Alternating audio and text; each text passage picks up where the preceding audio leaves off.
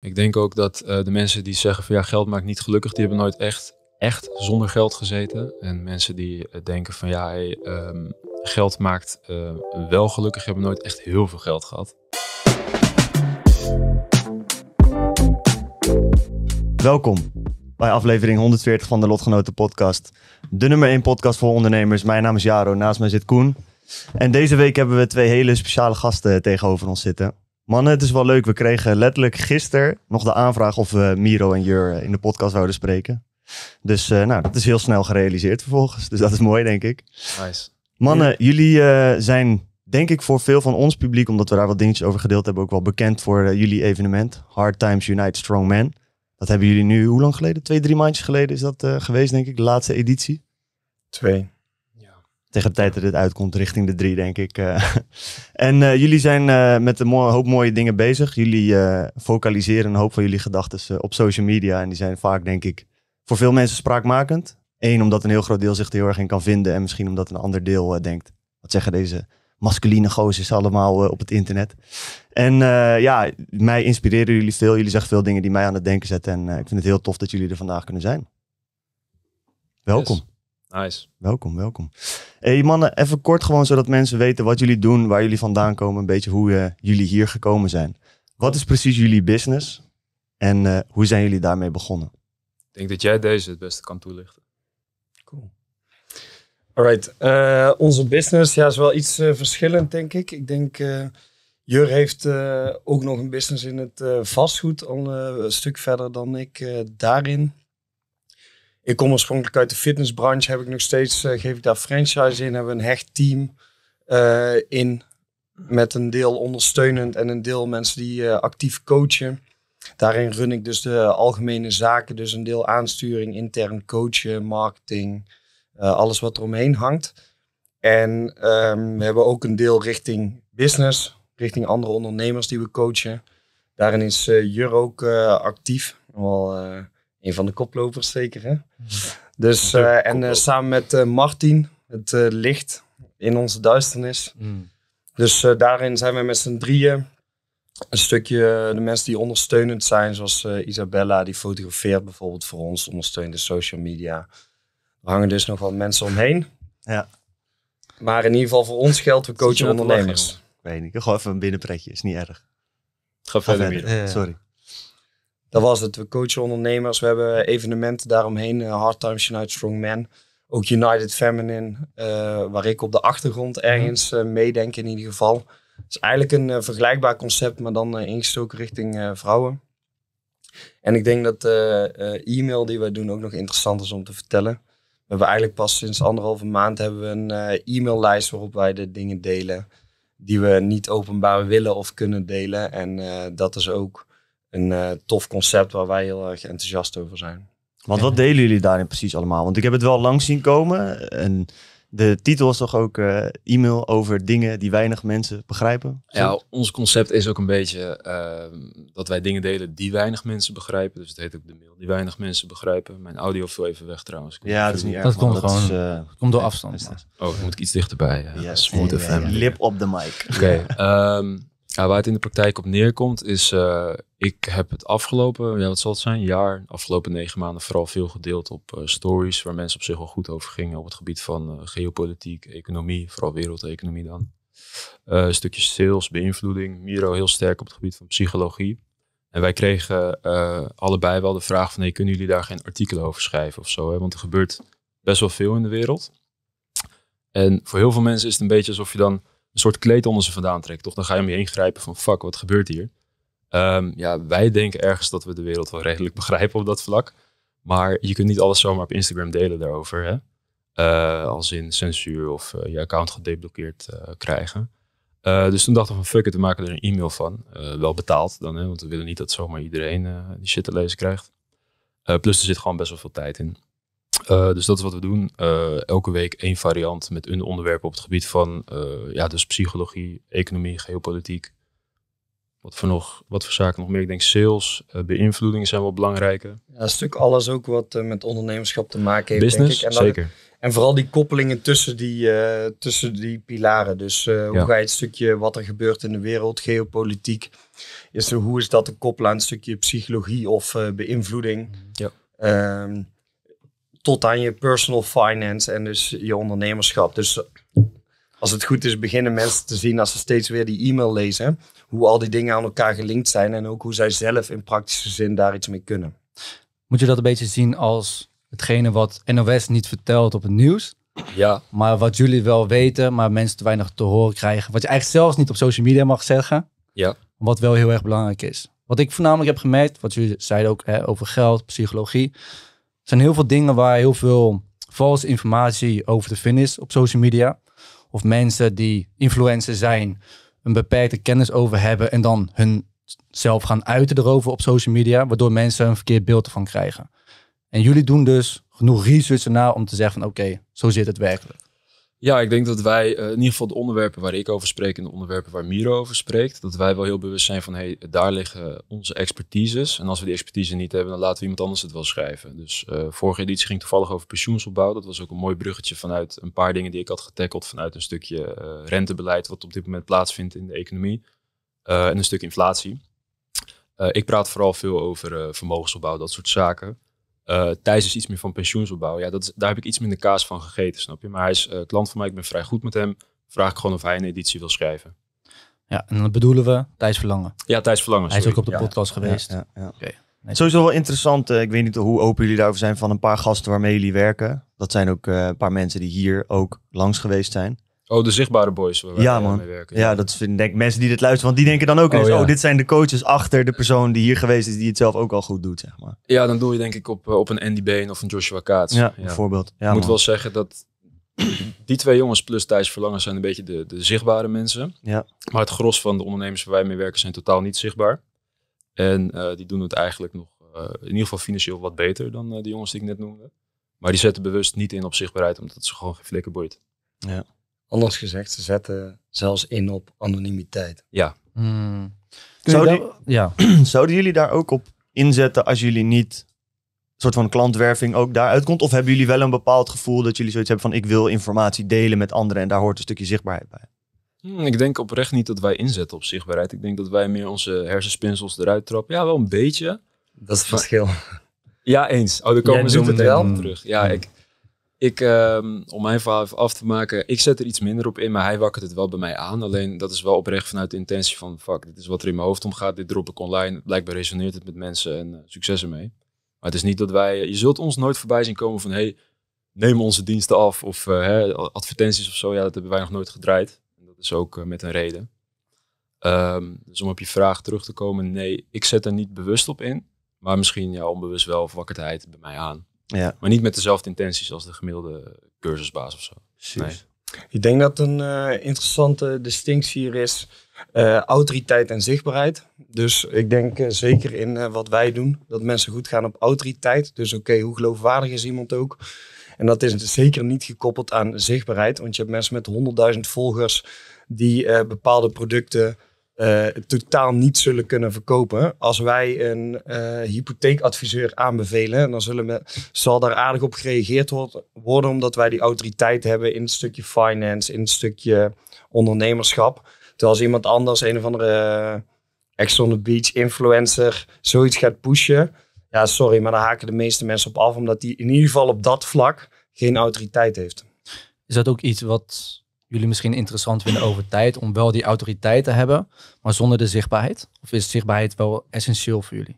Ik denk dat het complementair aan elkaar zou kunnen zijn. Maar ik, ik denk daar niet heel veel over na op dit moment. Ik denk dat het ook te maken heeft met het feit dat wij chronisch volgepland zijn. En dat er ook niet echt dat het niet essentieel is voor ons. Maar dat is misschien mijn aanname erin. Ik ben benieuwd hoe jij daar naar kijkt.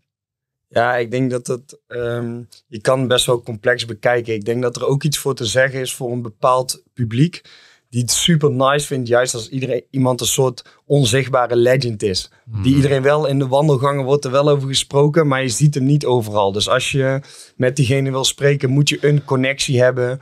Moet je of grof geld betalen om daarmee te spreken. En niet elk uh, van zijn ja, dingen die hij doet is online te vinden. Dus ik denk dat er verschillende levels in zijn. Maar je had het net over eh, prosperous eh, coach vibe. hè. Oh ja, Dus man. Dat, we, dat je op een duur ook wel een legend bent als je gewoon eh, inderdaad... Oh ja, die werken met die grote namen. Of alleen op basis van verwijzing vol kan zitten. Dan zegt dat ook iets, weet je wel. Ik vind het ook ooit verschut als mensen een bepaalde dienst aanbieden.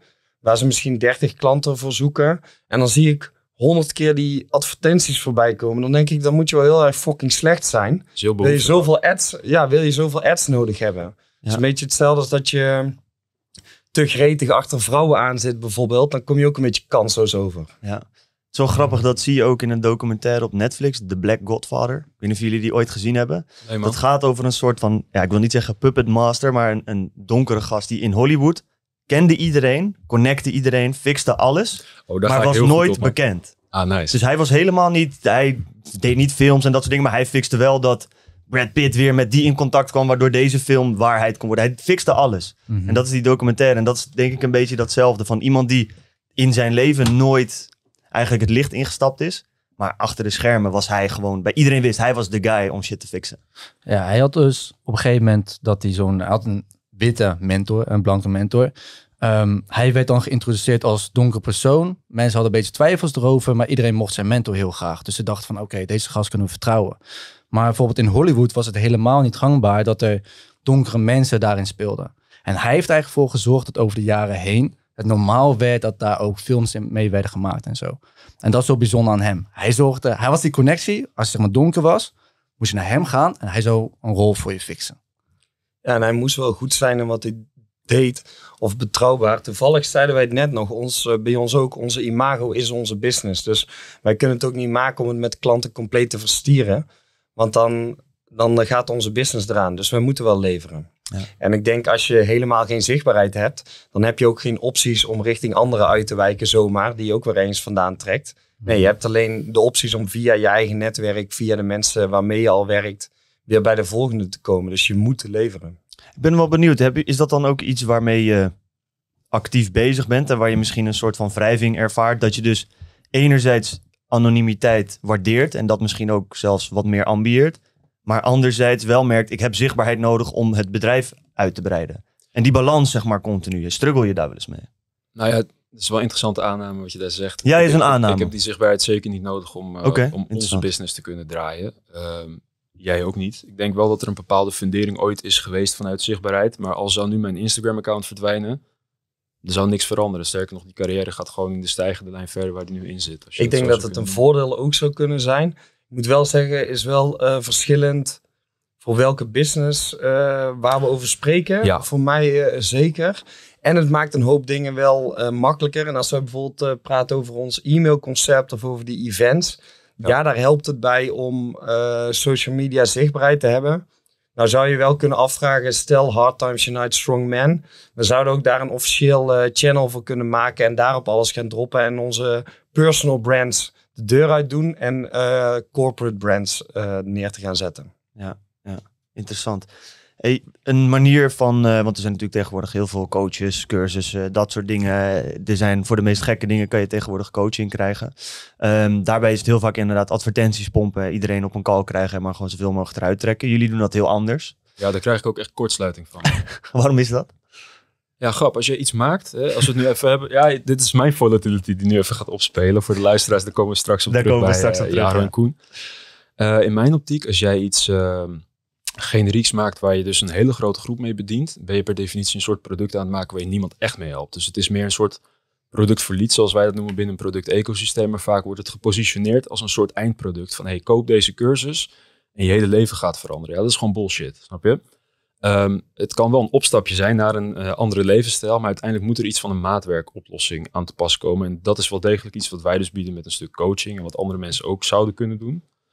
Maar ik geloof niet in een soort one-size-fits-all-achtig product of zo, waar dan je, je klanten echt bij bediend zijn. Ja, Nee. ik eh, wil er nog wel aan toevoegen. ehm, ook daar weer twee verschillende dingen. Als je iets aan een hele grote groep wil verkopen, wat eigenlijk gewoon complex, complex is, dan zul je het moeten platslaan tot iets simpels. Hè, dan is het geschikt voor een grotere groep. Dus eh, iets wat heel complex zou kunnen zijn en wat de complexiteit mag hebben, maak je dan tot een simpel modelletje en verkoop je aan die grote groep.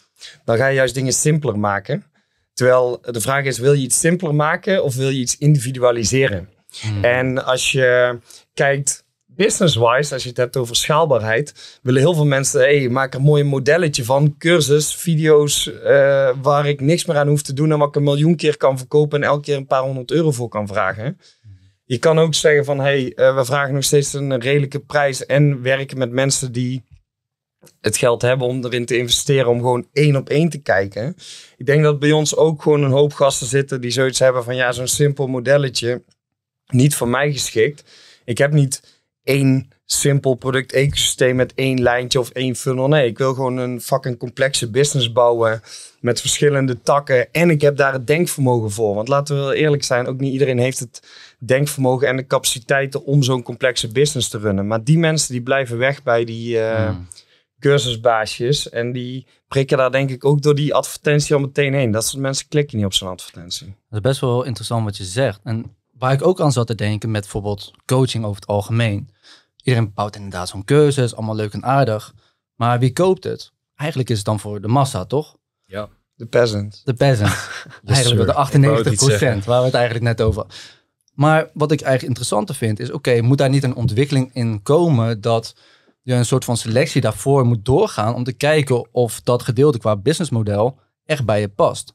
Want nu wordt er zeg maar, eh, als je begint met ondernemen, kan je nu 20 cursussen halen. Allemaal verschillende soorten businessmodellen. Ja. En wij hebben superveel luisteraars en kijkers en die hebben eigenlijk het probleem dat ze niet weten wat past nou bij mij precies.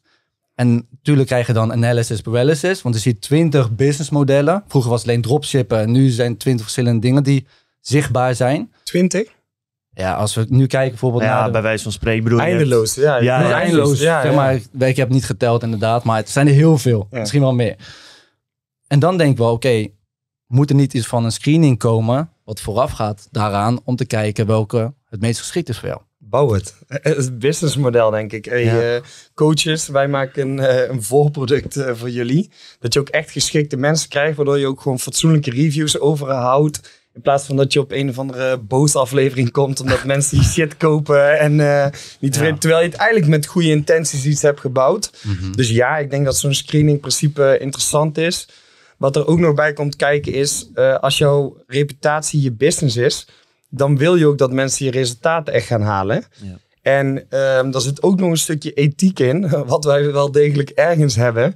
Is als ik iemand heb, eh, we hadden het er net al over. Iemand eh, komt bij mij op gesprek en eh, die heeft eigenlijk geen, eh, helemaal geen centen, geen potentie, laag IQ, klote profiel qua persoonlijkheid voor zijn ondernemerschap. Ik denk, gaat helemaal niks worden. Maar die zegt, hey Miro, let's do it. Ik wil eh, echt twee jaar tegenaan en ik betaal eh, 30k, tik ik neer. En die ga ik lenen van mijn oma, want ik heb hem eigenlijk ook nog eens niet. Ja, dan is het aan mij. Kijk, die 30k is ook superleuk voor mij. Hè? Kan je allerlei leuke dingen mee doen. Maar dan zal ik altijd zeggen: nee, gaan we niet doen, want ik, ik geloof er zelf niet in. Dus dan heb ik liever een klant bij wie het wel gaat werken. Dan die klant. Want hij zal ook, of zij zal ook ontevreden zijn. Zal naar buiten komen. Hey, die heeft daar 30k neergetikt. En zijn oma heeft ook niet meer te eten. En eh, weet je wel, er zit ook nog een stuk ethiek in. En de reputatie van je eigen business. Ja, dat is tegenwoordig denk ik ook wel een uitdaging waar zeker veel jonge mannen mee bezig zijn. Is dat je integriteit. Stel je voor dat die 30k voor jou betekent, gooi eens wat op. Dat jij een bepaalde ontwikkeling in je business kan doen. Of dat jij een stap omhoog kan doen die jij al een hele lange tijd ambieert. Dan is het denk ik voor veel mensen best lastig om die integriteit te houden. Dat is een uitdaging. Stel je voor het gaat minder goed met de business. Het geld loopt langzaam leeg en dan komt er zo'n klant. Wat ga je dan zeggen? En ik denk dat dat iets is waar heel veel mensen mee struggelen. Van oké, ja, hoe doe je dat dan? Kijk, jullie zullen daar geen probleem mee hebben. Maar ik denk dat er veel mannen zijn, zeker jongere mannen, die daarin moeten ontwikkelen. Ik denk dat je per definitie niet in die positie zou moeten zitten dan. Dus als jij, zeg eventjes, eh, ja, weet ik veel, een klein vermogen hebt of zo, of je hebt je eigen zaakjes nog niet op de rit, ja, dan ben je vatbaar voor zulke zaken. Terwijl als je al bepaalde dingen hebt neergezet in je leven, dan heb je daar veel minder moeite mee, omdat die fundering gewoon heel sterk is. Dus dan hoef je daar ook niet echt eh, mee te struggelen, denk ik. Ja. Hoe leg je die fundering dan? Nou, door eerst zelf wat dingen uit, eh, uit te vogelen. En vooral, eh, ik doel dan op financiën. Ik denk ook wel op een stukje levenservaring, maar in dit geval gaat het voornamelijk om financiën. Als jouw vermogenspositie gewoon eh, goed is, dan eh, word je ook niet zo heel erg vatbaar voor de verleiding van hé, hey, ik ga nu een klant opnaaien om 30k eh, in mijn zak te steken. Ja, dat is die behoeftigheid ook.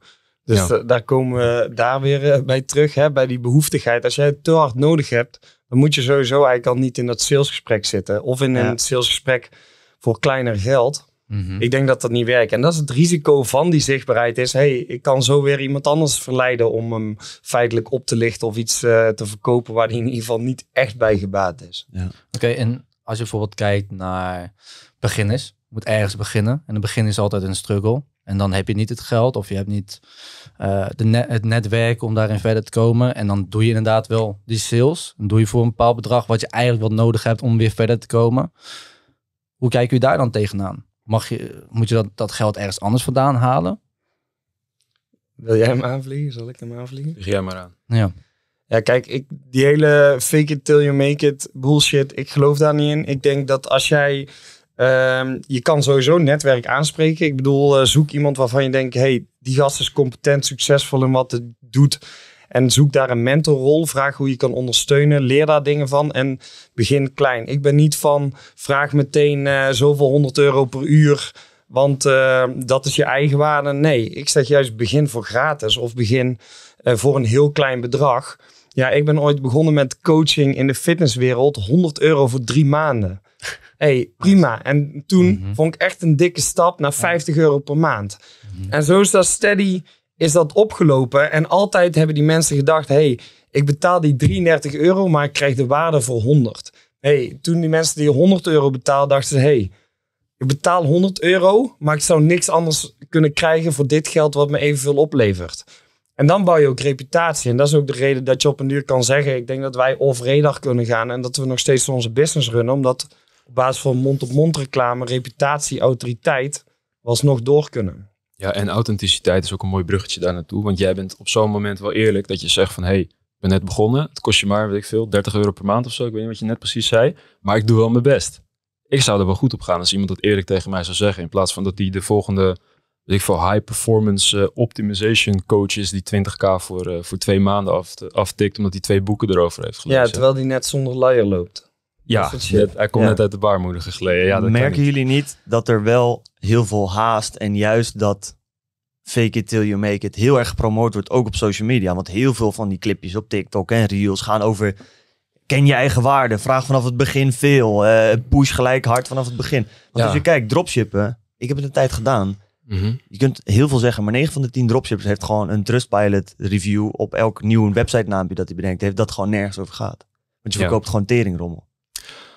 Ik denk zelfs dat jullie daar een nobele bijdrage in hebben gehad met jullie podcast. eh, zonder jullie al te veel eh, te Ja, nee, dat mag. Eh, ik denk wel, ik, ik heb twee broertjes die zijn wat jonger. De een is eh 18 en de andere is 17 uit mijn hoofd. Moest ik even over nadenken. Maar die hebben ook al, is net een andere generatie om het zo te zeggen dan mensen van onze leeftijd. Die hebben al zo'n vertekende perceptie van hoe de hele ondernemerswereld, om het maar zo te zeggen, werkt. Hè? Je krijgt door filmpjes van, eh, nou, misschien van jullie, van een, een Joey Bravo die 100k eh, omzet in weet ik veel hoeveel uur. Ja.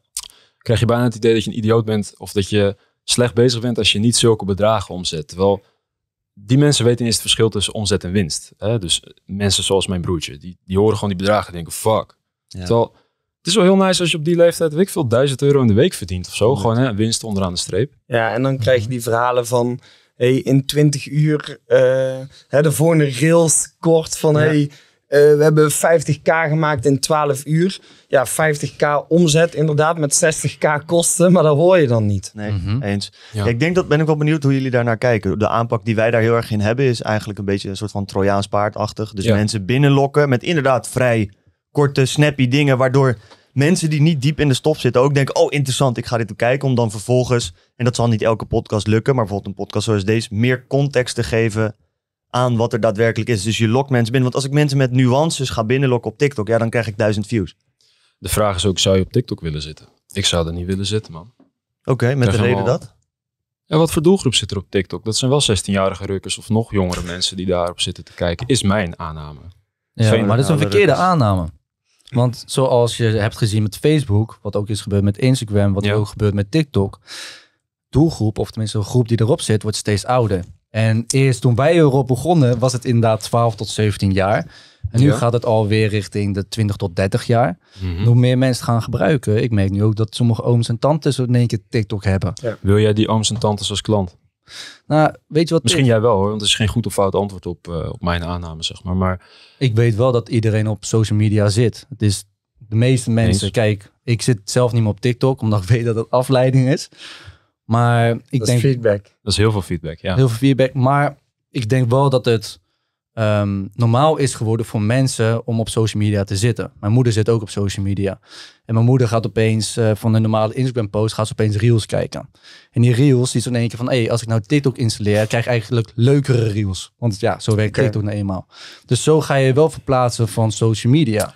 Ja, als jouw doelgroep daar dus in de rond hangt, helemaal prima. Maar ik zou, ja, als we het dan hebben over onze situatie, ja, ik zou jouw moeder nooit willen closen voor een coachingstraject. eh is Nee, mijn aanname nee. dan. Dus Nee, klopt. voor ons, ja, die was bot hè, sorry man. Nee, nee, maar, boeit me ook eh, helemaal logisch. niks. Eh, Maar ik noem nu mijn moeder als voorbeeld. Alleen, weet je wat het is? Ondernemers die doen net zo van, ik zit nooit op social media. Maar als je even goed met ze spreekt, zijn er ook heel veel ondernemers die gewoon een paar uur zitten te scrollen op social media. Met veel vermogen. En met ja, veel vermogen. Ik denk niet op TikTok, maar misschien dat dat mijn, eh, mijn TikTok, Ja, oké, is. maar Instagram, Snap. Dus dat zijn eh, details. Maar kort, kort Ja. daarvan, meer los daarvan. Ik hoor je inderdaad van zit Ja. je doelgroep daar. Kijk, onze inzet daarin is inderdaad gewoon... Wij willen Ja. gewoon massaal mensen bereiken. Want uiteindelijk wat ons geholpen heeft, is het feit dat... Ik had een droom toen ik jong was. Ik wil rijk worden, succes behalen. En heel mijn omgeving zei altijd tegen mij... Doe eens normaal, doe eens gek. Niemand heeft dat, doe eens Niet gewoon. is hij het. Hm? Niet is hij het. Nou ja, nu ben ik onderweg in ieder geval. En Mhm. ik merk vooral dat ik nu omringd ben door mensen die... in plaats van dat ze die dromen, zeg maar, doven Ja. een vlammetje geven. En ik denk dat er heel veel mensen op TikTok zijn die dat gevoel wel ergens hebben. Die liggen op zondagochtend in bed en die denken van ja. En dan kom je iets tegen wat je misschien toch prikkelt, waardoor je die podcast gaat luisteren en ineens een switch kan gaan maken. Oké, maar eh, conclusie. Jullie zitten er veel meer om een jongere generatie te inspireren. Bij ons, Ja. eh, wij werken met mensen met grovere bedragen die al een stuk verder zijn in Mhm. hun ondernemerschap. Oké, andere... ja, we praten gewoon over iets anders, denk ik. Mhm. Wat ik wel interessant eh, vond ook, is dat jij zegt... Ja, maar dat is ons eh, paard van Troje, hè? Ja. Dus we maken zo'n korte rail. Paard van Troje wil zeggen, het is een trucje. Mhm. Ehm, wij sturen naar juist minder trucjes. En je wil je afvragen, is er geen trucje vanuit misschien wat een realistischer beeld te verzinnen? Eh, misschien kunnen we die hebben. Nog een kritische vraag zou kunnen zijn: oké, in hoeverre iedereen die die rails ziet, luistert ook daadwerkelijk de podcast en hebben mensen dit echt door? Dus mensen, ga die hele podcast luisteren, want eh, als jij op eh, de rails alleen maar ziet, hey, zoveel k in eh, drie minuten verdient, ja, dan heb je gewoon geen realistisch beeld. Dus je moet gewoon de diepgang opzoeken. En dat is ook wat we doen. Het is vaak dat we ook eh, naar het verhaal vragen van de personen die tegenover ons zitten. Om dan te kijken van oké, wat is inderdaad je struggle geweest? Want dan hoor je in één keer van ja, ik heb nu misschien wel die tonnen. Ik verdien misschien wel binnen een maand, prima. Maar ik ben eigenlijk al tien jaar bezig. En dan denk je in één keer, oké, dat is het hele verhaal. Dat hebben wij ook al gemerkt. In het begin dachten wij, hé, hey, miljonairs, toen is het best wel snel, in een paar jaar. En hoe meer ondernemers wij spreken, merken we eigenlijk van, hé, hey, iedereen is eigenlijk al minstens vijf jaar aan het struggelen voordat er iets gebeurt. Ja, en Eens. Ja. Die ervaring hebben wij ook. Onze, als ik kritisch kijk naar onze klanten die het echt goed doen op dit moment. ehm, ja, een enkeling is wel echt een soort reizende ster. Hè? Je weet precies wie ik bedoel nu. Maar eh, het gros van die gasten, ehm, misschien een mooi voorbeeld is eh Lauwers. Die gaat hier sowieso nog een keertje aanschuiven. Toffe gast ook, jonge guy. Die heeft gewoon vijf jaar, zes jaar lopen rommelen met die flessen zonder dat hij een euro heeft verdiend volgens mij. Als ik het nu goed zeg. Ja, en mm, ja, sowieso. Die zijn er een hoop ehm, die, eh, waarbij die curve zeg maar eh, langzaam eh, opeens begint te vliegen. Hè? Wat nog interessanter is, voor iedereen die er in de podcast zit, die tien jaar hebben gestruggeld om er daar te zijn, zijn er nog 200 die tien jaar zitten te struggelen en nooit geen kloot bereiken, omdat ze simpelweg niet de capaciteit hadden, nooit gaan hebben, of omdat ze het gewoon verkloot hebben. Maar die hoor je niet, die krijgen geen zichtbaarheid. Dus je krijgt sowieso op social media een vertekend beeld van wat ondernemerschap is per definitie. En daarvoor kunnen we, eh, daarvoor kunnen we mensen in het algemeen waarschuwen. Want sowieso, wat ik een interessant vertekend beeld vind ook nog, is dat mensen denken, oh, ik moet zichtbaar zijn om succesvol te zijn. Nee, bullshit. Nee, 99% van de mensen die echt gewoon mega veel geld verdienen, zijn totaal niet zichtbaar. Maar daar weten we het niet van, want die zien we niet. Ja, je hoort het ook veel. Dat, dat valt me tegenwoordig ook veel op. Dan spreken we gasten bij een, eh, ons laatste evenement was een gast die zat in de friet. Dus die maakte friet voor horeca tent en alles, zeg maar. En die zei van, ja, ik wil ook wel wat online gaan doen, dropshippen, dit. Ik zeg, pik. Ga friet, word gewoon de frietbaas van Nederland. Ga dat, dus iedereen die zet van in die klassieke business zit, zeg maar, die minder zichtbaar is, doet het gewoon hartstikke goed, maar wil dan ook toch dropshippen of dingen die sneller lijken gaan. En dat Lijken. merk ik wel. En dat is, ja, ik denk dat dat ook gevaarlijk is of zonde, zeg maar. Want dan gaat er een heel groot stuk echt mooi ondernemen, gaat er eigenlijk aan ten onder. Het is verleidelijk, hè? Daar Ja. komt het gewoon op neer. Ja, Die, zijn- kli die clickbait-titels, die, eh, die schetsen toch een bepaald beeld waarvan mensen denken van, oh fuck. En dan zitten ze eigenlijk hun, hun eigen binnenkant met iemand anders buitenkant te vergelijken. Terwijl de meeste mensen die dus eh, op papier of misschien online eh, zichtbaar zijn en waarvan het lijkt dat het heel goed gaat, die hebben ook gewoon hun eigen issues. Die schuiven ook bij ons aan de tafel aan. Met ja, eh, ik heb 2 miljoen gepakt, maar ik zit nog steeds te huilen in mijn Ferrari of zo. Ja, dat kan, weet je. Dus dat is altijd appels met peren vergelijken. vind ik. Ja. Ik onderbreek de podcast even met een belangrijk bericht. Want 14 januari 2023 is de eerste editie van de Man of Substance. En de Man of Substance is een man die niet bang is om zijn ambities uit te spreken. Die niet bang is om ergens voor te staan. En die niet bang is om anderen te zien winnen. Herken jij jezelf hier nou in, dan is dit evenement voor jou. Onder het genot van een goed glas whisky, een mooie sigaar, op een prachtige locatie, zullen we met elkaar verbinden en overwinnen. Dus lijkt dat je wat, klik op de link in de beschrijving. Er zijn nog 10 tickets beschikbaar. Dan zien we je hopelijk daar. Dat eh, vind ik dan wel interessant om dat er door te pakken. Want Ja. jullie selecteren de mensen waar jullie mee werken ook heel... eh, daar zijn jullie, gaan jullie vrij diep in. Dus jullie laten mensen een persoonlijkheidstest maken. Jullie hebben volgens mij Ja, veel gesprekken. En daar wil ik graag ook eh, naar doorgaan. Want kunnen jullie wat meer uitleggen wat dat inhoudt, dat testen van persoonlijkheid? Want ik denk dat er weinig mensen zijn die zich bewust zijn van hun persoonlijkheid en welk effect dat heeft op hun leven en op de mensen om hen heen. En waarom jullie dat gebruiken om mensen te selecteren. Waarom is dat dan zo belangrijk? dit is echt jouw ding. Oké, cool. Let's go. Daar gaan we. Ehm, ja, kijk, je hebt eh, heel veel methodes en eh, heel veel marketing bullshit wat betreft eh, psychologie en persoonlijkheidsprofielen. Alleen, je hebt daar ook gewoon wetenschappelijk wel bepaalde standaarden in, die wel gewoon echt werken en goed gevalideerd zijn. Big Five is een van die modellen, specifiek voor persoonlijkheidspsychologie. Ja, als je dat iemand laat maken in een neutrale setting en die vult dat naar eerlijkheid in, ja, dan kun je daar ontzettend veel in zien. Alleen het is wel redelijk complexe materie. Want als je bijvoorbeeld kijkt naar ehm, iets wat veel mensen kennen, is bijvoorbeeld 16personalities.com. Ja, kan een indicatie geven, is op, op basis van eh, Carl Jung de werken daarvan gebaseerd. Alleen wat ze eigenlijk doen, is alles in vakjes verdelen. En dan betekent het dat je zegt, hé, hey, er zijn 16 persoonlijkheden. En ja, natuurlijk, als een soort horoscoop kloppen dan bepaalde dingen, hè, komen ze overeen. Alleen de menselijke psyche is super complex. Dus ehm, zo'n model als de Big Five, die zegt, hey, we zijn eh, op basis van eerst onderzoek naar taal, van welke woorden bedoelen we wat mee. Die zijn geclassificeerd eigenlijk. Op basis daarvan hebben we vraagstellingen getest en eh, heel eh, ja, gekwantificeerd, zeg maar. Hebben we dat samengesteld zodat er elke keer een vergelijkbare uitkomst uitkomt. En dat het ook wetenschappelijk gezien daadwerkelijk klopt. Maar wat daar dus voor nodig is, is dat je vijf daadwerkelijk te onderscheiden karaktertrekken hebt. Hè? Dat zijn dan die eh, Big Five die je ook weer kan onderverdelen. En dan geef je daar ook nog eens een score aan. Niet van ja of nee. Dus je maakt het niet eh, van oké, je bent extravert, je bent introvert. Wat feitelijk bullshit is. Nee, we zeggen hey, op schaal van 0 tot 100 kun je ergens scoren. Dus eh, extraversie is wel degelijk een ding. En we zeggen je zit tussen 0 en 100. En zelfs extraversie kunnen we weer in assertiviteit opdelen. En enthousiasme. En enthousiasme. Ja, exact. tussen ons. Ja, maar ik vind dit best wel mooi wat je nu Ja. zegt. Ik heb eh, toevallig deze week eh, drie van zulke vragenlijsten ingevuld. Van die 16 personalities. Ehm, toen van de Big Five. En vervolgens ook eentje van Patrick bij David. En dat gaat over wat is je drive, zeg maar. Maar wat me echt opviel is dat er twee van die waren gewoon letterlijk vragen. En dan word je een beetje in een hoekje gedouwd. En met de Big Five krijg je echt best wel goed uitleg. Wat houdt het eigenlijk in en hoe erg ben je dat? Dus ik vind het best wel mooi dat jullie dat ook echt gebruiken. En we zien hier ook al een lijstje liggen met een paar, eh, paar dingetjes erop.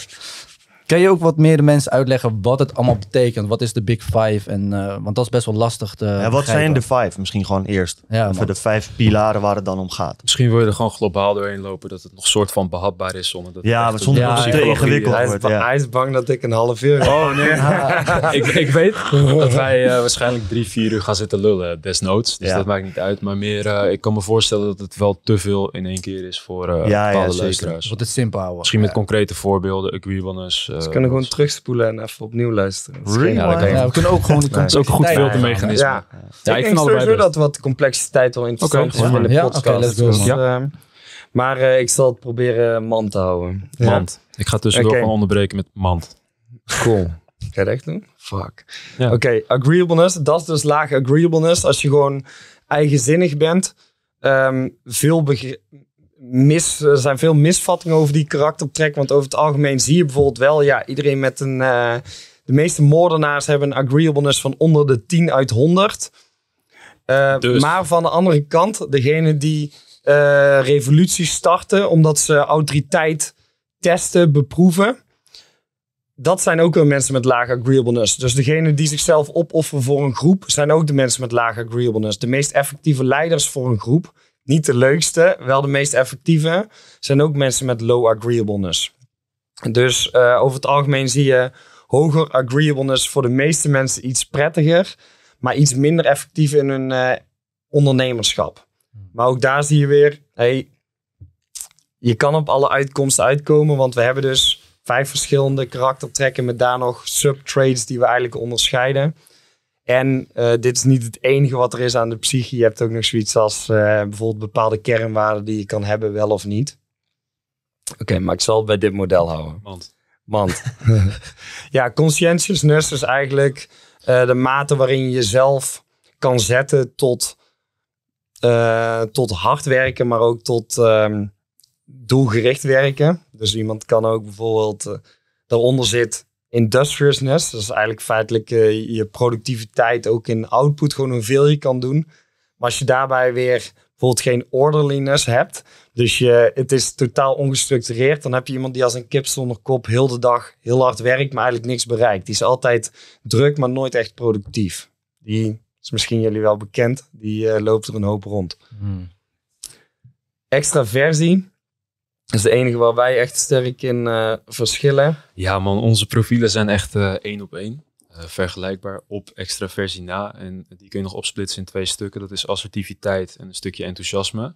Onze assertiviteit is even hoog, denk ik. Misschien zelfs nog iets hoger bij mij. Maar mijn enthousiasme is wel echt gewoon nul. En die van hem is volgens mij 100 of zo. Is jouw assertiviteit hoger dan 98? Volgens mij is die 100 bij mij, man. En volgens mij is letterlijk mijn enthousiasme nul. Ja, het- het was bij mij best wel een eh, eh, contrast, ja. Cool. Dus dat. Maar dat is dus het enige verschil tussen ons. Hè. Dat kun je ook merken in zo'n podcast. Eh, ik ben iets terughoudender in wat ik zeg en wanneer ik iets zeg. En ik denk ook iets, of ik moet iets langer nadenken voordat ik iets zeg. Deze man kan die hele podcast gewoon freestylen als hij wil, zeg maar. Juist. Daar gaat hij wel goed op. Netjes, man. Netjes. Cool. Oké. Interessant, oké. Dat zijn de eerste twee dus. Eerste drie. Eerste We hebben nu sorry. drie gehad, ja. Ja, het werkt misschien enigszins verwarrend, omdat je hebt die Big Five, Ja. hè? Vijf, het, het zit in de naam. Maar daar zitten steeds eh, twee subtraits. Dus daar maken we nog onderscheid in van hoe we tot die score zijn gekomen. Mhm. Je hebt zelfs eh, modellen waarin ze er nog meer zaken onderscheiden. Alleen de vraag is, hoe is de bruikbaarheid van zo'n model als we zeggen, we hebben een schaal van 1 tot 100 voor ook nog weer 30 verschillende zaken. Hmm. Oké, hoe gaan we dat dan in de praktijk toepassen? Dus dan zeggen we, ja, ik wel, oké, we hebben een 5 is handig. Oké, maar eh, met iets meer complexiteit, 10 kan waarschijnlijk ook nog wel bruikbaar zijn, omdat we dan nog redelijk goed kunnen bevatten wat een verschil tussen bepaalde karaktertrekken ook bij 10 stuks nog teweeg brengt in iemand zijn persoonlijkheid. Alleen dan ga je al veel hoger zitten, dan wordt het eh, zeker voor de gemiddelde persoon wel heel erg lastig om daar nog praktisch iets uit te halen. Oké. Neuroticism. Ik wou net zeggen. Man. Dat was jouw neuroticism die opspeelde. Ja, Maar We hebben nu nummer 1 is agreeableness, dan Ja. nummer 2 is conscientiousness Ja. Yes. en nummer 3 is Extra version. Extra Extra version. versie. Oké, dan nummer vier is neuroticisme. Ja, dat is het verschil tussen jullie twee. Ja, daar kunnen we zo meteen eh, diep op ingaan, toch? Of, eh, Ja. Ja, neuroticism is eigenlijk eh, de neiging tot... ehm, ja, in hoe goed je kan omgaan met emoties eigenlijk. Dus eh, over het algemeen zie je dat withdrawal is eigenlijk de neiging naar het negatieve denken over de toekomst vooral. Hè? Dus eh, negatieve verwachtingen. En ja, daar zitten ook voordelen zelfs aan. Dat is iets wat weinig mensen begrijpen, denk ik. Ja. Volatility is eigenlijk zijn de schommelingen daarin. En dan kun je ook al nagaan als iemand heel erg schommelt in zijn, eh, bijvoorbeeld zijn emoties. Maar hij is wel super laag agreeable, dus heel erg eigenzinnig. Maar hij gaat heel erg Wie's telefoon is dit? joh. Maar ik, ik hoor hem ook echt gewoon... Gewoon Oh. dubbel. Heel hard. Maar echt lekker alsof hij gewoon... Oh. sorry schande. guys, sorry guys. Top. Oké. Absoluut onacceptabel, Koen. Degene die nou lage orderliness heeft, die heeft nou de grootste error. Ja, Die, eh, ik. die, die kan niet omgaan met die verandering. Het gaat wel, komt wel goed, ja. Yes. Oké. Een normaal telefoon. moet een wekker aanstaan, man. Lekker. Het is er nog aan ergens. Oké. Maar ik weer... Nee, we hadden het nu over? Neuroticism. Neuroticism. Oké. Ja. Juist. Volatility is degene die nou het meest emotie denkt. "Eeuw, wat is dit en eh, hoe kan je het zo verpesten? Dat zou ik moeten Jaro, zeggen. ja, eigenlijk het, best wel valt nou nog. het valt nou nog mee, maar dat komt dadelijk vast wel. nee, alleen triggeren. volatility is die, eh, ja, die wisseling in emotie. En dat is denk ik een hele makkelijke, ook voor de luisteraar, om al te begrijpen van oké, volatility, iemand wisselt in emotie, maar hij is wel fucking eigenzinnig, drijft zijn eigen wil heel sterk door. Ja, dat kan wel eens lastig zijn, want op het ene moment is hij super blij en dan wil hij het ene. En daarna eh, veel meer down. En daarna eh, wil hij iets heel anders daardoor. Ja, Ja. Dus dat kan wel uitdagingen opleveren. Is dat van een voorbeeld kan je West, die dat tot Ja. het extreme heeft? Bipolair, hij is... Volgens mij is hij Mm. bipolair. Jij kent het beter dan ik, Klopt. maar de meeste mensen zeggen dat hij bipolair Hij is zeg Dus maar dat- Black Lives Matter, alle zwarte mensen moeten elkaar helpen, sta voor elkaar op. En daarna staat hij met Trump, hey, all lives matter, man, hey, eh, help mij. Zeg maar. Hij is gewoon in het moment wat hem op dat moment helpt. Daar. Ja, kan er wel onderdeel van zijn. Ik denk dat hij wel een, een zeer complexe casus is. Ja, dat denk ik ook wel. Ja, toch? Ja. Ja, toch? Oké, Ik weet, ja, ik ken de naam maar oprecht. Nee, Ken ja, je moet je ook Ik niet willen. Ja, ik ken, de naam, eh, ik ken de naam Maar je natuurlijk. kent maar, hem eh, niet. Nee, Nee, ik skip heb dat. Ingewikkeld mannetje. Word je niet veel wijs van. En dan man. de laatste. Laatste is denk ik het lastigste te bevatten voor mensen. eh, openness to experience, daar zit ook nog een belangrijk verschil onder. Er zit intellect onder. Eh, die verhoudt met IQ, dus met denkvermogen wat mensen hebben, maar het is niet IQ. Alleen dat is eigenlijk je interesse in abstracte zaken, in complexe zaken. Dus dan zie je wel als mensen daar hoog in zitten, zijn vaak de visionairs. En die willen niet op korte termijn dingen managen vaak. Daar hebben ze ook vaak dan een hekel aan. Maar ze willen wel hele complexe materie begrijpen en op lange termijn eh, kunnen ze denken. Alleen in de uitvoering en tabelletjes bijhouden en zo hebben ze een hekel aan. Het stuk openness zou ik meer omschrijven als creativiteit. En als iemand over het algemeen hoog in intellect is, dan is hij vaak wel van de theorieën en zo, maar openness juist laag. Dan is het stukje creatief, kunst, muziek en daarvan liefhebben is vaak een stuk minder. En dan zie je ook dat ze vaak meer klassieke waarden hebben, oftewel het in de volksmond conservatief is. Interessant. Heel interessant. Dus als je kijkt naar, want dat had ik ook een beetje gelezen, een beetje een side note, maar ehm, als je dit een beetje voor jezelf gaat uitzoeken, kun je ook kijken hoe jij zeg maar in de politiek staat, toch? Of je heel erg links bent of heel erg Maar rechts. het was een beetje te kort door de bocht volgens mij, dacht ik ook wel te lezen. Dat, dat, dat Ja, wordt wel eens gezegd, maar het is te kort door de bocht om echt dat direct één op één te zeggen. Ja, je hebt natuurlijk, iets kan een link hebben of iets kan echt een daadwerkelijk aanwijsbare oorzaak van iets zijn. Hè? Ja, Ehm, dus ja, je kan zeggen mensen met eh, die hoger scoren op openness, die zullen ehm, meer vernieuwen, meer van de vernieuwing zijn en dus ook meer van de woke eh, spullen en zo. ja. Ehm, iemand die lager scoort zal het over het algemeen minder zijn. Maar dat kan wel degelijk iemand zijn met lage openness die toch super eh, woke, moderne dingen Ja. helemaal super vindt. Ja. Dus als we het hebben over wetenschap, heeft het een correlatie, maar het is geen causatie. Kijk. Ai, Zo, hij ai, wil even flexen dat hij ook slim Ja, is. ja, ja, ik ben de domste guy aan tafel. Let's Yes, fucking sir. go. Nee, nee, nee. Dat was de volatiliteit. Yes. Maar, Oké, ja, dat is ehm, leuk, want jullie halen dat... Sorry, ga verder. Die wou iets... eh, Oh ja, wat ik eigenlijk gewoon wil zeggen is, eh, misschien voor de luisteraars, eh, wij laten iedereen die bij ons potentieel klant zou kunnen worden, eerst een paar van zulke testen maken, zodat wij gewoon kunnen zien wat voor vlees we in de kuip hebben. En als je dit soort dingen eh, voor jezelf een keer uitwerkt, is dat natuurlijk van toegevoegde waarde. Maar, eh, en je kunt dingen misschien wat beter een plekje geven, als in eigen gedrag en waarom jij met bepaalde mensen goede klik hebt en bepaalde handelingen prettiger vindt dan anderen in je leven. Prima. Maar je gaat ook andere mensen een klein beetje lezen daardoor. Dat is precies wat Koen voor de podcast al zei van, hey, ik heb nu die test gemaakt, ik kan dingen plaatsen voor mezelf, maar ik ben ook anders naar Jaro gaan kijken bijvoorbeeld, of anders naar mij of Miro of whatever. En dat is de reden, of een van de redenen waarom wij al onze klanten zoiets laten doen, voordat we met ze aan de bak gaan, of niet. Als die test kut is, dan... eh, Interessant, want wij hebben die test gemaakt voor deze podcast. Jullie Ja. hebben dat ook hier voor je liggen, een beetje doorgekeken.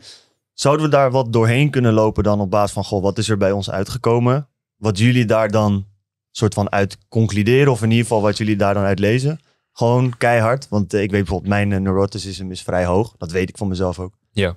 Eh, dat zou ik ook mijn Achilleshiel noemen. Dat is hetgene waar ik het meest aan werk, zeg maar. Van, dat is, zo heb ik het altijd omschreven met Koen en mij. Ik ben de man van meer ideeën. Ik gooi dingen op en als ik iets bevlogen ben, ga ik er helemaal in. Maar als ik me slecht voel, dan kan ik inderdaad de neiging hebben mensen mee te trekken in dat negatieve. En hij is juist fully steady, zeg maar, daarin. Maar als jullie dat lezen, wat eh, halen jullie dan uit van Koen en mij en hoe... Ja, je benoemt hem net al wel. Dat neuroticism is denk ik het belangrijkste verschil. Want jullie profielen waren enigszins identiek aan elkaar. Compassion is een groot verschil. Ja, ik wou net zeggen, ik denk dat Miro daar nog een andere blik op heeft. Ehm, ik, ik kijk meer naar de eh, algehele zaken, dus agreeableness, neuroticism. En hij gaat vaak nog iets meer de diepgang in, als in eh, compassion, politeness. Ik denk dat deze meer eh, een vraag voor jou is. Ja, man. of anders kan jij er eerst even uh, Ja, even kijken. werven. Ik ben heel erg benieuwd. Oeh, die begrijpt helemaal niemand behalve Martien. Ehm, even kijken. En wees hier echt super open over. Hè? Het boeit ons niks als het zeg maar heel erg eh direct Hoef je is. bij ons niet bang voor te zijn. Nee. Daar ben ik blij mee. Politeness. Oké, ja, een van jullie, dat is Jaro zo te zien, die heeft echt een fucking lage politeness van één. Dat vind ik wel interessant. Die is van eh, Koen wel ietsje hoger. Dat is op zich wel een goede zaak. Compassion vind ik ook... Oh ja, compassion is inderdaad een verschil, man. Ja. Oké, ehm, ja, ik denk dat één van jullie sowieso ook iets meer inlevingsvermogen heeft eh, dan de ander. Ja, dat hebben wij ook al gezien in een casus. Wellicht. Dus, dus eh, voor de luisteraar, ja, we zullen niet heel het voorbeeld eh, aanhalen. Alleen dan eh, spraken we over iemand en dan is Jaro veel eerder in de...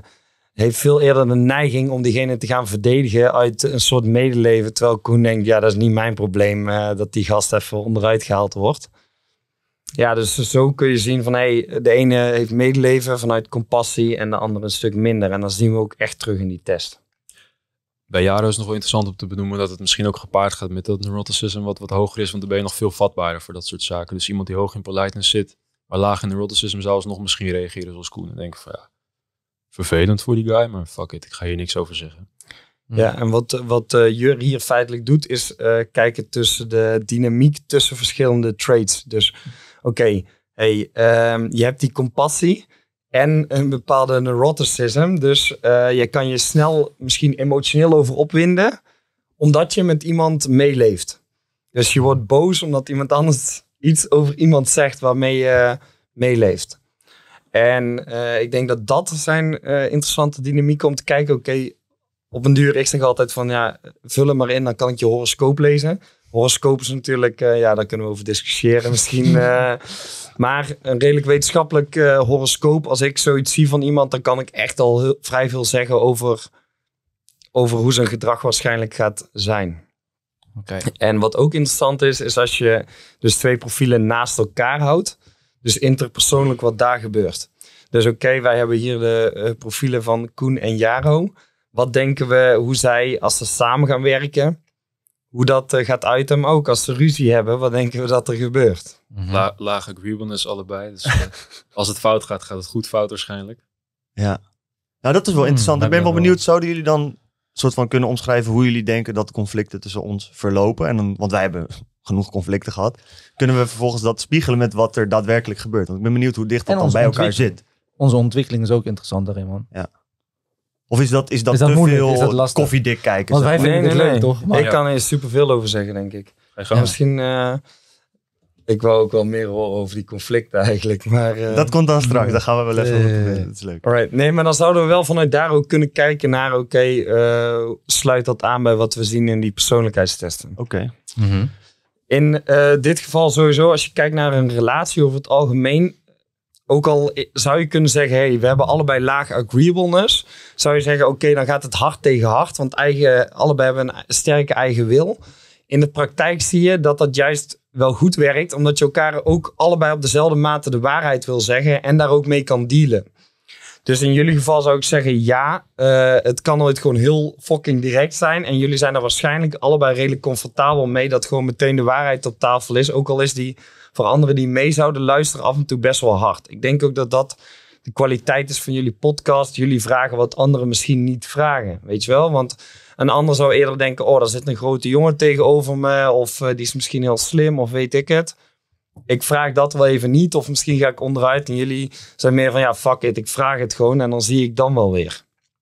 Correct? Klopt. Correct. En ehm, ja, jullie hebben dus best veel overeenkomsten. Het is ook geen toeval dat jullie best veel overeenkomsten hebben en dat wij heel veel overeenkomsten hebben. Dus die, eh, dat is al wel eh, typisch daarvoor. Even kijken, ja, wat we al zeiden, Jaro eerder medeleven, Koen eh, steady in, de- in de corner. Fucking steen. ja, de, Koen is de steen van jullie. Is dat twee of drie nu? Drie toch? Vier.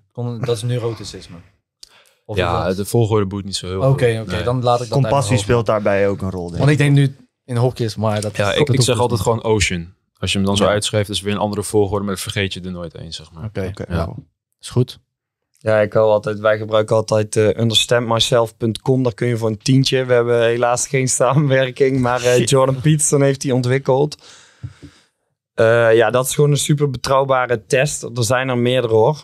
Alleen eh, dat is een hele betrouwbare test, super betaalbaar. Dus als je dat van jezelf wil weten, maak hem daar even. Die volgorde hou ik ook meestal aan in mijn spreken, omdat ik vrijwel altijd rapporten krijg met die volgorde. Dus dan eh, krijg je hem op deze wijze. Eh, jullie kunnen allebei redelijk hard werken. Jullie zijn wel allebei ook fucking extravert. Dus de kans dat jullie dat in je eentje effectief gaan doen is een stuk kleiner. Maar als je dan allemaal iemand erbij hebt waar je zomaar even tegenaan kan lullen, ook al hoeft hij niet eens antwoord te geven, is de kans groter dat jullie eh, daarin hard gaan werken. Het zou zelfs zo kunnen zijn, aanname, dat jullie als je iets in je eentje moet doen, er goed aan doen om met een koptelefoon ergens in de horeca te gaan zitten, in plaats van in je eentje op een stille kamer thuis. Omdat jullie hebben een hoge tolerantie voor externe prikkels. En die extraversie maakt, volgens mij zitten jullie allebei hoog in extraversie, toch? Jaro, eh Jaro Enthousiasme is wel. wel een verschil. Ja, Ik Koen- niet, oh, ja, ja. Ik niet. Zeg maar, ik zit gemiddeld. Zeg maar, Ja. volgens mij, eh, want het bestaat. Ja, ja, 36, Ik vind het- ik moet- 73. Ik heb echt, ben super snel afgeleid. Dus ik moet echt een hele stille omgeving hebben, inderdaad. Om, eh, om juist goed te kunnen concentreren, man. Dat wel. Ik heb dat ook. Ja, ik vind dat wel echt... eh, wanneer je bijvoorbeeld als ik met Jaro ben, dan merk ik dat Jaro vaak eventjes eh, tegen mij wil praten of ergens over wil sparren. Maar ik moet echt op mijn werk gewoon focussen. Ja, ik- als dat drie keer uit wordt gehaald, word ik helemaal gek. Ik merk het ook heel erg in dat ik eenvoudiger task switching kan doen. Ik kan bij wijze van spreken met twee dingen tegelijk bezig zijn en misschien zelfs daar wel een beetje daar Ja. energie uithalen. Soort Maar van. dat verschil zit in eh orderliness. Dus Ja. Eh, je ziet over het algemeen, jij zit er iets lager, maar jullie hebben allebei waarschijnlijk wel iets moeite met die flexibiliteit. Dus het moet sowieso wel redelijk geordend zijn. Ja, klopt. Alleen bij jou is het zo fucking hoog dat als er iets verandert, dat jij een soort error krijgt en je wil productief zijn. En als je dan ook nog error krijgt, dan word je daar gefrustreerd mee. Dit is Ja, een klopt. mooi ding waar Ja, we wel ja. eens ruzie over hebben, inderdaad. Dat we iets gepland hebben en dan, joh, kan dit er even tussen? Grap, nee man, dag zit vol, klaar. Dan krijgen we daar discussies over. jij, jij bent waarschijnlijk wat meer de rockster dan eh, Koen, of niet? Ik denk dat ik, ja, ik denk het Ah, wel. Deze week was het andersom voor het eerst. Klopt, Zeg deze hey, keer ik heb was 10 minuten van je tijd nodig vandaag. Ik zei nee. Kan niet. zeg bro, het is 10 minuten. Dat is die agreeableness. is fucking laag. Ja, Ja. maar dat is grappig. Dus dat, dan gaan die zitten, gaat dus ook meespelen. Ja. Oké. Ja. Ja. Ja, en wat we ook merken, dat is ook wel leuk over die ruzies ook. Wij hebben inderdaad heel heftig, ja, ruzie, heel heftig kort discussie. Waar we gewoon eruit gooien wat het is. Daarna heel snel identificeren wie zijn ego opspeelt, waardoor die waarschijnlijk niet helemaal eerlijk in het conflict zit. Dat dan Mhm. kunnen toegeven en dan naar een oplossing toewerken. Ja.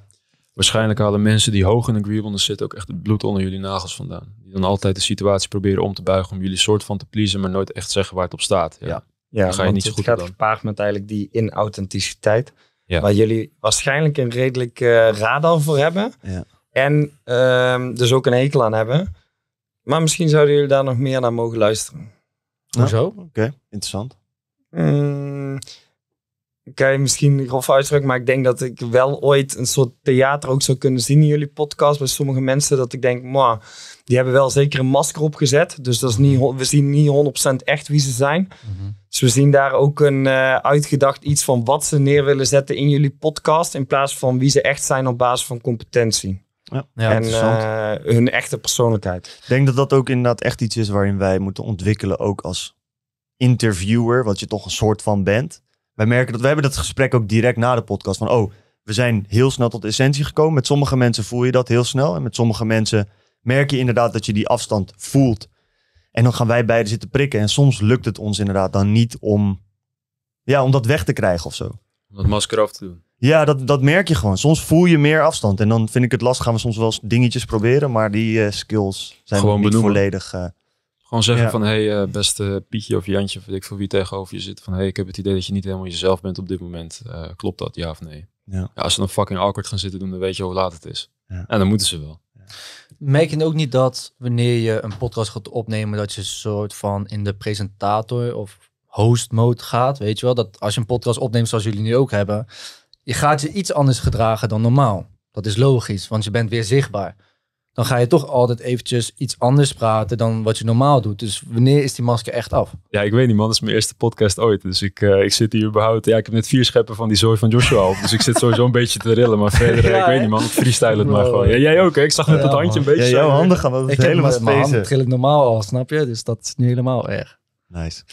Nee, maar ik denk oprecht wel, eh, misschien dat het ook met ons beroep te maken heeft. Als je sowieso veel lult, heb je altijd een bepaald praatje klaar. Alleen, Mhm. ehm, ik denk vanuit die authenticiteit, zeker als je zelf laag in de agreeableness zit, zoek je automatisch ook raakvlakken met andere mensen. En dat zijn waarschijnlijk mensen die ook laag in de agreeableness zitten. En die mensen hebben in mijn optiek sowieso wat betere voelsprieten om bullshit eh, te detecten, als ik het zo goed zeg. En die zeggen het ook meteen. En die zeggen Want het er ook. zijn heel veel mensen die dus ook ehm, wel de bullshit detecteren, maar niet durven te zeggen. Dus, en zeker als je dan eh, compassie bijvoorbeeld heel laag is. Dus ergens denken ze, ja, fuck you, ik heb geen medeleven met je. Maar politeness is wel hoog. Dan heb je mensen, een soort binnenvetters, die denken, oh, ik haat hem, maar ik zeg niks. Weet je wel? Dus die lachen in jouw gezicht. Ja, Ja. een beetje de Humberto-shows en zo, wat je vaak tegenkomt. Dat het Oeh, altijd een beetje ver- media ver- is. De Ja. Niet om hun, eh, hè. nee, Soms nee, hebben ze echt hele goede gesprekken. Maar je merkt vaak ook wel dat het een bepaald plaatje is wat ze naar buiten moeten brengen, omdat ze maar twee minuten mogen praten. Oh, maar dit is wel een interessante. Ja. Humberto, van hem kun je fucking veel leren omtrent dit. En überhaupt gelaagdheid, maskers dragen. Je moet eens opletten in zijn... Ik weet niet of hij nog steeds presenteert, überhaupt. Volgens mij nu wel weer een beetje. maar die oudere RTL 4 of zo. afleveringen, je moet eens kijken met hoeveel souplesse hij elk gesprek weet te manoeuvreren zonder eigenlijk scheidsrechter te spelen. Ja. Toevallig een klant van ons, Otto, die hier ook nog wel een keertje aan gaat schuiven. Ja, word je enthousiast van, eventjes. Die steen, die komt toch Ja, eventjes... ik dacht eh, van, oh, hey, oké. die herken ik ergens. Ja, man. Die heeft dus volgens mij ook een keer in een talkshow met hem gezeten omtrent zijn IT-firma. En die was er toen ook opgevallen van fucking hell, deze guy is zo smooth in hoe hij een gesprek stuurt. Dat is echt wel een skill die je wil ontwikkelen, man. Ja. Mijn optiek. Zeker. Daar zijn we ook wel mee bezig. Wat wij ook wel interessant vinden is, we zijn met z'n tweeën. Ja. Die dynamiek is ook interessant in Ja. een interview. Want deze gozer gaat soms helemaal rechtsaf. Dan denk ik, grap. Ik was linksaf een pad aan het leggen. En nu ga jij gewoon met één vraag helemaal de andere kant op. Precies. Je hebt zeg maar allebei je eigen strategie, maar je moet dan dat samen gaan werven tot iets vast. Ja, benoemend. Jullie zitten toch allebei laag in die agreeableness. Dan heb je even een klein conflict in de podcast en dan kun je weer door. Ja. Er zijn sowieso, als je, als je hier ook kijkt naar zo'n gesprek, de, het aantal mensen in een gesprek, de complexiteit ervan neemt altijd exponentieel toe. Omdat je, hetzelfde als binnen een bedrijf, zeg maar, als, we, als wij met z'n tweeën een gesprek hadden, dan heb je zeg maar de lijn tussen ons en we voeren nog een gesprek met onszelf. Hè? Dus je hebt eigenlijk twee belangrijke lijnen. En als je een derde persoon toevoegt, dan heb je zes lijnen eigenlijk lopen, want we vinden allemaal iets van een ander. Dus per persoon dat je toevoegt, eh, neemt die complexiteit exponentieel toe. Dus een gesprek met vier man heeft iedereen ook nog een gesprek over het gesprek gaande met zichzelf en over waar het naartoe moet. Dus, hè, dus iedereen vindt heel wat van heel veel mensen en dan wordt het sowieso een stuk complexer. Ja. En wordt het dan ook, neem ik aan, eh, makkelijker om zo'n masker op te houden? Want op het moment dat het bijvoorbeeld ook op social media, je praat als één persoon tegen heel veel mensen, misschien soms wel tienduizenden mensen, dan is het heel makkelijk om een bepaald persoon te presenteren. En omdat je de feedbacktijd is toch heel erg laag. Is Dus- ook anders, hè, wat je nu omschrijft. Sorry voor het onderbreken trouwens. Op social media kun je honderd keer opnieuw een filmpje opnemen. Terwijl nu zitten we wel live te lullen. Klopt. Dus het is nog veel makkelijker op social media om te doen alsof. Ik denk dat dat misschien zelfs is waarom Koen en ik ooit naar podcast getrokken zijn. In ieder geval, dat merk ik heel erg. Dat is een beetje nu podcast is. Een soort van in op het moment. Dat die longform content, een gesprek van drie, vier uur. Het wordt steeds lastiger om dat masker continu intact te houden en eh, goed te regelen. Kan wel, zeker. Nee, 100%, Maar 100% zeker waar. op het gebied Je- van ja. social media is het denk ik een van de echtste soorten media. Omdat het gewoon bijna niet te doen is. Ja, dat is... Hoe langer je met iemand doorbrengt, hoe... Dat was mijn agreeable. Ja man, die kwam even omhoog. eh, Maar ga door. Nee, maar hoe langer je met iemand doorbrengt, hoe eh, minder grote kans is dat hij zijn masker kan ophouden. Want een masker dragen kost altijd energie. Dus je, want je bent constant, en hoe complexer je hem ook maakt, hoe lastiger het nog meer wordt. Want je moet constant heel veel lijntjes in de gaten houden van of het nog wel aansluit bij een masker. Terwijl als je gewoon echt bent, dan ben je gewoon echt. Dus eh, hoe meer lagen je toevoegt, hoe meer energie het kost om het vol te houden, hoe minder lang je het kan volhouden. En natuurlijk is dat een skill. Iedereen wil even, even aardig kunnen doen, ook al voelt hij zich niet helemaal zo. Hè? Dat is gewoon functioneel. Als we het echt hebben over eh, Machiavelli-achtige shit, dat je gewoon masker draagt, je heel anders voordoet dan dat je daadwerkelijk denkt. Dus echt eh, slangen, spul, gewoon in iemand zijn gezicht lachen, vriendelijk, weet ik het, terwijl je eigenlijk diegene haat. Ja, is geen, eh, is geen uren of in ieder geval geen weken waarschijnlijk vol te houden. Ik zei ook al, jullie twee, jullie kennen elkaar sowieso zonder masker, want je hebt zoveel tijd samen doorgebracht. Vroeg of laat breek je daar toch doorheen. Klopt. Waarom denk je dat politici nooit in interviews zitten? Long format. Probeer hier maar eens Hugo de Jong te krijgen. Gaat je niet lukken. De enige die durft te komen is Wieberen van Haga. Zou ik ook zeker aanraden. Dat is ook echt een, eh, een topper. bezig? Ja, Ja. Nice, ja. Ja, ja. Dat is echt een gouden gast. Die draagt dus ook geen masker. Maar zijn agreeableness is ook fucking laag. Dus hij zou ook waarschijnlijk heel erg afgaan op het feit dat jullie dat wel zouden doen of zo. Dus hij gaat hier waarschijnlijk echt gewoon zo een beetje fucking chill zitten doen. En eh, gewoon een, een amicaal gesprek met jullie voeren. Wel met Ja. een bepaalde diepgang natuurlijk. Maar dat zou een Mark Rutte of een Hugo de Jonge never nooit doen. En Thierry Baudet zie je dat dan wel weer doen. Ja, maar die heeft Mhm. hetzelfde profiel als, eh als Wieberen tot op zekere hoogte. Ik denk dat er wel wat verschillen in zitten. Ja. Ook eh, zeker op uh, neuroticism, denk ik. Maar ze lijken wel enigszins op elkaar. Dat is interessant inderdaad. Het is me nooit opgevallen, maar nu je dat zegt, er is een heel klein select groepje politici die je misschien in longform content ziet verschijnen. Ja, dat Weet is die guy van Cydia? Die Pieter Omtzigt, Ja, ja. chille Ja. gast. Ja, Ja. ook. Die doet het ook. Die is ook authentiek. Ik, Ja, vind dat wel, ik vind dat wel ook wel interessant. Hè? Want ik, ik, ik heb helemaal geen interesse voor de politiek. Ik vind het allemaal een beetje een poppenkast. Nou, Ja. we zeggen nu net ook eigenlijk letterlijk waarom. Iedereen, iedereen draagt een masker. Ehm, juist door die longform content, dan denk je eindelijk van oké, nu ga ik echt begrijpen waar het om gaat. Is dat iets wat, waar je met jullie kennis, eh, waar het ook wat meer naartoe gaat in de toekomst? Dat de politicus dan ook wat meer longform content gaan doen? Omdat Nee. ze- Omdat ze die façade moeten ophouden. In mijn optiek. Denk je dat die façade dat die, dat die kan blijven? Denk je dat het nog steeds, dat die hele spiel van iedereen een beetje voor de gek houden met eh, media en dat soort dingen, dat dat... Want ik heb het idee dat de koek op is. Zeg maar, zelfs mijn ouders die altijd echt wel in de politiek geloofden, hoor ik nu regelmatig negatief over de politiek praten. En zelfs zeggen van, ja, weet je, fuck it. Interesseert me niet meer. Komt wel door internet ook, man. Dan heb je een hele interessante. Ik denk dat jij er ook wel eh, een interessante theorie op eh, kunt loslaten. Ja, als we het dan hebben over eh, eh, bepaalde cyclussen, eh cycli waar we in zitten, zeg maar, wat betreft tijd. eh, Ray Da- Dalio die schreef We're entering stage 6 now, dat is eh, oorlog. Nice. En eh, je ziet dus ehm, dat dit een fase is waarin normaal eh, revoluties en zo plaatsvinden. Je ziet dat de polariteit echt maximaal is. Dus eh, mensen hebben een heel extreem standpunt aan de ene kant of aan de andere kant. Maar de middenweg is nog lastig te vinden. Conversaties worden lastig. Je ziet eh, geweld vanuit verschillende groepen. Dus je zit nou wel op een, in een fase waar het erop of eronder is, zeg maar. Je ziet ook een verschuiving van de, van de wereldmarkt, van de reserve currency. Dus we zitten ook letterlijk in een fase waar je ja, hele grote verschuivingen ziet. En dat is eigenlijk wat jij op eh, huiskamerniveau meemaakt. Is dat degenen die altijd aan één kant stonden of een bepaalde visie hadden, daar nu zelf aan beginnen te twijfelen. En met die verschuivingen, hè, als aardplaten gaan verschuiven, ja, dan krijg je aardbevingen en shit. Ja, man. Maar dat is wel goed, toch? Want dan kom je wel... Ja. Ja, want dan krijg je meer bewustwording. En dan ga je ook kijken van oké, ik ben niet extreem links, ik ben niet extreem rechts. Maar ik kom uiteindelijk ergens in het midden uit. En Ja, dat is wel of- de beste positie om te hebben toch als gemeenschap, of niet? Maar is dat niet... clash. Ja, dat, dan, dat is denk ik de misschien ideale uitkomst waarin we elkaar meer vinden en het midden vinden. Maar de mens, in ieder geval hoe ik het omheen zie, dat is niet mens eigen. Dus ik merk nu juist alleen maar meer dat iedereen uit elkaar drijft en eigenlijk meer moordlust naar elkaar krijgt. Waardoor het op een gegeven moment inderdaad tot een clash komt. En ja, dan is er gewoon één winnende partij en één verliezende partij.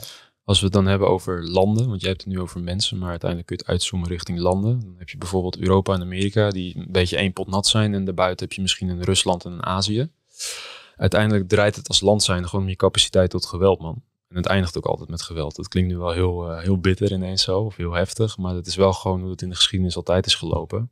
Als eh, Miro en ik nu eh, een oneenigheid hebben. Ik zeg 1 plus 1 is 2, hij zegt 1 plus 1 is 3. Ja, uiteindelijk als die ruzie eh, hoog genoeg oploopt, wordt het gewoon knokken. En degene die het beste kan knokken, die krijgt gewoon gelijk. Ondanks dat het misschien helemaal niet waar is wat er gezegd wordt. Dat ga je ook tussen landen zien. Dat is ook wat er gaat gebeuren, toch? Dat is ook wat er gaat gebeuren, ja.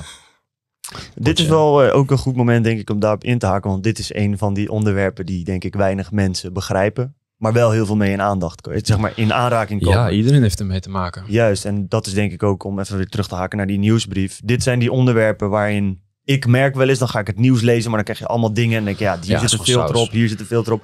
Nou, dan ga je op YouTube zoeken, maar daar heb je dan ook weer soms gasten dat je denkt, dit is misschien te extreem of dit slaat weer nergens op. Dus dan, je komt in die rabbit hole terecht. Ja, man. En met die nieuwsbrief die jullie schrijven, proberen jullie daar handvaten in te geven. Het is wel deels ook een klein stukje opinie, eh, maar wel gefundeerd. Hè? Dus als het gaat over psychologie, ehm, kan het misschien een stukje zijn van wat er in de wereld plaatsvindt, maar wel gekoppeld naar een stukje wetenschap en zwaar onderbouwd vanuit Miro. Gaat het misschien meer over eh, ja, geopolitiek of wereldeconomie? ja, dan kom ik wel gewoon opdagen met, met achtergrondinformatie en onderbouwing. Ja. Ja, en als, wij alle, als het over een onderwerp gaat wat wij allebei misschien niet heel goed begrijpen, dan zoeken we wel een externe partij die dat voor ons kan, eh, kan uitzoeken. Juist. Hey eh, mannen, jullie hebben een soort van schaal ook in eh, de prijs van de... eh, welke Ja. schaal zitten we nu? Want ik kan me voorstellen dat er veel mensen die het nu kijken denken... ja, oké, leuk die fucking nieuwsbrief. Kan ik daar ook onderdeel van worden? Hoe werkt dat? Ja, wij verhogen elke 50 lezers de prijs met, wat is het, 50 cent of een euro of zo? Oké. 62,5 Ja, ik rond hem meestal af. Eh, ja, ik weet niet waar het op zit als wij eh, deze podcast online gooien natuurlijk. Hè. Het Zit nou op het moment van opnemen, heb ik hem naar 1575 gezet gisteren. Oké. Dus de volgende zitten we op 1650. En hij neemt zo toe.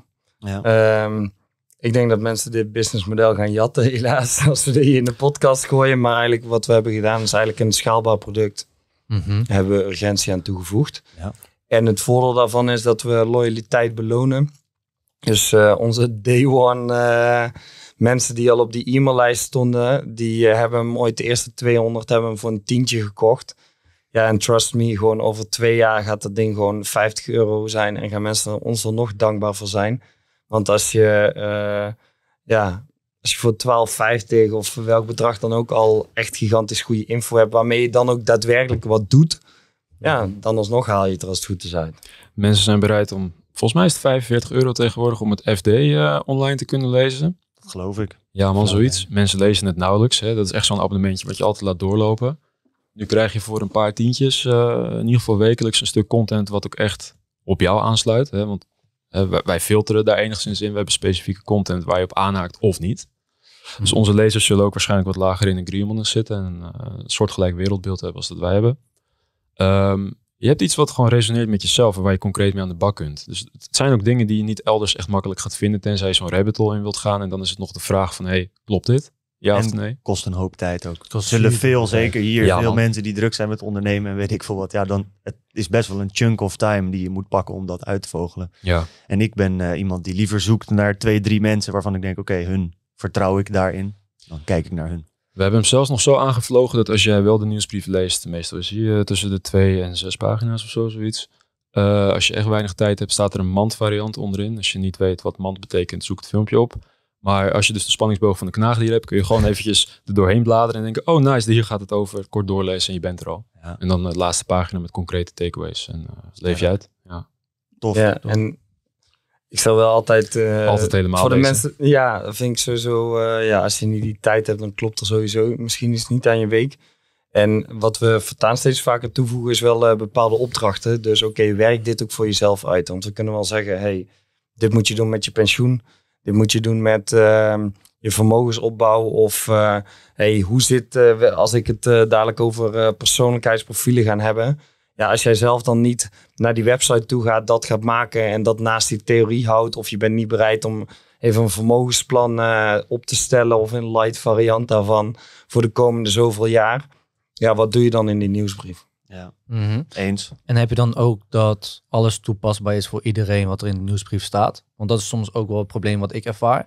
Is dat je volgt weer iets, iemand geeft je advies en je probeert eigenlijk alles op te volgen. Terwijl niet alles voor jou is op dat moment toepasbaar, toch? Eens. Wij proberen ook wel echt mensen ehm, wat meer tot in de kern aan te spreken van hey, wat is de achterliggende gedachte? Dus niet echt symptoombestrijding, eh, maar meer de oorzaak. Hè? Van ja, maar waarom draait jouw business? Hè? Als we het dan over business hebben, waarom draait jouw business niet? En niet van hey, kijk eens hiernaar. Nee, even tot de kern komen. Dat is denk ik wel heel belangrijk om. eh, Ja, Ja. echt bouwen aan die kern die je hebt als mens eigenlijk. Om vanuit daar sterker te Ja. kunnen zijn als ondernemer. Al in je relaties, in alles dat je hebt, zeg maar. Daarna. Ja. Want we zijn nu heel veel bezig met trucjes vanuit buiten. Hey, dit is hoe je 10k kan verdienen, dit, dat is.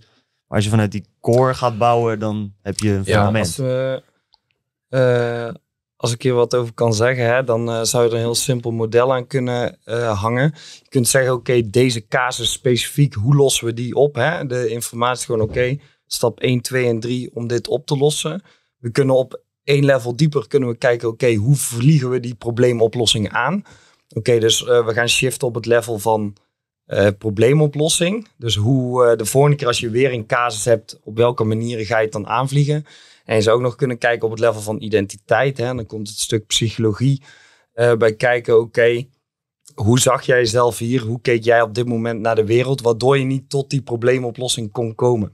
Dus als iemand zich ziet als een succesvolle ondernemer, die gaat op een andere manier zijn problemen aanvliegen dan iemand die zichzelf ziet als een luie student. Ja, Oké, Agree? cool. Ja, voor iedereen die het luistert, ik denk dat we gewoon in de beschrijving een linkje pleuren, toch? Dan kan je je daar aanmelden. Mhm. En nou ja, dit, jullie legden het zelf al uit. Hoe langer je wacht, hoe duurder het is. Ja. Pleur een Kijk maar wat je doet. Precies. Ja, toch? Simpel. Trouwens, geniaal businessmodel aan alle kanten. Hè? Ook dat steeds iets hoger gaan. Want mensen gaan zich ook niet uitschrijven. Want als je je uitschrijft, maar je wil daarna er weer in, is het duur. Goed, We hebben nog geen één uitschrijving. Nee, nee, nee, dat geloof ik. Maar één? meer gewoon van, er is op een Nee. hele goede manier, met een vrij simpele oplossing, vind ik een heleboel eh, goede onderdelen in eh, verwerkt. Hoeveel Dus mensen zitten er nu in? 500 denk ik, zoiets. 500. Ja, iets meer dan 500. We hebben wel een wanbetaler en zijn naam is... ja, wel één wanbetaler volgens mij, heel recht. Was, was eentje. Ja, ik zag op dat lijstje één zo'n Ja, maar rood waarschijnlijk saldo tekort. Daarom ook zijn naam ook gaan noemen zo meteen. Ja. Exposed. Ook als je hem opzegt, word je wel geëxposed. Dus Ja. in de volgende brief voor de mensen die nog wel. eh, Ja. Netjes man. sterk. Lijkt me Netjes. goed. Oké, en ehm, ik ben wel benieuwd, wat is jullie doel met zo'n nieuwsbrief? Want het is leuk om te schrijven, het kost jullie tijd, het kost jullie energie. Waarom zou je dat überhaupt gaan doen? Ehm, het kwam voort uit de vraag van onze ja, following, om het maar even zo te noemen. Ik eh, pomp vaak dingen op mijn stories, voornamelijk met een financieel tintje. Miro iets meer op het gebied van geopolitiek, wat gebeurt er in de wereld, een stukje psychologie. En mensen vroegen gewoon van ja, kun je niet artikelen eh, gaan schrijven daarover of zo? Ja, wij zijn ergens dan wel weer eh, zo dat we zeggen van ja, dat kunnen we doen, maar daar willen we ook wel voor betaald krijgen. Ehm, en heel veel dingen kun je niet echt online zetten, dus vandaar dat we voor een eh, nieuwsbriefformat kozen. Maar het is meer gewoon van ja, klanten vroegen erom, dus wij, eh, ja, u vraagt wij draaien, zeg maar. Dat Hmm. concept een Oké. beetje. Ja. Sterk. U vraagt wij draaien. Dat is Ja. een hele interessante. Daar hebben we het naar eerder over gehad. Nee, maar eh, ja, dus eh, de vraag die zij hebben, daardoor draaien wij, daardoor draait onze business. En eh, ja, heel eerlijk, ik zit er ook gewoon in voor het geld. De- wij zijn wel van de authenticiteit. Ik geloof daar wel in. Het is gewoon een slim verdienmodel. En ik geloof oprecht dat we ziek veel waarde leveren. Dus de mensen die het kopen, onze reputatie is eraan gebonden dat wij gewoon goed werk leveren. Wat ze nergens anders voor die prijs kunnen gaan krijgen. Mits de verantwoording nemen om er zelf dus ook echt iets mee te doen. Ja. Dan heb ik een volgende vraag, sluit u een beetje op aan. Zegt net, oké, eh, wat is de reden? Geld. Oké, top. Is geld ook iets, zeg maar, wat jullie dagelijks bezighoudt? Ja. Oké, hoe maak ik meer geld? Hoe behoud ik mijn geld?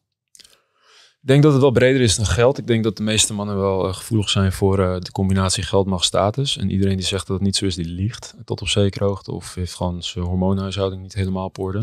Ja, durf ik ergens wel gewoon bluntly te zeggen.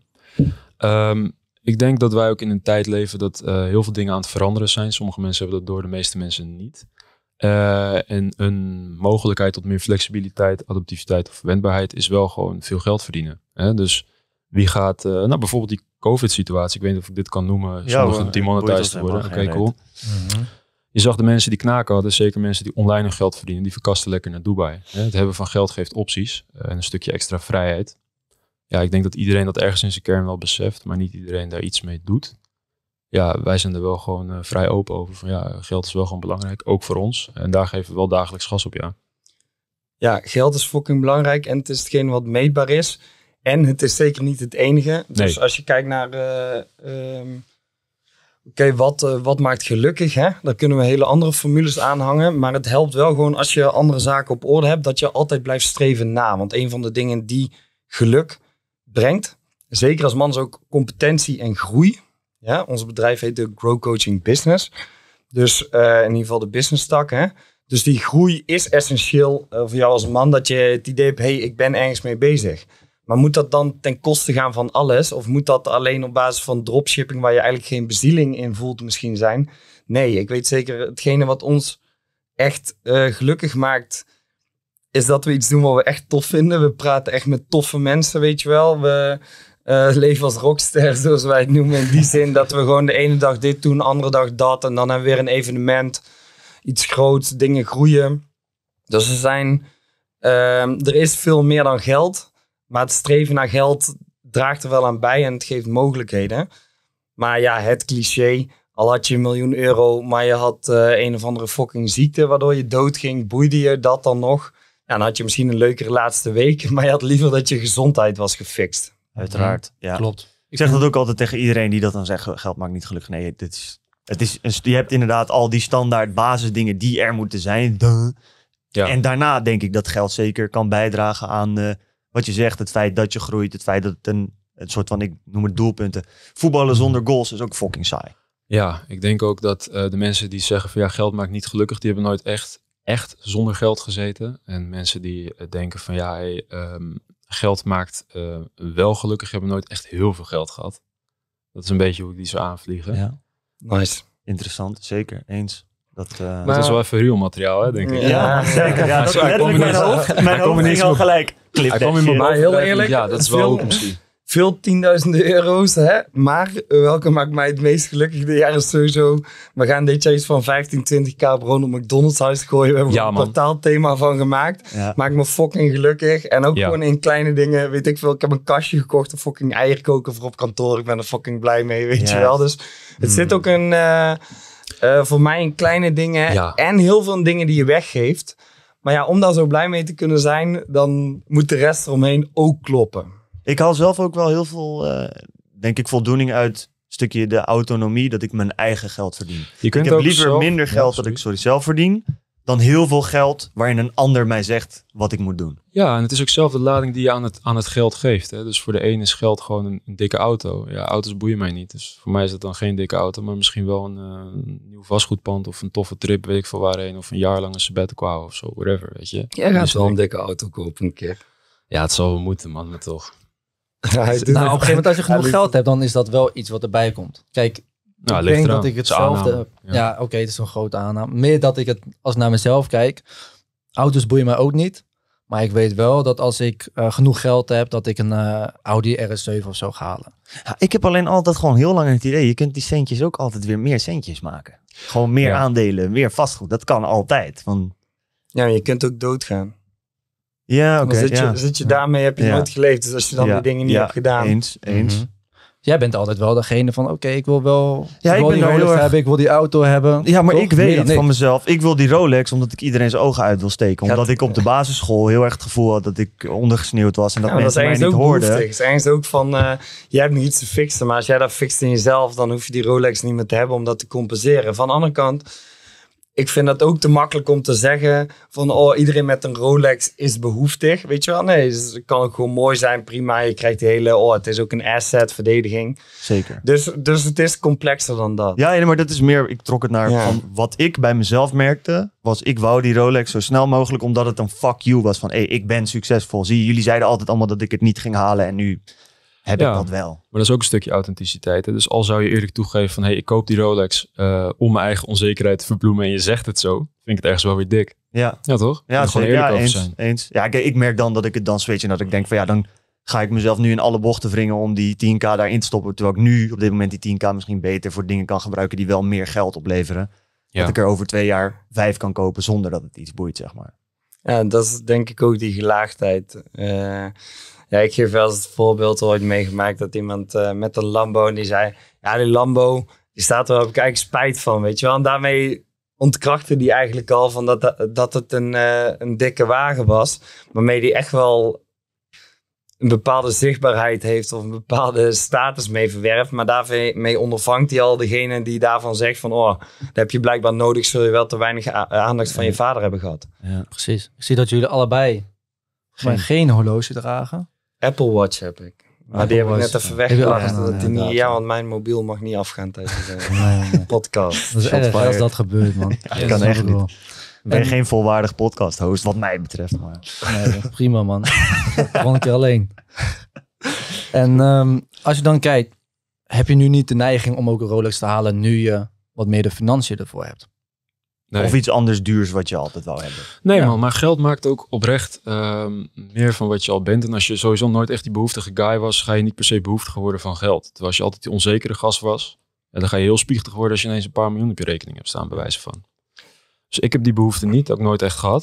Ik weet niet hoe het met jou zit, volgens Ja, mij ook niet. oprecht. Ik heb met zoiets heb ik zoiets van...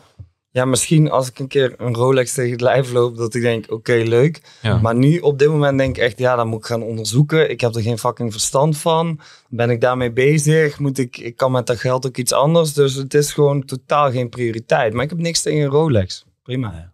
Nee, maar ik ben, eh, vind het interessant, die eh, viewpoint inderdaad. Ik Denk En- wel, Ook het verschil dat je daartussen kunt hebben, toch? En wat jullie zeggen, wat ik denk dat vooral belangrijk is, is als mensen zichzelf eens eerlijk gaan toegeven waarom ze dingen wel of niet doen, zeg maar. En dat dan ook niet per se fucked up vinden, maar gewoon zien als, oké, dit is hoe het nu is en wat ga ik met die informatie doen.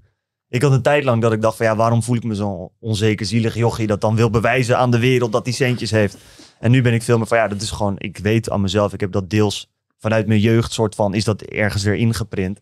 En ja, ik doe er gewoon mee van ja, ik kijk wel, ik ben er eerlijk over. En soms doe ik dingen vanuit ego en dan achteraf kijk ik wel of ik dat wil aanpassen of dat dat ook gewoon prima is. Het is grappig. Ehm, ik heb dat ook wel een tijdje gehad als in... eh, ik was begonnen met ondernemen op een hele vreemde manier. Maar toen ik uiteindelijk merkte van... Hey, dit werkt, hier kan ik geld mee verdienen. Dat was ook een hele andere business toen. Toen dacht ik van... Oh, het is wel dik. Ik was toen misschien 20, 21. Ik dacht, oh, dat zou dik zijn als ik dan... op mijn 21ste met een dikke Range Rover aankom of zo. Weet je, gewoon zo'n gloednieuwe grote, zo'n Velar of zo. Vond ik wel tof. Eh, wat heb je daarvan ook? Ton, anderhalf ton. Ehm, toen eh, flink lopen rennen met mijn business. En toen stond op een gegeven moment wel dat geld een keer op de rekening. Ik dacht van, oh ja, nu kan ik hem halen. En toen was het helemaal niet vet meer. En toen wist ik al van, oké, ik ben dus totaal geen autoguy. Het was meer een soort van behoeftigheid, snap je? Ja. Eindstand heb ik daar toevallig wel een beleggingspand van gekocht. Waar ik nog wel behoeftig voor was, maar op een andere manier. Ja. Eh, en daar komt elke maand geld uit, weet je. Want toen is bij mij echt het kwartje gaan vallen van... Hey, ja, je kunt geld uitgeven eenmalig. Of je kunt het misschien investeren zodat er weer wat geld uitkomt bijvoorbeeld. Het zijn van die dingen die moet je ook een beetje ervaren eh, om het echt te begrijpen. En dat draagt daar dan ook weer aan bij hoe je er in het vervolg mee omgaat. Ik denk ook dat het zeker in het begin, als je gaat ondernemen of überhaupt succes wil behalen in iets, Ja, dat die fuck you of die onzekerheid juist wel goed is. Ik ging fitnessen, dat weet jij misschien wel, omdat ik me een klein skriel iletje voelde en een soort van me meer man wou voelen. ja, maar daar kun je gewoon eerlijk over zijn. Dat hebben de meeste mannen. Juist, maar heel weinig, heel veel mensen kunnen dat dan met der tijd, een soort van wordt dat verbloemd tot nee man, ik had gewoon een passie voor eh, biceps en zo. Ja, fuck off man. Ja, ik denk dat jij wel oprecht vanuit passie bent gaan bodybuilden. Maar ik denk dat de meeste mensen Nee man, sowieso niet. ook gewoon voor lekkere wijven. Ja, toch? ja, maar, hey, maar laten we dan gewoon gelijk eerlijk zijn. Ook de meeste mannen die uitgaan. Ja, vind je het nou echt eh, heel nice om elke avond uit te gaan? Of ben je gewoon op zoek naar een lekker wijf? Ja, Ja. Sowieso tweede man. Ja, Als je een toch? relatie hebt, is het toch fucking kut om uit te gaan. Ik ga nooit, ik ga Sowieso nooit uit. feedback voor iedereen die een vriendin heeft. En die chick moet nog elke week op stap zonder hun, weet je wel. En helemaal Ja, uh, wat gebeurt daar, zo. Ja, Wat gebeurt daar? Ik geloof daar niet in. Je gaat eh, drinken, je voelt de dag daarna kut en je staat, je blijft tot laat wakker. Ja, tenminste, oké, wij zijn wel ondernemers, dus misschien zien we dat anders. Want sommige mensen die gaan vier, vijf keer in de week uit en dat is hun leven, dat is hun levensstijl. Ja, maar het is gewoon een copingmechanisme. Net zoals die mensen die zeggen van ja, eh, geld is echt niet belangrijk. Ja, het is makkelijker om gewoon toe te geven dat, eh, of om te zeggen dat geld niet belangrijk is, dan om gewoon toe te geven dat je slecht bent in het verdienen van geld. Snap je? Dat zijn gewoon van die Ja. dingen die mensen zichzelf aanpraten. Ik geloof daar niet in, man. Oké, en als je kijkt naar, eh je zei net ook, hè, ik, ben ik was op weg naar die 150k. Ja. Op een gegeven moment dan heb je dat. Oké, dan heb je die behoefte niet meer om die eh, auto te halen. Ja, gaat ergens nog die- wel, maar het was niet zo vet meer of zo. Ja. Dus, eh, je hebt nog steeds ergens wel die behoefte. Ik vind het nog steeds wel tof om een Range Rover te zien. Mhm. Eindstand, ik rij nog steeds in een Toyota. Dat interesseert me geen reet. Ik parkeer hem rustig naast eh, de Lambo van Joshua. En dan sta ik gewoon te lachen. En dat Ja. vindt hij ook mooi, juist om Ja. die reden. Dat is ook wel interessant inderdaad. En waar ik eigenlijk wat meer op doelde, is dat je gaat naar die 150.000. Ja. Voor de mensen, voor de meeste ondernemers, de eerste 100.000 euro omzetten of winst, dat is een best wel een grote stap. Dat is best wel lastig. Ja. Ondertussen, we hebben het net over een paar verleidingen, zoals bijvoorbeeld uitgaan of vrouwen. Hoe gaan jullie om met zulke verleidingen? Want dat is best wel lastig voor de meeste mensen. Bijvoorbeeld jij bent gaan bodybuilden, ook misschien juist om juist bij de vrouwtjes op te vallen. Ja, ik denk dat dat snel voorbij was, weet je wel. Ehm, ik kwam daar inderdaad, ik dacht, wow, ik wil gewoon eh sixpack en mooi. Ja, binnen drie maanden had ik een sixpack. Dan denk je, oké, ja, leuk. En zelfs van een stuk vrouwen die je daarmee krijgt, ja, zijn dat uiteindelijk echt de vrouwen die je wil houden, niet per se. Maar bij mij shift het al wel vrij snel naar, ik wil gewoon een monster worden. En dan zie je al eigenlijk die shift richting geld, macht, status. En dat het meer gaat om, oké, word ik daadwerkelijk gerespecteerd? En ehm, ik denk dat dat een heel ander spel is, wat ook inderdaad weer een stuk complexer is. En dat je daar misschien nog onbewust dan daarmee aan de slag gaat. Dan switcht het ook ineens, merkte ik heel erg, naar veel meer een mannen ding. Want op een gegeven moment zijn mannen in bodybuilding veel meer bezig met hoe andere mannen eruit zien dan, oh zie ik er voor een chick Ja. goed uit. Je wil je sowieso beseffen dat wel eh, het geldt dat als je kijkt binnen de sociale hiërarchie, dus eh, we oordelen allemaal hoe, hoe staat iemand op een sociale hiërarchie. Voor de man is dat heel erg geld, macht, status. Voor de vrouw is dat weer anders. Dat het oordeel van de vrouw ook heel sterk afhankelijk is van hoeveel respect een man van andere mannen krijgt. Dus heb je respect van andere mannen, ben je ook aantrekkelijker voor de vrouw. Interessant. Nooit op die manier over nagedacht, maar inderdaad. Dat is waar het in de praktijk echt om gaat. Hè. Ja, het einddoel zou voor de meeste mannen vanuit een evolutionair perspectief misschien kunnen zijn van hey, ik wil veel vrouwen of zo, vanuit voortplanting. Maar eh, kijk er eens naar, eh, als je zo'n wagen koopt, op wie wil je indruk maken? Niet op vrouwen per se. Je wil gewoon een mannetje zijn tussen alle andere eh, van jou, jouw groep, jouw, eh, ja, jouw Ja. tribe, om het zo te zeggen. Ik vind het nogal kortzichtig om te denken van ik rij in een dikke wagen, dus nu zien alle vrouwen mij staan. Maar je weet wel per definitie als je in een dikke wagen rijdt, dat veel van je vrienden dat ook wel dik vinden. Hebben jullie wel eens de tijd genomen of dat, want jullie zijn denk ik heel erg zelfgewaar. Jullie denken ook veel na over de gedachten die je hebt. Dat is misschien een beetje dubbel, maar je denkt dingen die je misschien een soort van uit reactie denkt. En daar kun je dan weer over nadenken van waarom reageer ik op deze manier op deze situaties. Ja. Ehm, hebben jullie bepaalde oefeningen? Want je hebt zo'n ding van eh, waarom, weet je wel, dat van oké, ik denk nu dit, waarom denk ik dat? En dat kun je dan vijf, zes keer doen en dan kom je best snel tot diepere gedachten.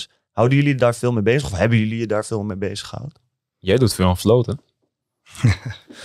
ja, voor mij is het Ja. heel simpel, man. Voor mij is het gewoon eh, in stilte zitten. Als ik een uur lang echt diep mediteer, komen er altijd interessante dingen bovendrijven. Zowel inzicht, zoals jij bedoelt, als gewoon een stukje creativiteit. Maar ik denk dat die voor jou misschien net anders is. Kun je de vraag nog een keer herhalen? Het gaat vooral, heb je oefeningen of dingen die je doet om tot meer zelfinzicht te komen? Want ik denk dat voor onze luisteraars, het is zeker als je jonger bent, heb, mis je nog een stuk zelfinzicht. Terwijl als ik dit Ja. hele gesprek luister, is heel erg een stukje zelfinzicht hebben en weten waarom je dingen doet. En dan kan het toxic handelingen zijn, maar als je meer gaat begrijpen waarom je dat doet, kun je ook bepalen of je er wat mee wil doen. Eh, Socrates die zei in Know Thyself als grootste uitspraak. Dat is wel een van de dingen waar ik echt fan van ben. Ik geloof dat je bewustzijn is altijd het begin van verandering. En vaak is het zelfs al genoeg. Hè? Dus als jij ziet, hey, ik vertoon dit kutgedrag en dit is het gevolg. Dan vaak is dat al genoeg motivatie om dat gedrag daadwerkelijk te veranderen. Kost het opeens al geen moeite meer omdat je het gevolg ook inziet. Dus ja, het heeft heel veel nut om bewustzijn te creëren bij jezelf. En er zijn heel veel methodes om daar te komen. Nou, die understandmyself.com, we hadden het over zo'n persoonlijkheidstest. Ga daar eens goed op reflecteren. Uh, Jur had het over stilte meditatie. Ik doe dat vaak in zo'n floating cabine. Hebben we ook weer geen kortingscode van. Uh, want dat is gewoon iets wat ik echt meen. Binnenkort mij zelf fixen. Maar dat doe je ergens anders, toch? Zo'n floating cabine. Ja, en daar zit voor mij gewoon wel bij, is voor mij dwingende oplossingen. daar ben ik heel sterk van. Dus ik plan zo'n afspraak in. Ik heb een uh, goede deal met die, met die lokale floatboer, zeg maar. En... Um, dus ik heb die afspraak staan, ik betaal daarvoor, dus ik ga en ik kan niet op mijn mobiel zitten of denken, ah, uh, fuck deze meditatie shit, ik ga iets anders doen. Plus het versterkt het effect daadwerkelijk wel dat je gewoon uh, geen licht, geen zenuwinput hebt. Dus het helpt mij wel. En op die wijze kan je heel goed kijken naar je eigen gedachten. Heel veel mensen zijn hun gedachten, dus ze hebben identificatie met hun gedachten. Dus uh, oh, ik denk dat ik een koekje moet eten en dan eten ze een koekje. Je kan denken, oké, ik heb de gedachte dat ik een koekje wil eten en ik doe er helemaal niks mee. Dus, ik, uh, dus daar zit een belangrijk verschil in, denk ik. En de manier waarop je dat dan doet, wat jij doet, of benoemde is van, hey, je schrijft dan op waarom, of überhaupt geschreven reflectie. Ja, dat is ook bewezen uit de psychologie. komt ook terug in verschillende therapievormen, acceptance en commitment therapie is daar belangrijk onderdeel van. Dat je bijvoorbeeld gaat schrijven, hey, um, ik ging uh, klote gedrag vertonen, verslavingsgedrag of wat dan ook. Oké, waar had ik echt behoefte aan op dit moment? Wat voelde ik in mijn lijf? En al dat soort vragen. En als je dat steeds vaker doet, dan vergroot je ook het bewustzijn. Maar elke uh, six-minute journal ding is feitelijk hetzelfde. Mhm. ja. En de manier waarop is denk ik uh, allemaal maar het middel. En het gaat om het doel en dat is dat bewustzijn vergroten. Dus vaker komen tot het punt waar je denkt... hey, ik heb mijn gedachte, ik ben niet mijn gedachte. Of ik, uh, hey, ik heb een lichaam, ik ben niet mijn lichaam. Maar hetzelfde geldt voor emoties. Hey, ik heb emoties, maar ik ben niet die emoties, weet je wel. Ik hoef er niet naar te handelen. Oké. Als je kijkt naar een uitkomst hiervan, want jullie doen dit dus vaak, hè? Ja. Dan word je zelf bewust ervan. Ga ik je nadenken van, hey, dit gebeurt, het, zo is, zijn mijn reacties, die moet ik aanpassen. Kun je hiervan een voorbeeld noemen? Ik heb wel een interessante, die wilde ik eigenlijk al noemen. Wat ook wel um, zou kunnen meespelen, of wat nog een interessante aanvulling is op wat Miro zei, is je kunt ook sparren met een ander. Hè? Dus uh, iedereen heeft een bepaalde blinde vlek. Dat is letterlijk ons werk. Dus ook eigenlijk en mensen bewust maken ja, voor een deel ons werk. Uh, aanwijzen wat iemands blinde vlek is ik heb ooit een gesprek met Miro gehad toen ik hem leerde kennen, waarin hij al gelijk zei van, uh, ik, ik gooide iets van, ja, ik heb het gevoel dat. Toen zei hij van, ja, grap, heb jij gevoel dan? Dacht ik van, zo, dat is wel even, die was wel even raak bij mij.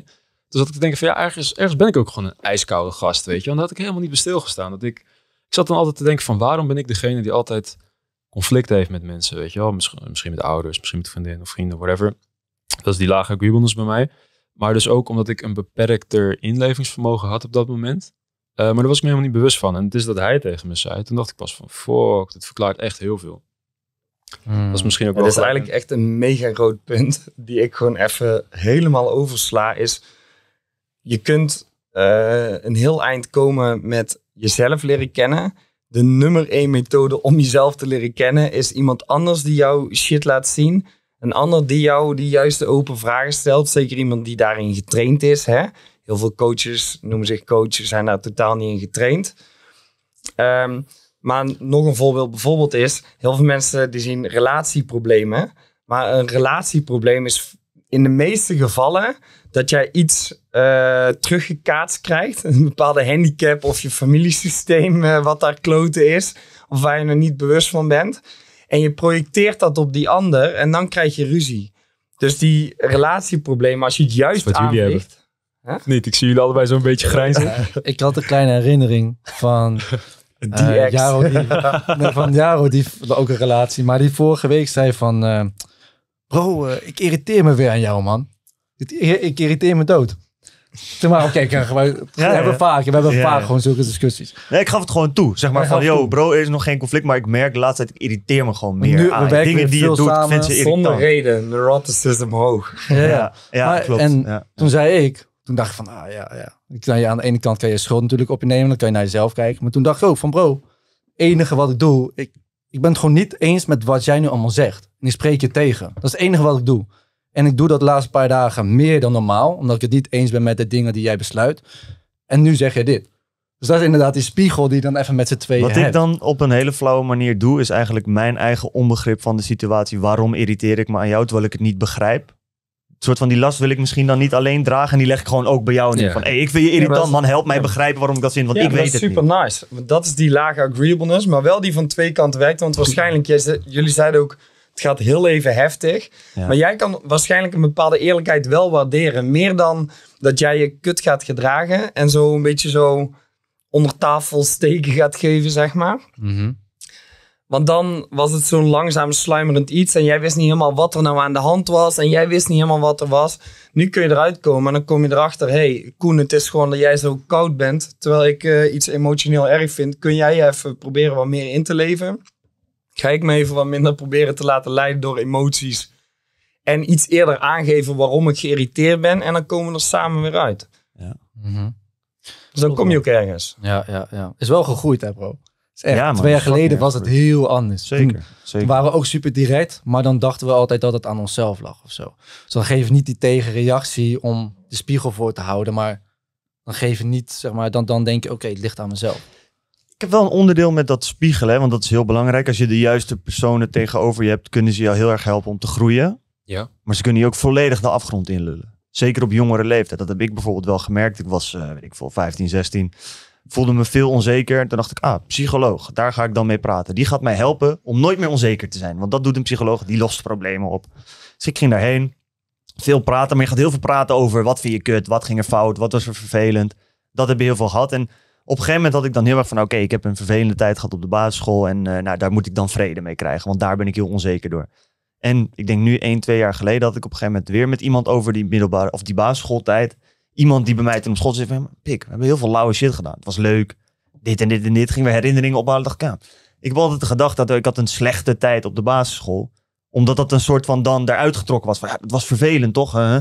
Terwijl ik dacht, ja, ik vond sommige dingen moeilijk, want ik was omgrepen. Maar ik, ik heb in het grotere plaatje eigenlijk altijd een hele leuke tijd gehad.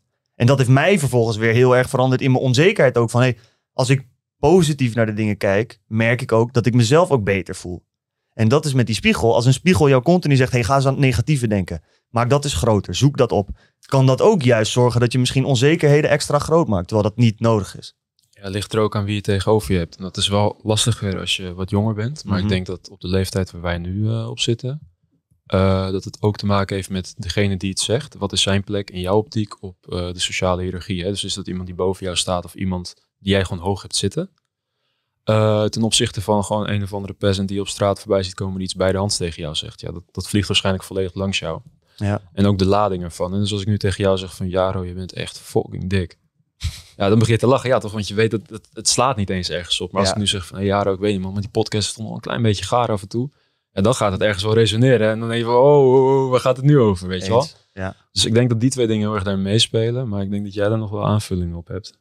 Ik heb daar totaal niet mand aanvulling op. Oeh. Nee, ik denk dat twee dingen interessant zijn ook daarin dat je eh, twee dingen die je ziet is dat hoe goed het met jou nu gaat bepaalt hoe jij terugkijkt op je verleden. Dus stel jouw leven is op dit moment echt een 9, dan ga jij als je vaker nadenkt nu over je middelbare school denk je, hey, het was helemaal niet zo erg. Dus er is niet één verleden, er is niet één realiteit die vaststaat. Dus als je op dit moment gaat het super goed met jou, jij bent super gelukkig. Dan zelfs als het daar super kloten was op de middelbare school, is het aannemelijk dat jij gaat denken: hey, door die kloten je op de middelbare school sta ik waar ik nu sta, want daardoor heb ik dit karakter gekregen.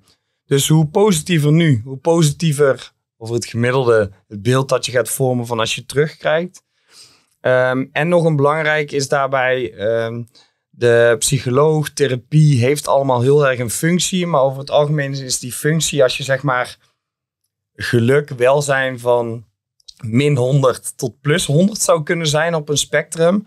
Over het algemeen dat therapie heel goed is om mensen van ergens in de min naar 0 te brengen, maar niet om ze van 0 naar 100 of omhoog te brengen. En coaching, wij willen met mensen werken die geen coaching nodig hebben, die op zich een goed leven hebben, maar ze willen er meer uithalen. En ik denk dat dat een heel belangrijk onderscheid is, wat heel weinig mensen dus begrijpen. En daar zit ergens ook nog de handicap bij. En ik weet niet of dit te ver gaat voor de luisteraar, maar als je dus bij nul bent gekomen. Dus stel, je was eh, even ongelukkig, je stond op min 30, je gaat naar nul, weet je wel. Je hebt even gekeken wat er aan de hand was, misschien wat methodes toegepast. Je bent bij nul, maar kun je je voorstellen dat hetgene waar je op focust, is hetgene wat je gaat zien. Dus eh Jaro is al bij nul, hij heeft die eh, problemen gewoon geneutraliseerd. Maar we gaan het weer hebben over hoe hij gepest werd of bepaalde negatieve gedachten die hij had. Dan ga je ze ook weer oprakelen of misschien wel groter maken. Dus als je eenmaal bij die nul bent, wil je ook weer voorwaarts gaan kijken. De beste vorm van therapie, zeg ik ooit, zonder eh, therapie helemaal uh, teniet te doen. Maar is ook om gewoon agressief voorwaarts te werken. Dus je kunt nog zo'n klote jeugd gehad hebben. De manier om ook gelukkig te worden is ook gewoon om in het hier en nu betere toekomst te gaan fixen. En te zorgen dat je daar doelen in hebt en dat je die effectief nastreeft. En niet alleen maar te blijven graven in dat verleden. Ja, helemaal mee eens. Ik denk dat dat ook heel goed aansluit op een uh, stuk waar onze beste meneer Tate uh, helemaal omgeroost is. Die zei op een gegeven moment van, uh, dat was dan zijn tagline, depression isn't real. En de nuance die hij daarin aanbracht was ook, en ik kan me daar heel erg in vinden, een man, zeker jonge man zonder doel, die heb je best wel veel, die weten niet wat wil ik nou in het leven, waar ga ik naartoe, waar sta ik voor. Dat kan leiden tot depressieve gedachten, omdat je, je bent leeg, je hebt niks, waar, waar leef je naartoe? En op het moment dat je dat gaat vervullen, merk ik, als ik vervulling heb doordat ik ergens naartoe werk en actief bezig ben, ja, dan voel ik me gelukkig. Hij doelde ook wel op een stukje eh, zelfgekozen zwaktes, is mijn aanname. Als in, je bent niet per se depressief in de meeste gevallen, maar je kiest wel bewust voor een deprimerende levensstijl. En daar heb je wel Ja. degelijk zelf invloed op. Ja. Dat is wel een soort nuance. Die had hij misschien zelf iets beter kunnen toelichten, maar ik denk dat hij ook bewust eh, dat op die manier heeft Ja, aangevlogen natuurlijk. Maar bocht. ik denk als je aan hem zo zou vragen in deze setting, dat hij een soortgelijk antwoord zou geven. Ik vind dat zo bijzonder, hè, dat een Andrew Tate in ieder geval. eh, we hebben dan Robin gesproken, Robin Ubachs, die is goed met hem. Eh, je ziet in lange interviews, hoor je ook wel meer dat. Ik vind hem eigenlijk over het algemeen vrij genuanceerd. Wat hij doet is eigenlijk, hij begint hier, zeg maar, en dan trekt hij je terug naar uiteindelijk een nuance. Dat ik denk, nou, dit is niet eens een hele gekke. Maar ik heb het idee wat hem soort van heel ra- radioactief gemaakt heeft, is dat hij begint met Depression isn't real. En daar gaat iedereen Ja. helemaal lijp op. Hoe hij is ergens wat tactisch. Hij weet ook precies wat hij kan en moet zeggen, eh, zodat andere mensen het in kleine snippets gaan opknippen en het viraal gaan laten gaan. Eh, wat mij alleen wel tegenstaat is dat hij er vervolgens half over gaat zitten klagen, terwijl hij donders goed bewust weet wat er gebeurt. Hij, Eens. het is een hele slimme jongen, dus daar moet hij niet ineens dom over gaan lopen doen. Maar ik heb hem wel redelijk hoog zitten hoor. Ik denk dat er wel eh, iets meer nuances aangebracht zouden kunnen worden in zijn boodschap. Maar Mhm. inderdaad, als je een diepte interview met hem luistert, dan komt er wel iets meer bovendrijven dan dat je zou verwachten op basis van TikTok snippets. Het interessante wat je zegt is, hij gaat erover klagen. Maar ik denk dat het klagen ook gewoon strategisch is bepaald. Ja, tuurlijk. Want het zorgt ervoor dat hij een excuus kan ge- geven voor het gedrag wat hij eerder heeft vertoond. En wat je nu wel ziet, is dat hij nu wel genuanceerder is in de woorden die hij gebruikt. Maar hij heeft nu het platform al. Dus hij hoeft ook minder luid te zijn in de dingen die hij zegt. Maar in het begin was het nodig om gewoon heel veel aandacht te trekken. Wij zijn nou weer over hem aan het praten. Hè? Dus, Ja, zeker. eh, Dus dat is goed. Je zit daar, dus eh, het doel bereikt ergens. En je Ja. kunt je ook afvragen, oké, ongeacht of het waar is, niet waar is of helemaal correct wat hij doet. Blijkbaar, als het zo aanslaat zoals het doet, is er een bepaalde behoefte die hij invult. Mhm. En ik denk wel de grote behoefte die erachter zit, die er invult, is dat er te veel fucking overal een doekje omheen gewonden moet worden. eh, het softer gemaakt moet worden. Terwijl ergens er een bepaalde mannelijke behoefte ook is, vooral bij de man. En dan ga ik hem gewoon even zo eh, neerzetten. Gewoon duidelijkheid, kap even met die bullshit. Want als je iemand te veel gaat geloven in zijn kleinheid, in zijn zwakheid, dan gaat hij daar zelf ook in geloven. Geloven. Dus eh, ik denk dat wij in de coaching vaak meemaken dat iemand heel erg een verhaal wil neerzetten van... ehm, ja, zo ben ik altijd gedaan. Het komt om een familiesysteem. Of zelfs een Big Five die goed wetenschappelijk onderbouwd is, kan ook een overtuiging worden. Weet je wel? Dus, dus als ik eh, heel erg ga geloven dat iemand zijn eh, conscientiousness super laag is en dat hij daardoor niks kan doen, dan ga ik daar al helemaal omheen werken en zo. Ja, mijn antwoord is vaak is ja, kap daar maar mee. ook al ja, het is wetenschappelijk bewezen, waarschijnlijk sta je er zo in. Je genenpatroon, je verleden heeft hiertoe geleid. Ja, en vanaf nu gaan we proberen daarmee te kappen en die overtuiging zover als het kan ook los te laten. Want ook de overtuiging zelf dat je niet productief kan zijn, maakt jou minder productief. En Tate doet dat echt fucking effectief. En die zegt, nee, je bent niet, je bent niet depressief. Dus je gaat nou leven als iemand die niet depressief is. Gezond eten, trainen, weet ik wat. Waardoor die neurotransmitters ook alweer, en de hormoonwaarden ook alweer anders gaan zijn. Waardoor een groot deel van de mensen die dat echt op kan pakken en er ook de capaciteit voor heeft op dat moment, wat niet iedereen is, zij worden dan ook minder depressief. Dat is wel interessant dus. Wat je eigenlijk zegt is, je hebt dus die, dat spectrum hè, van min 100 naar 0 en dan naar 100. Je hebt dus een gedeelte dat heel veel qua nieuws en wat je tegenwoordig ziet en zelfreflectie is gericht op van min 100 naar 0 gaan. En nu hoor je een paar geluiden, zoals een Andrew Tate, die zegt eigenlijk, hij is die persoon die van 0 tot 100 zeg maar praat. Ja, van min 80 tot, tot, tot 110 opeens in de Ja. plus. En daar zit wel, daar zit ook de nuance waar mensen eh, stuk op lopen, is eigenlijk dat ehm, het is wel dusdanig complex dat iemand echt op min 80 zit. Die kan dat horen. En daar zit een eh, hele belangrijk stuk wat de wetenschap echt wel duidelijk heeft gemaakt. Het maakt heel veel uit. Degene die luistert, gelooft hij daadwerkelijk dat hij hetgene ook zou kunnen gaan bereiken en dat hij daar de capaciteiten voor heeft. En dat zien we dus ook terug in de. ehm, als je Instagram berichten kijkt, heel veel van super succesvolle mensen. Je ziet dus dat dat op een hoop mensen heel positieve uitwerking heeft en op een grote groep een negatieve uitwerking, terwijl ze dezelfde content zien. En het grootste verschil zit hem in dat de ene groep denkt: hey, ik wil ook die dikke auto, ik wil ook zo succesvol zijn. Maar die gelooft helemaal niet dat ze het ooit kunnen bereiken. En omdat ze dat geloof niet hebben, gaan ze het ook niet effectief nastreven. En er is een groep die denkt: hey, ik geloof ergens dat als ik hard werk, dat ik eh, de competentie, de, in ieder geval de capaciteiten heb om dit te gaan bereiken. Die gaan dat nastreven en die zien dat kleine beetje vooruitgang ook komen. Dus die krijgen ook die bevestiging vanuit eh zelfdeterminatietheorie eigenlijk.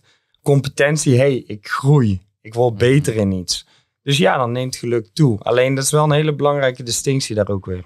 Hebben jullie allebei dat gevoel altijd al gehad? Ben je geboren met dat gevoel van ik ben competent en ik kan meer dan de meeste mensen? Of is dat iets wat gecultiveerd is over tijd? Ehm, allebei, denk ik. Ik denk dat het een stukje nature versus nature en nurture is. Hè? Dus dat je, ehm, ook als je kijkt naar zo'n psychologisch profiel, dat je ergens vanuit eh, genetisch oogpunt sowieso een bepaald spectrum hebt waar je tussen kunt eh, fluctueren of heen en weer kunt gaan. Eh, en op basis van wat je vervolgens meemaakt, die opvoeding en de rest van je leven, bepaalt dat een beetje de plek binnen dat spectrum. En ook daar is dat maakbaar binnen. Ja. Dat is hoe ik hem zie. Ja, ik ga helemaal hard op deze psychologie onderwerpen. Eh 100% mee eens. Eh, is zelfs geen twijfel over mogelijk. Dat je dus een stuk hebt genetisch pakket. Maar ook een deel ehm, alleen al zelfs geluk in waar je opgroeit. Want als je fatsoenlijk tevreden krijgt, ontwikkelt zoiets zich ook nog gunstiger. En er zijn hele ehm, grote invloeden tijdens jouw opvoeding. Hè? Iemand die niet in jou gelooft of negatief, je hebt daar ervaringen mee. Over het algemeen zien we dat de grootste flexibiliteit zit tot, tot 25, 30 jaar. Wat de wetenschap zegt. Maar ik ga daar wel vanuit mijn persoonlijke visie hard tegen in. Waarom? Dat is op general population onderzocht die niet bezig zijn met bewustzijn creëren, met een gezonde levensstijl, met dingen die neuroplasticiteit bevorderen. Dus ik geloof ook dat je lang daarna, ook zonder significante levensgebeurtenissen, ook nog sterk ehm, kunt veranderen. Ik ben het daar wel mee eens. En als, we dat, als ik dat zeg maar terugreflecteer naar ons twee. Wij zijn, tenminste wat, oké, ik ga het op mezelf houden. Ik ben helemaal niet van het plannen. Ik ben helemaal niet van de structuur. Ik ben helemaal niet van in de stappen, stap 1 en dan 2 en dan 3 doen.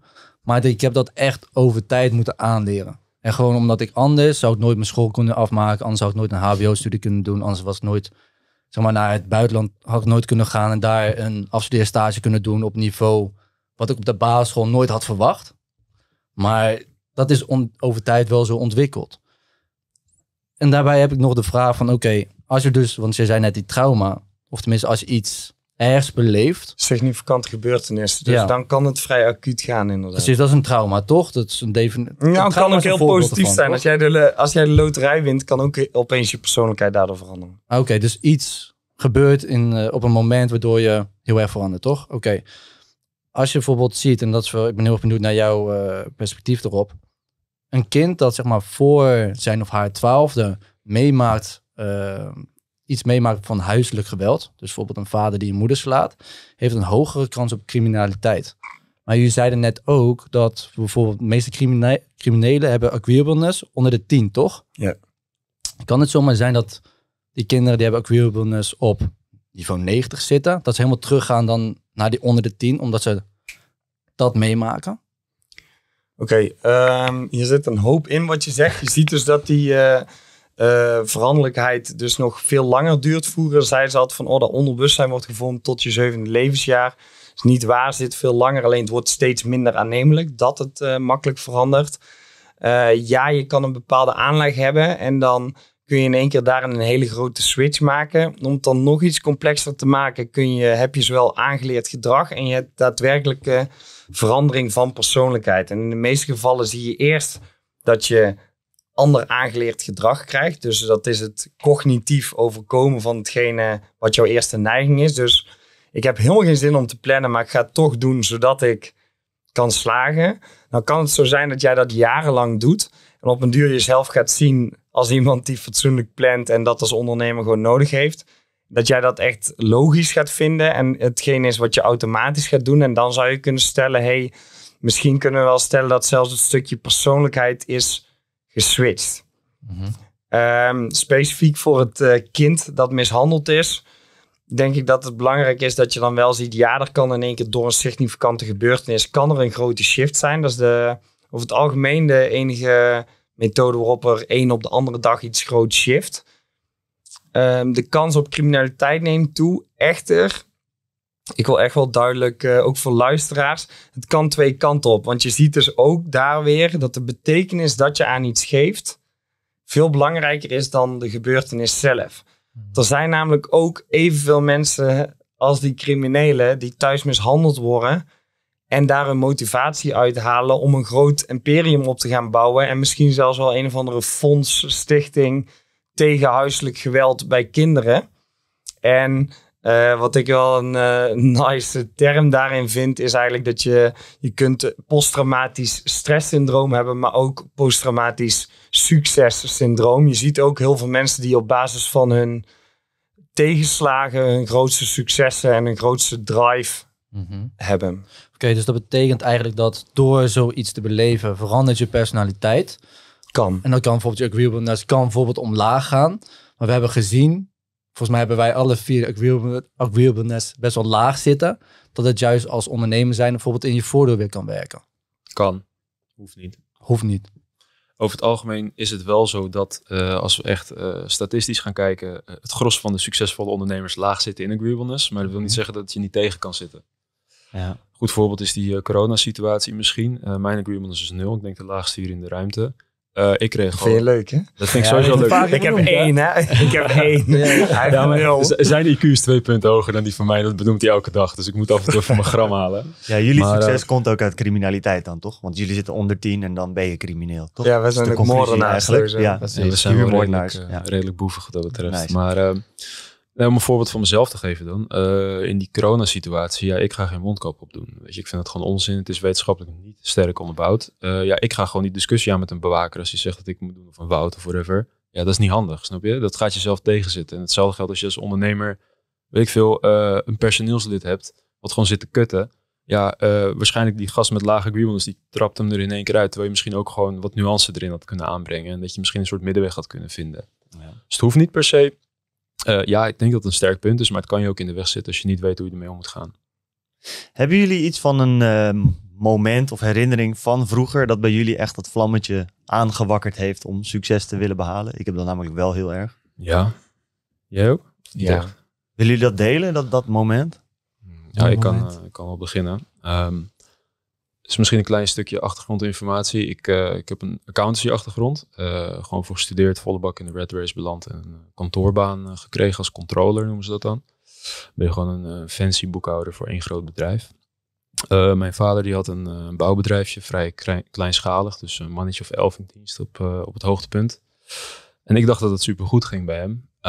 Eindstand was hij gewoon failliet, echt al twee jaar of zo. Alleen steeds kantje boord nog survivalen. Ehm, en dan moet je ineens, weet ik veel, ik was toen net klaar met mijn studie. Of ik was toen nog bezig, toen was ik dus 20 of 21. Kom je erachter van, ja kut, ik moet nu dingen voor mijn pa gaan fixen. Anders kunnen we allemaal onder een brug gaan slapen. Weet je, dat is best wel pittig op die leeftijd. Ehm, eindstand allemaal gelukt, omdat ik wel eh, vanuit mijn achtergrond best wel wat snap van boekhouding. En hoe je dus met een curator en met de Belastingdienst zo'n faillissement afwikkelt. En hij kon een doorstart maken. Ehm, maar goed, dan zit je dus op kantoor uiteindelijk voor, weet ik veel, twee rug in de maand een beetje te werken. En omdat ik me bemoeide met zijn boekhouding van zijn doorstart, hij was gewoon een eenmanszaakje geworden, zag ik ineens dat hij af en toe twee rug op een dag verdiende. Ik denk, ja, fuck, dat ga ik ook doen, weet je wel. Dus uh, gelijk mijn baan opgezegd met hem gaan werken. Ik wist al een beetje hoe het moest, want toen ik klein was heb ik wel eens met hem meegewerkt. Uh, bandjes bouwen, vloeren leggen, dat soort dingen. Prima. Uh, toen waren we net begonnen. Twee weken of zo hadden we best wel een groot project aangenomen in Leiden. Een, een boekenhandel die we konden transformeren naar appartementencomplexen. En net aangenomen, alles ondertekend. En toen kreeg hij een herseninfarct. Dus dat is best wel heftig dan, weet je. Want je moet het ineens allemaal in je eentje doen. Uh, ja, dan heb je weinig smaken, toch? Dus dan moet je er maar iets van maken. Uh, dat is bij mij precies dat moment geweest. En daarna plaatst het ook dingen makkelijk in perspectief. Dus het is niet per se zo van, hé, hey, uh, wat een zielige periode was dat. Het was achteraf gezien een prima periode. Maar omdat je dan even moet, heb je weinig andere keuzes of zo. En dan ja, wakkert dat wel iets aan. En dat plaatst ook vanaf nu wel dingen in perspectief of alles daarna. Mooi verhaal, man. Ja, ja, het is nog wel iets uitgebreider eigenlijk, ja. maar dat is hem in essentie. Ja. En dat plaatst wel een bepaalde toon voor uh, in ieder geval de rest van je, ja, je ondernemerscarrière, om het zo te zeggen. Ik heb het ook wel zwaar kunnen leveragen in mijn voordeel hoor. Uh, dus dat is alleen maar goed geweest achteraf. Maar uh, ja, dat man. Ja. Is dat voor jou ook een drive, zeg maar, als je daaraan terugdenkt? Motiveert je het? Mo motiveert dat? nee, het heeft gewoon een bepaalde karakter en werkethiek met zich meegebracht, wat nu gewoon de default setting is. Dus mm. ja. Het heeft een soort van iets unlocked of zo. Nou ja, ja op een gegeven moment uh, is het zoiets van ja, of ik moet hier nu gas op geven, of we kunnen, zoals ik zei, met z'n allen onder een brug gaan slapen. Ik heb gelukkig gescheiden ouders, ik, hoefde niet per se onder een brug te slapen, maar mijn oude wel, zeg maar. Dus uh, ja, dan krijg je een bepaalde, uh, een bepaald tempo van werken, een bepaalde intensiteit van werken. En ja, die hou je wel vast in zo. Ja. Mm -hmm. Die heb ik nu ook. Weet je, als je toen het normaal vond om 16 uur per dag vloeren te storten, Hè, zonder te eten of zo. Omdat je, ja, als je ermee aan de bak gaat, dat is iets van vloeren storten, dan je moet daarmee doorgaan, want anders droogt het materiaal op en heb je een probleem. Als je dat gewend bent, is het ook niet zo erg om, weet ik veel, twaalf uur achter elkaar coaching sessies te doen. Ja, dat stelt dan niet zo heel veel voor, toch? Ja. Dus dat is een stukje van perspectief, denk ik, of kwestie van perspectief, wat dat eraan toevoegt. Mm -hmm. Ik heb het idee dat je dat ook wel merkt bij militairen die dan daarna in business dingen gaan doen. Dat je ja. merkt, die hebben onder zulke hoge druk gewerkt, dat eigenlijk alles daarna is van, ja, Gaan we dood? Nee, nou, dan zou het allemaal wel goed komen, toch? Joko Willing, ja. good. Ja, maar ook in Nederland vind ik misschien zelfs een Tibor daar ook wel weer een voorbeeld van. Die man ja. heeft denk ik ook wel een bepaalde stressbestendigheid en ook risicobereidheid ontwikkeld in die periode. Ja. Mm -hmm. En ook gewoon een interessant profiel. Ja, zeker. Mm -hmm. okay. En jij Miro, heb jij zo'n soort van moment? Het is natuurlijk hard om dit, moeilijk om dit te overtreffen. Nou, valt nee, het is geen wedstrijd hoor, maar nee, het is een grapje. Ja. Maar... Oh, was een grap? Was een geintje. Oh. Verkeerd geplaatst. nee, uh, ja, ik denk uh, niet zozeer een moment, maar wel een stukje achtergrond. Uh, samengesteld gezin, uh, alles en iedereen ongeveer hoog opgeleid, in ieder geval heel goed bezig op school. En daar werd ook gewoon echt wel naar geoordeeld thuis. Um, ik was wel een soort van oh, schattig manneke, die zou het wel maken, arts worden, dat soort dingen allemaal ik zag school totaal niet zitten. En ik denk dat daar wel is ontstaan van, hey, ik ga het doen op mijn manier. Hè? En uh, ik ga laten zien dat ik ook zonder, uh, zonder maar uh, de brave leerling te zijn of de braafste, weet je wel, ik wou gewoon fun hebben, het ook ga maken, weet je wel. Dus, ja. um, maar is dat echt iets waarmee ik nog nu soort van zit of zo? Nee, totaal niet. mijn broers en zussen doen het allemaal top. Ik heb een goede band met hun, veel neefjes en nichtjes. Uh, dus daar uh, super happy mee. En nog steeds dat stukje drive blijft wel ergens zitten en dan zet je voor je in. Dus dat hoeft niet iets negatiefs te zijn of zo. Ja. Ik denk ook dat dat misschien zelfs een beetje vergelijkbaar is met wat je zei over dat stukje bodybuilding. Van ja, desnoods begin je voor vrouwen of whatever. Uiteindelijk blijft het wel plakken met een hele andere intentie. Ja. Dat is hier denk ik ook wel het geval. Ja, zeker. Ik denk ook een stukje bodybuilding in eerste instantie is ook het stukje jezelf lichamelijk opblazen, maar is natuurlijk ook een soort uh, schild wat je bouwt. Uh, functioneel daarin van de kant kom je er ook gaandeweg achter van hey, is ook best wel functioneel voor andere zaken. Of ik kan dat ook voor me laten werken. Je bouwt een krachtig lijf, dat bouwt ook weer karakter. Dus het staat ook symbool voor een hoop andere zaken. En dan net zoals mensen uit het leger die een bepaalde manier van doen en kijken op de wereld hebben, denk ik dat het voor een bodybuilder of een vechtsporter of een andere topsporter ook gewoon geldt dat die hè, met eh 260 kilo op je nek opstaan, daar heb je ook geen zin in. Maar je doet het, weet je wel. En soms eh, voelt ondernemen of het leven ook zo en dan doe je het ook gewoon. Ja. Ja, man. Koen, heb jij zo'n... Want ik had dus op een gegeven moment... Ik had het heel erg... Ik had op een gegeven moment een film. Ik was...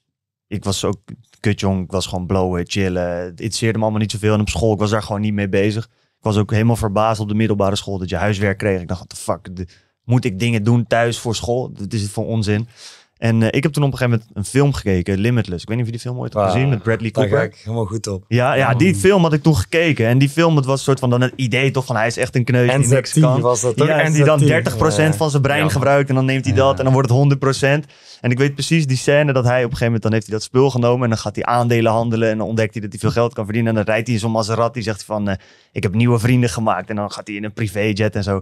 Iets in mij is dat gewoon van, oh shit, maar er is dus blijkbaar een verhaallijn dat je van broke boy naar zeg maar iemand gaat die iets van zijn leven maakt. Dat maakt echt een soort van vuurtje in me wakker, man. Ja, is die hero's journey toch? In het algemeen Ja. wel. eh, die Ja. bij eh, in ieder geval Ja. mannen heel erg resoneert. En ik denk dat het er al zat. Ja. Maar dat je het nou daar ontdekte. Dus ik denk dat elke man gezond, op een gezonde wijze, hè, ook op basis van goede waarden, gewoon een bepaalde drang heeft om een bepaalde bijdrage te leveren. Ja. En die komt ook gewoon weer terug hè, van wat is er nodig voor geluk. Het idee dat je een bijdrage hebt aan een groter geheel. En voor sommigen kan dat zijn je gezin, sommigen voor de wereld. Wat is daarvoor nodig? Dat je ook zware eh, capaciteit hebt om dingen te bereiken. En Ja. jij zag voor het eerst, hey, hier is iets mogelijk. Ja. Ik geloof, ik geloof dat ik, dat ik iets kan bereiken en daardoor word ik gemotiveerd. En ik zie die toffe dingen die daarbij komen kijken. Ik zie die Maserati daar. Dat was ook wel, dat heb ik nog steeds. Je hebt daar ook een nummer van. Dat nummer was het meest geluisterde liedje in 2021 bij mij in Spotify. Dat nummer heet Happy Pills. Het was een soort van een moment dat hij gefocust zit te werken, was dat nummer. Ik zet dat gewoon op en dan ben ik gewoon gelijk in die mindset van. Ik weet niet, dan, Ja, dat man. gevoel komt Nice. gewoon helemaal terug. Moet Dat is echt. Het eh, anker. Hm? Ja. Dat is een, een anker. Dus eh Ja. je hebt daar een bepaalde emotie of drive heb jij gekoppeld aan een nummer. Dus Ja. jouw zenuwstelsel ziet. hey, dat nummer, oké, hier, hier heb je meteen die driver weer bij. Dus die is mooi gekoppeld. Ja. En wat goed is, want we moeten ook de centjes verdienen met de podcast. Het linkt goed naar ons sponsor. Sponsor van deze aflevering is NordVPN. Gooi ik er nog even tussendoor. Want die film kan je niet meer kijken op Netflix. Die is moment afgeflikkerd. Net als heel veel goede films. Ik weet niet of jullie een beetje van films houden. Goodfellas, al dat soort films. The Gentleman, Scarface. Scarface. Scarface. Scarface staat ook niet meer op Netflix volgens mij. Hè? Is volgens mij ook afgepleurd. De Godfather staat er volgens mij nog wel. Nee, want daarvoor moet je echt een VPN hebben. Ja, Maar, de eh, shit, shit is er allemaal afgegooid. Yes, en wat kan je met die VPN? Je kan hem switchen naar de UK en Engeland en zo. Of Engeland, Amerika, Canada, dat soort dingen. En eh, Limitless staat in Canada er nog op. Dus eh, als je die film wilt checken, ga even naar de beschrijving. eh, en dan hebben we een linkje van NordVPN. Dan kan je volgens mij voor 3 euro per maand of zo heb je zo'n VPN. Kan je daar gebruik van maken. En het belangrijkste is dat helpt ons om gewoon fulltime die podcast te kunnen doen. Weet je, dat zorgt gewoon dat wij al ons tijd hierin kunnen stoppen en niet nog andere dingen hoeven te doen. Kunnen we meer content maken. Dus eh, Smooth. ja, Heren, toch? Ja. Heel Gebruiken bruggetje. jullie, een eh, beetje VPN. erin fietsen, toch? Ja. Gebruiken jullie VPN? Nooit VPN. Moeten we nou ja zeggen? Ja, En hoeveel euro, Ja, ja. En hoeveel euro Ja, krijgen we daarvoor? Ja, ja, ja. Nee, ik ben benieuwd, We toch? hebben het toch uitgelegd. Jullie moeten Ja. nu ja zeggen. De allerbeste ooit. Absoluut. Ja, Zeker. Ja, man. Ja, Daar ene merk wat jullie 100%. net Ja, Ik weet niet hoe het heet, maar dat ja, ja, ja, zeker. nee, dat, absoluut. zo heet hij. Geen idee, VPN heet hij. Ja. Zijn jullie bang, want dat sluit een beetje hierop aan. Zijn jullie bang dat de overheid eh, de, de duistere kanten van eh, dat, dat, dat ze de gemeenschappen proberen te controleren, de samenleving proberen te con- controleren? Dat deze een communistische. Ja, hoe sluit is aan? Hoe sluit dit aan? Nou, want als jullie, als jullie ja zeggen, Nice. is een van de dingen is van, ehm, je wil natuurlijk eigenlijk niet dat iedereen weet wat je doet. En een van de dingen die nu heel erg veel waard is, is je data. En Ja, mensen man. gebruiken je data natuurlijk om te Geef checken van, oké, wat doe je precies? Ik geef hem aan jou. Ja. Nou, wat ik denk dat ehm een heel belangrijk onderwerp gaat zijn de komende jaren zijn eh, central bank digital currencies. Nu kom ik wel gelijk met de deur in huis vallen, want dat gaat de manier zijn voor überhaupt, als je kijkt naar het hele monetaire systeem, hebben we natuurlijk banken, centrale banken. Ik hoop dat de luisteraars een beetje weten hoe dat werkt. Zo niet, eh, koop lekker onze nieuwsbrief of kijk een YouTube filmpje of zo. Maar eh, in ieder geval hebben centrale banken vrij veel te, te bepalen in de wereld. Ja, thanks man. Ehm, ze zijn nu heel erg hard aan het ontwikkelen uh, of aan het werken aan central bank digital currencies. Dus dat is eigenlijk gewoon een digitale euro, een digitale dollar, een digitale yen, noem het op. Uh, het gevaar daarvan is dat dus uh, alles digitaal is, alles te trekken is. En dat je dat zeker heel makkelijk kunt koppelen aan een stukje gedragsbepaling, zoals nu in China gebeurt. Gaat het op die manier in het Westen gebeuren? Uiteindelijk wel. Je moet fucking zijn om te denken dat het niet gaat gebeuren. Want iets van de afgelopen twee, tweeënhalf jaar hebben geleerd dat mensen alles pikken ongeveer. In ieder geval de 98 procent. Ehm, waar het precies toe gaat leiden, dat durf ik niet te zeggen. En ik denk ook dat het in hele kleine stapjes gaat gebeuren. Maar ja, dat is wel gewoon waar het heen gaat natuurlijk. Hè? Het is een soort van test toch om te kijken wat ze dus met uh, afgelopen jaren hebben gedaan. Is ook een soort van test geweest van oké, hoe ver kan je gaan? En hebben we gezien dat het best wel ver kan gaan. Waarom, uh, wanneer, wanneer zit er een grens bij de mens zelf? Want we zijn nog steeds democratisch. We willen niet communistisch worden. Geloof je dat? Ja. nee, ja. Er zit gelaagdheid in, jongen. Ik, uh, ik geloof zeker dat er gelaagdheid in zit. Daar wil ik op ingaan straks. Dat ja, ik, wat ik erover denk is, we leven nog steeds wel in een wereld van kapitalisme. Stel eerst je vraag, stel eerst je vraag. We gaan straks dieper op in, anders raak je die gedachtegang die je had kwijt. Nu ben ik ze allebei kwijt. Nice. Nou, wat bedoel je ermee? Nee, je wou nu hierop ingaan, maar je had een vraag, toch? Uh, ja, daar kwam ik denk ik... Uh... Je raakte afgeleid tijdens nee, meer vraag. Van, dat was mijn vraag. Van oké, we leven in een democratie. Hè, zo afgelopen 80 jaar sowieso, na de Wereldoorlog. En als je dus kijkt naar uh, bijvoorbeeld China, heel erg communistisch, Rusland communistisch. We krijgen steeds meer communistische trekjes, dat we steeds meer worden gecontroleerd op hetgene wat we doen. Dat we steeds meer regeltjes krijgen over wat we wel en niet mogen doen. Dat iedereen gelijk moet zijn. Iedereen gelijk moet alle zijn. Facetten. Wanneer, wanneer denken mensen van oké, we zijn geen democratie meer, maar we zijn echt een communistisch land aan het worden? Nou, dat is een heel moeilijk uh, punt om aan te wijzen. Sowieso omdat het niet in één keer omslaat. Hè. Dus dat eh, gaat heel erg uh, gradually and suddenly, om het even zo te noemen. Uh, dat is wel een interessant punt wat je daar aanhaalt. Ik denk dat heel veel mensen uh, veel makkelijker, nog veel verder te pushen zijn dan dat we hebben gezien de afgelopen jaren. Uh, we zijn immers ook ooit in een Tweede Wereldoorlog bijvoorbeeld beland op een hele gelaagde en gradually-achtige manier. Um, niet dat we per se die kant op gaan, maar mensen zijn echt praktisch bereid om alles te doen als je ze de juiste motivatie geeft of het op, op de juiste manier bij ze manoeuvreert. Um, wat jij zei over democratie vind ik wel hele interessant om op in te gaan.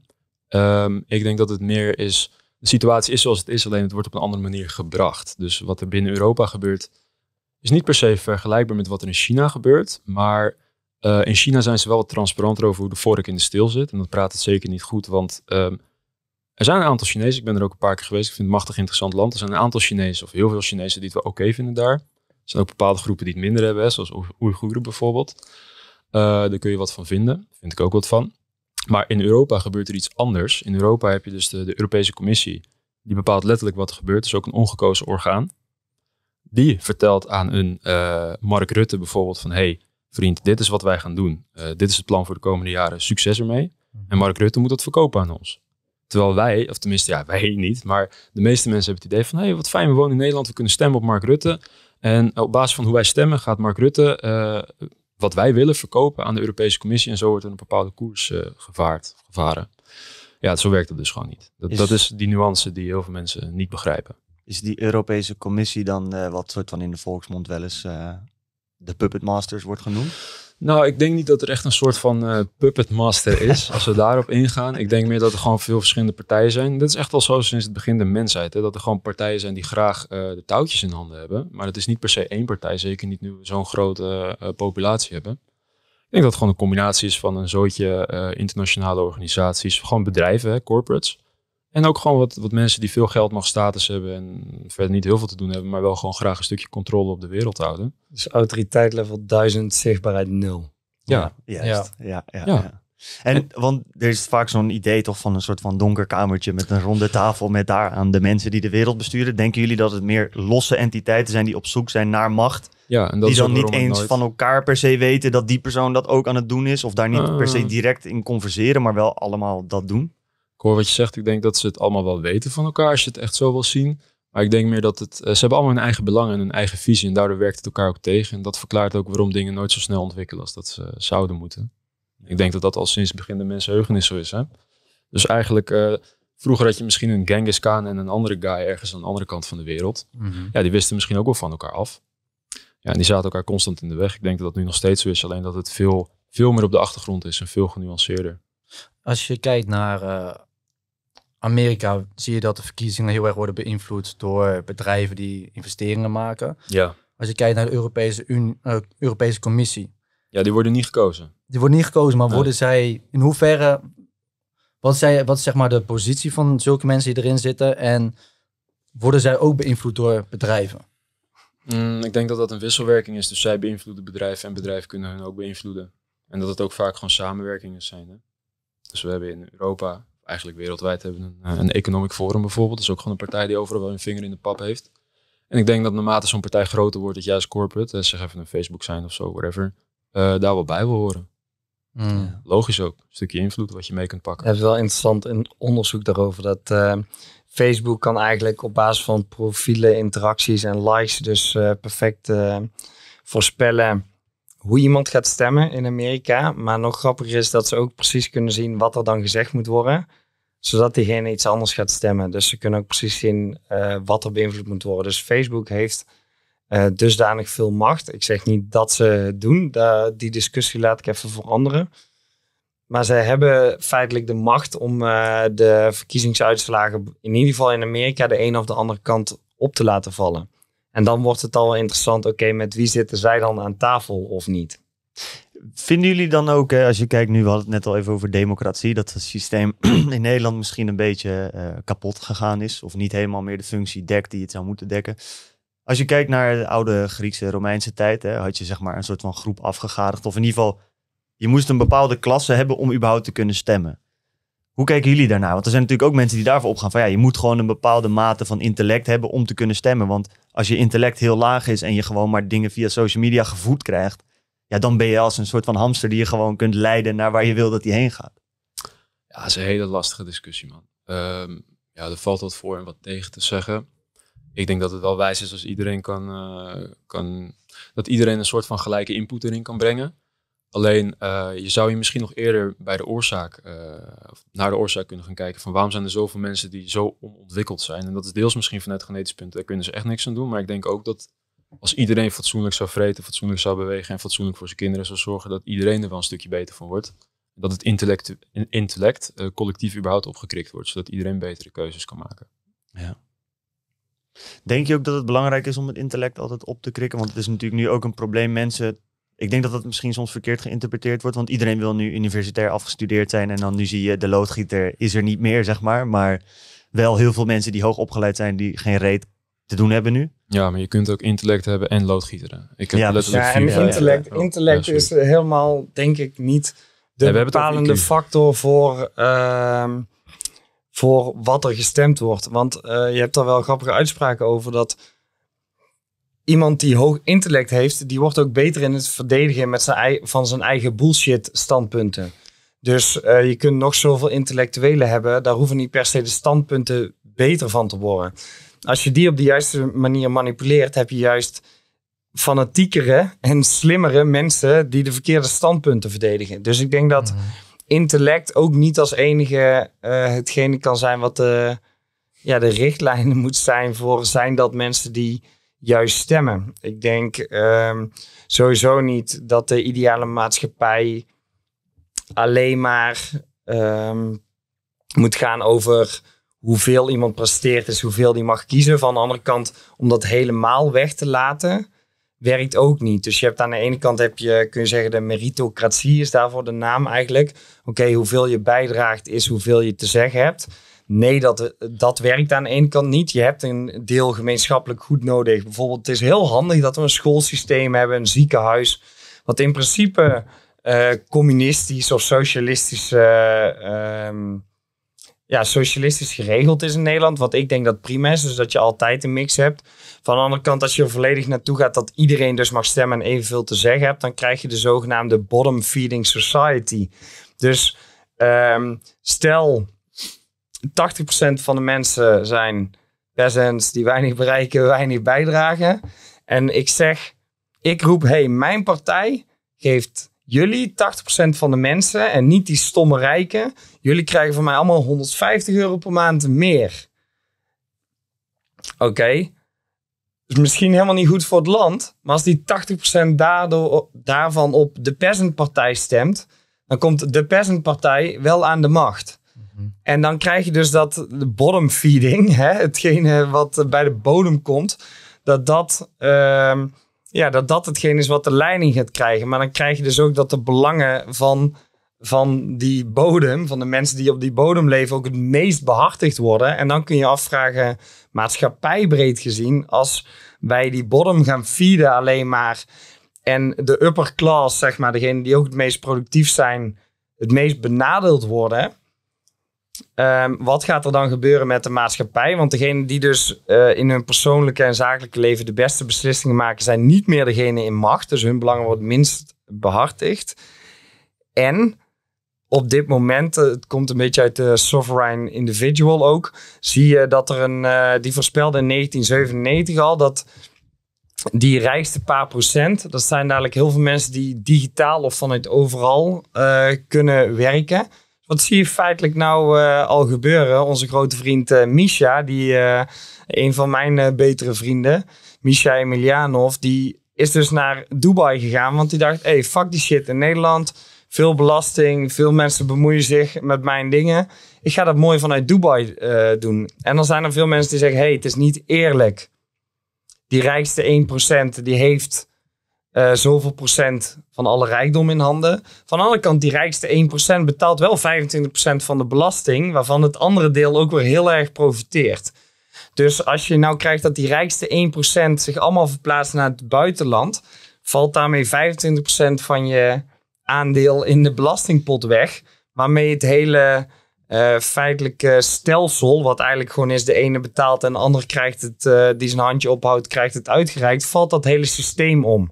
En dan krijg je een heel erg gefrustreerd systeem wat dus niet meer werkt. En dat past precies bij stage 6 van Ray Dalio. Dat je gewoon gezeik krijgt en polariteit in de maatschappij. Ik denk dat misschien nog een goede aanvulling erop is. Is dat het misschien, uh, dat klinkt bot, maar zo is het altijd al geweest. Hè? Dus na die periode waar Miro het over heeft, komen er vanzelf weer kutperiodes aan waarbij zo'n heel land implodeert. Waarbij na een tijdje zelfs jongens zoals Misha misschien weer denken van... hey, ik heb een shitload aan geld, ik moet dat ergens investeren. Waar ga ik het nu investeren? Ja, ik zie kansen in Nederland, want daar is net een heleboel afgefikt. En dan kunnen we het weer opnieuw gaan opbouwen. Of in China. Of in China. Maar dat, dat denk ik eerder. Dat vind ik ook daar. Maar dat reset zichzelf, zeg maar. Dus het, die hele cyclus, die zie je echt al sinds het begin de mensenheugenis uh, up en down gaan.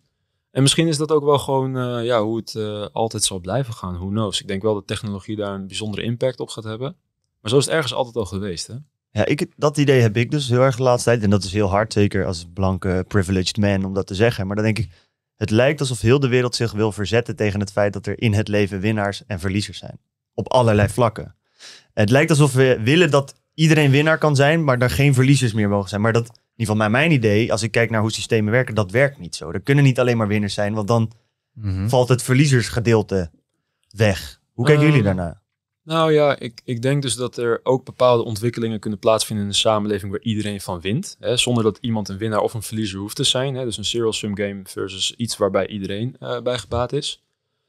Um, je kunt namelijk, zeg eventjes, het internet is misschien een mooi voorbeeld. Daar is letterlijk de hele wereld beter van geworden. Snap je? Dat is niet per se ten koste gegaan van iemand. Bepaalde mensen hebben zich wel anders kunnen positioneren. Ala en Mark Zuckerberg die een Facebook weet uh, op te zetten of een meta. Mm -hmm. Uh, maar zelfs uh, de meest arme stakker in Bangladesh of zo, no offense natuurlijk, die kan nu wel gewoon online via Fiverr of zo heet die, die website, kan ja. lekker logootjes gaan designen en zo. Dus ik hoor zeker wat je zegt, maar ik denk dat wij nu een soort fase ingaan wereldwijd waarbij dat steeds minder gaat voorkomen, dat iedereen beter wordt van bepaalde ontwikkelingen. maar als het antwoord dan weer is, sorry dat ik je onderbreek ja. hoor, maar de arme stakker in Bangladesh zorgt vervolgens dat die net niet arme stakker in Rotterdam op drie hoog, die ook een designer is, maar net wat duurder, ja. Die heeft dan weer het werk niet. Want dat gaat nu naar die man in Bangladesh die even goed is, maar minder kost. Dus dan, ja, gewoon even, dan is daar weer een verliezer. Dan is er nee, iemand die ja, iets verliest. Wat je zegt, het gaat alleen. duidelijk over twee verschillende Ja. dingen. Want je Mm, hebt. Je hebt eh, welzijn en dat is tot op een bepaald basisniveau. Dus worden basisbehoeftes ingevuld. Ja, dan heb je een bepaald, eh, bepaald level van geluk. Wat we in feite voor iedereen zouden moeten kunnen bereiken. En is wel een beetje de vraag of je dan al richting een matrix situatie toe gaat. Zeker als we op deze mate blijven voortplanten en groeien. Maar het tweede ding is succes. En succes is iets anders dan welzijn. Want als je het hebt over succes, succes is altijd relatief. Dus woon jij in een bepaalde wijk waar allemaal kastelen staan, dan is iemand met het kleinste kasteel is uh, vergelijkt zich met degene naast zich met een groter kasteel. Terwijl als dat kasteel in de achterstandswijk stond, dan was hij de koning daar. Hmm. En ik denk dat je succes en welzijn dus uh, wil, ja, wil onderscheiden hierin. Dat het een is, zoals jij mooi zegt, is een uh, zero-sum game. Dus niet iedereen kan succesvol on top of the world zijn. Kan nooit. Want als de ene succesvol is, dan moet de andere nog succesvol zijn om zich succesvol te voelen ten opzichte van de ander. Maar we kunnen wel allemaal fatsoenlijk tevreden hebben en een dak boven ons hoofd. En is welzijn in ieder geval op een bepaald niveau. Hierbij is het ook een belangrijke nuance dat je als samenleving krijg je makkelijke tijden en moeilijke tijden. Maar als individu beslis je zelf hoe je daarin gaat positioneren. En dat is wat jij net zei. Je kan trouwens in een hele moeilijke periode zitten. Maar dan kan je nog steeds een succesvolle ondernemer zijn. Omdat jij jezelf aan de situatie aanpast. Zoals bijvoorbeeld een Misha doet. Die merkt, oké, het wordt een moeilijke periode in Nederland. Voor mijn situatie. Dus ik verplaats mijzelf naar Dubai. Omdat ik daar verder kan groeien. Dus iets wat er in de samenleving gebeurt. Dan kan je jezelf van onderscheiden door naar een andere samenleving te gaan.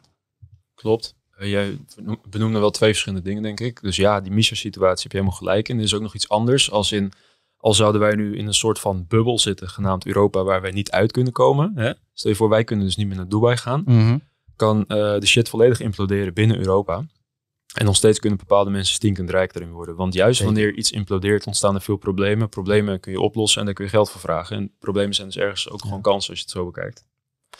Dus ergens zou je kunnen stellen dat zo'n periode als die eraan komt, voor de mensen die een beetje geheid zijn ook wel weer een opportunity zou kunnen zijn.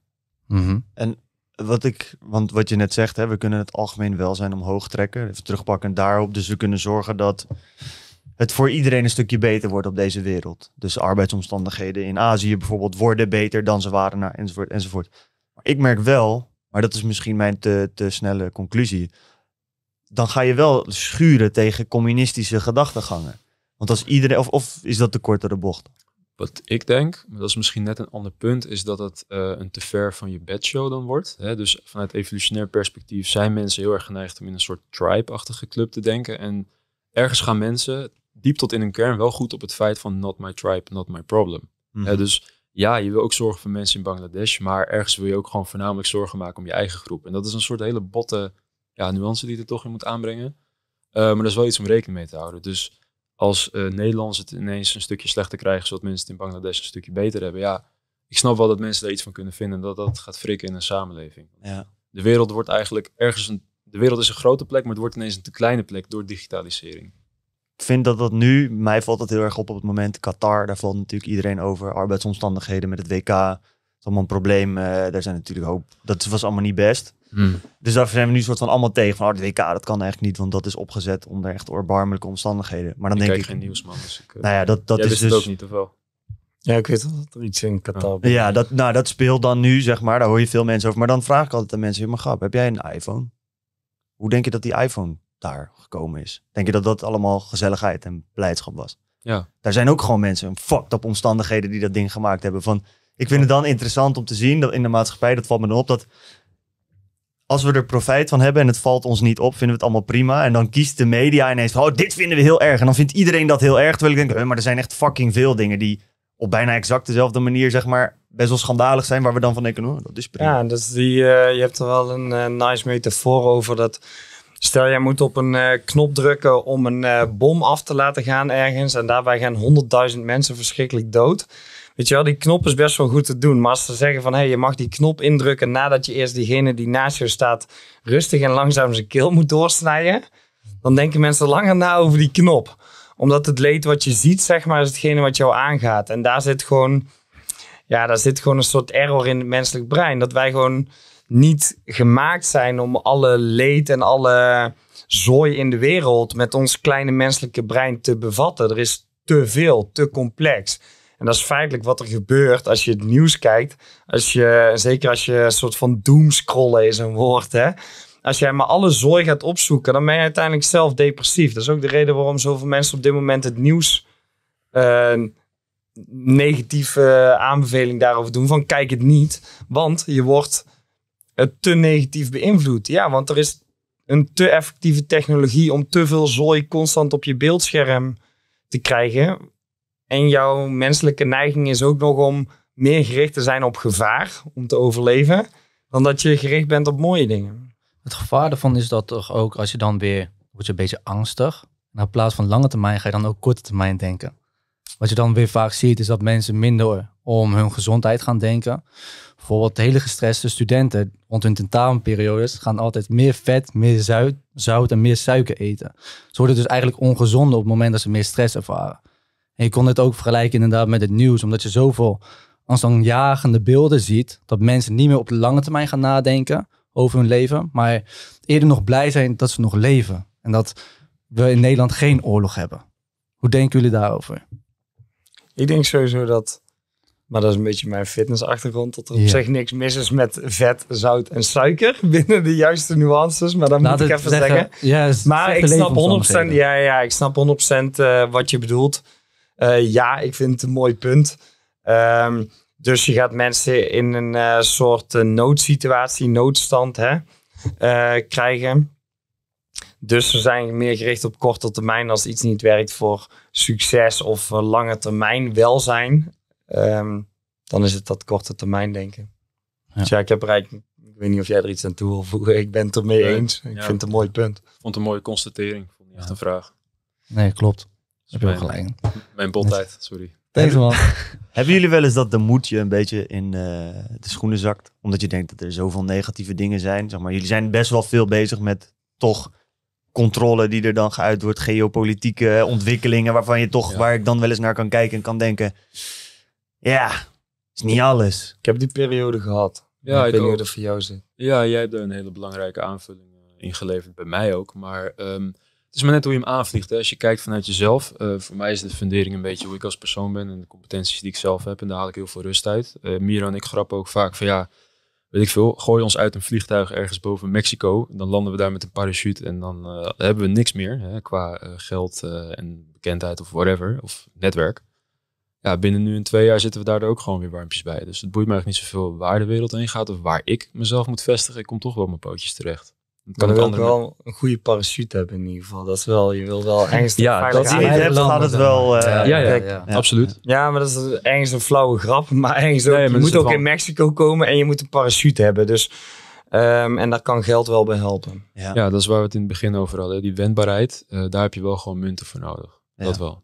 Ja. Maar ook in een situatie als in Nederland, weet je. Als, eh, je zag het ook in die COVID-situatie. Er zijn zat ondernemers die, die nog gewoon lekkere etentjes hadden en zo. Alleen die, die huurden Dat zouden wij echt niet doen. Nee, dat hebben we zeker niet Nee, gedaan nee, ook. nee, Absoluut Pardon. niet. Nee.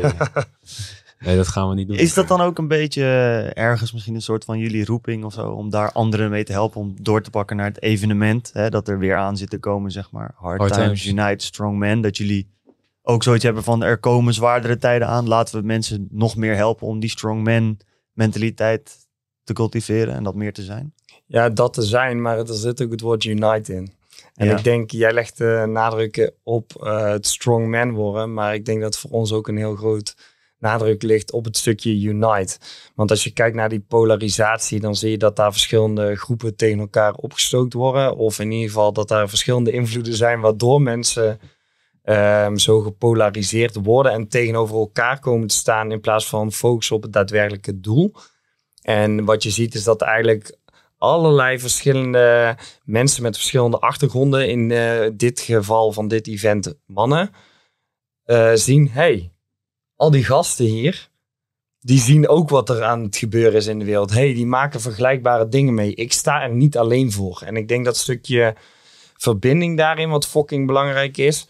Dat gewoon, wij stelden de vragen in een eh, soort van enquête van, hey, waarvoor kom je nou echt vandaag?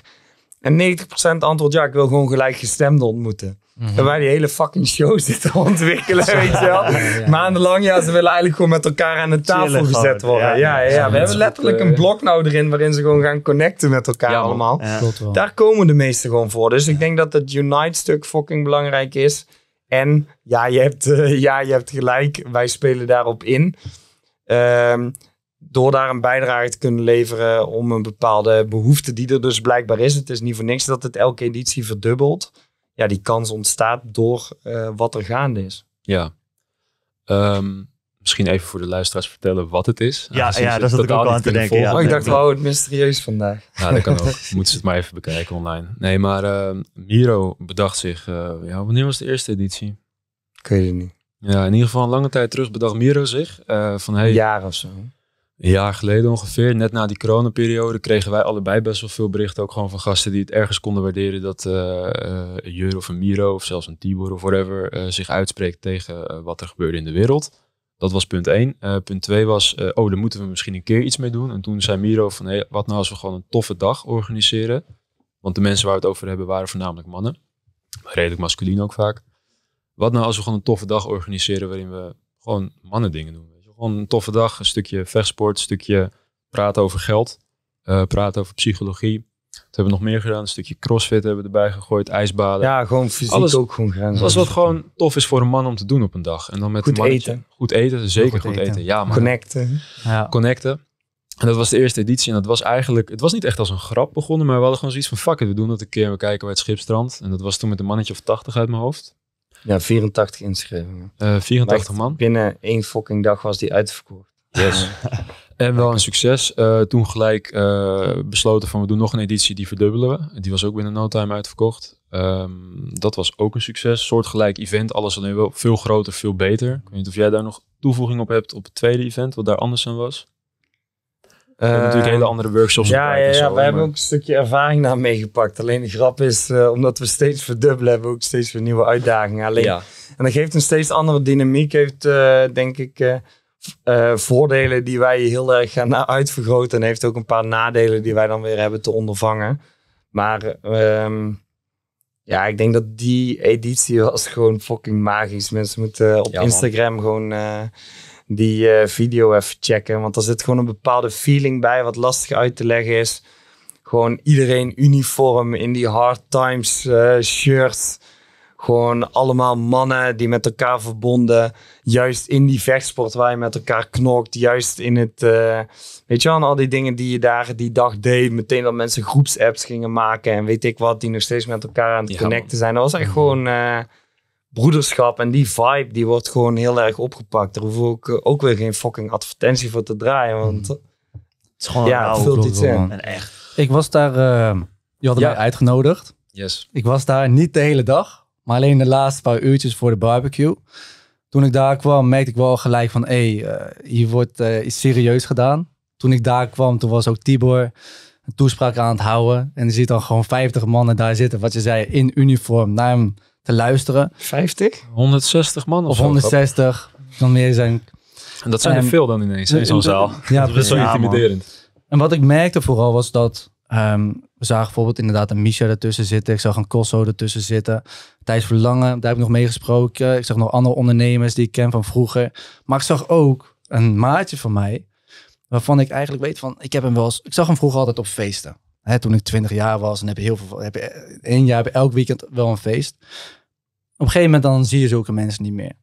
Maar hij is eigenlijk ook helemaal geen persoon dat wat echt een ondernemer is. Hij heeft gewoon zijn eigen opleiding. Hij wordt nu eh, ehm, gymleraar. Maar ik zag hem daar wel. En we hebben toen echt een goed gesprek samen gehad. En daarna heb ik hem nog weer een paar keer gezien. En die dag heeft wel even zijn mind geopend van... hé, wat je zei, van ik zit hier met allemaal mensen die anders nadenken... over de situatie waar we nu in zitten. En vandaag we ook over onderwerpen waar normaal nooit over wordt gesproken. En hij zei ook van luister, dit zorgt er wel voor dat ik anders ga kijken naar de wereld. Want in mijn normale omgeving heb ik helemaal niet zulke gesprekken. Alleen hier. En vervolgens kwam ik hem dus tegen.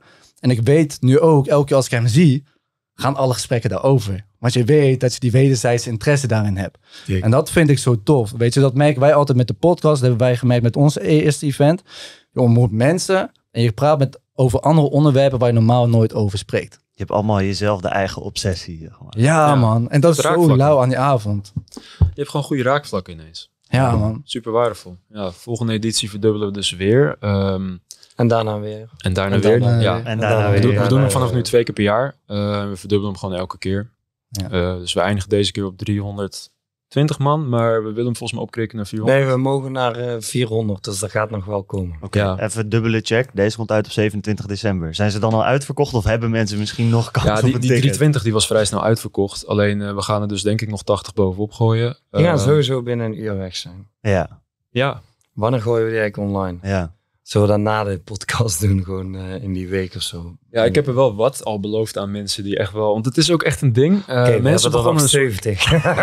het, het begon een soort zwarte handel te worden. Hè? Dus op een gegeven moment was alles uitverkocht. En ja, eh, dat is ook zo'n rare dynamiek bij mensen van die laatste paar tickets. Die bleven heel even hangen voor een dag of zo. En ineens was het uitverkocht. Bah. En dan krijg je nog twintig vragen van, joh, Heb kan ik nog komen? Nee, ja. Ja man, maar echt als, als, een, als, een, als een drugsverslaafde bij van, ja, maar ik moet erbij zijn, weet je wel. Ja, hij fixt het maar met een ander of Mensen zo. proberen ons om te kopen. Ja, ja, ja. zo. voor ons Ja, eigen ja. event. Helemaal lijf. Ze twijfelen gewoon te lang en dan is het verkocht en denken ze, ah shit man. Ja. Gekke FOMO. wel bij zijn. Maar heel eerlijk, ik heb ook gewoon plaatsvervangende FOMO voor de mensen die er niet bij zijn. En het is mijn eigen event, of ons event. Ik had lijpe FOMO, grap. Ik zat op vakantie. Ik dacht, waarom ben ik op vakantie? What the fuck? Ik zou Ja. er gewoon bij willen zijn.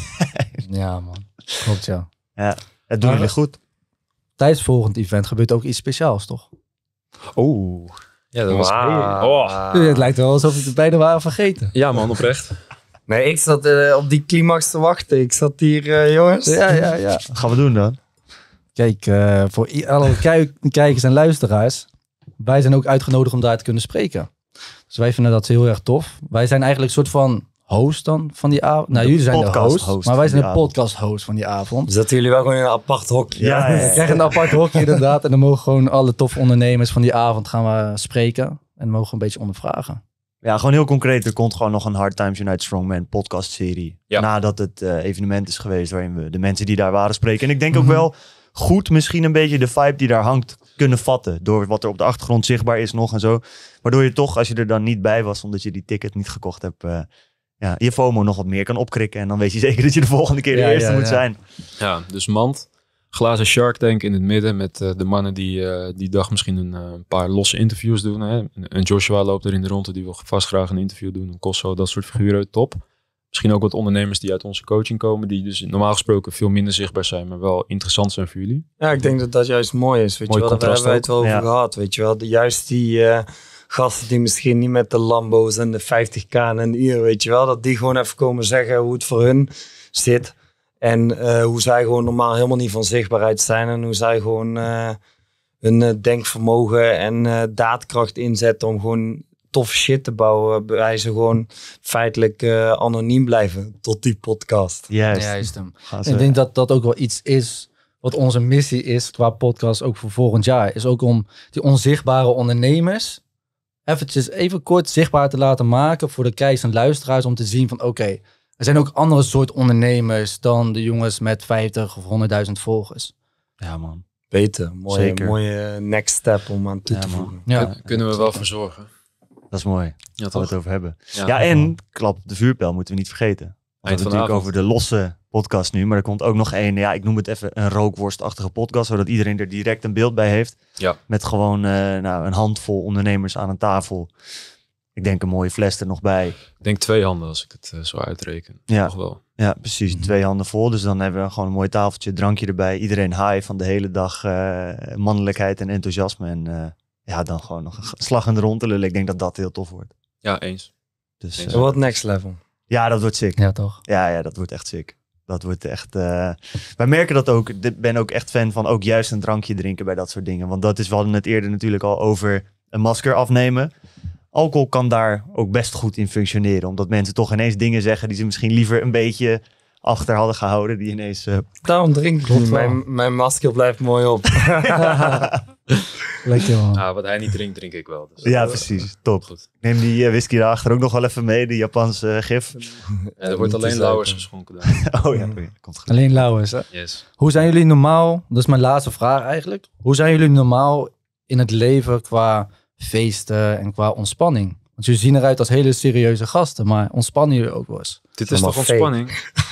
ik, zit hier, ja, ik zit hier een beetje stijf werken, door die scheppen die ik net heb gehad. Van die, eh, van die, ho die hocus pocus drank die we... Ja, ik zit echt een beetje half te trillen. Maar Ja. ehm, nee, ons werk is toch een en al ontspanning. We zitten de hele dag te bellen met ondernemers. We, we hebben een soort nobele, nederige bijdrage aan hun potentiële succes. Dat is toch het mooiste wat er is? En de mensen die zij helpen. Dus ja, Ja, Dus de, de, de soort van generational wealth en impact die zij maken, het feit dat wij er een soort van nederige bijdrage aan kunnen hebben.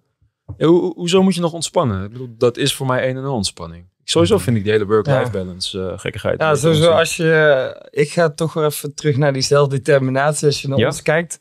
Autonomie, binding, competentie.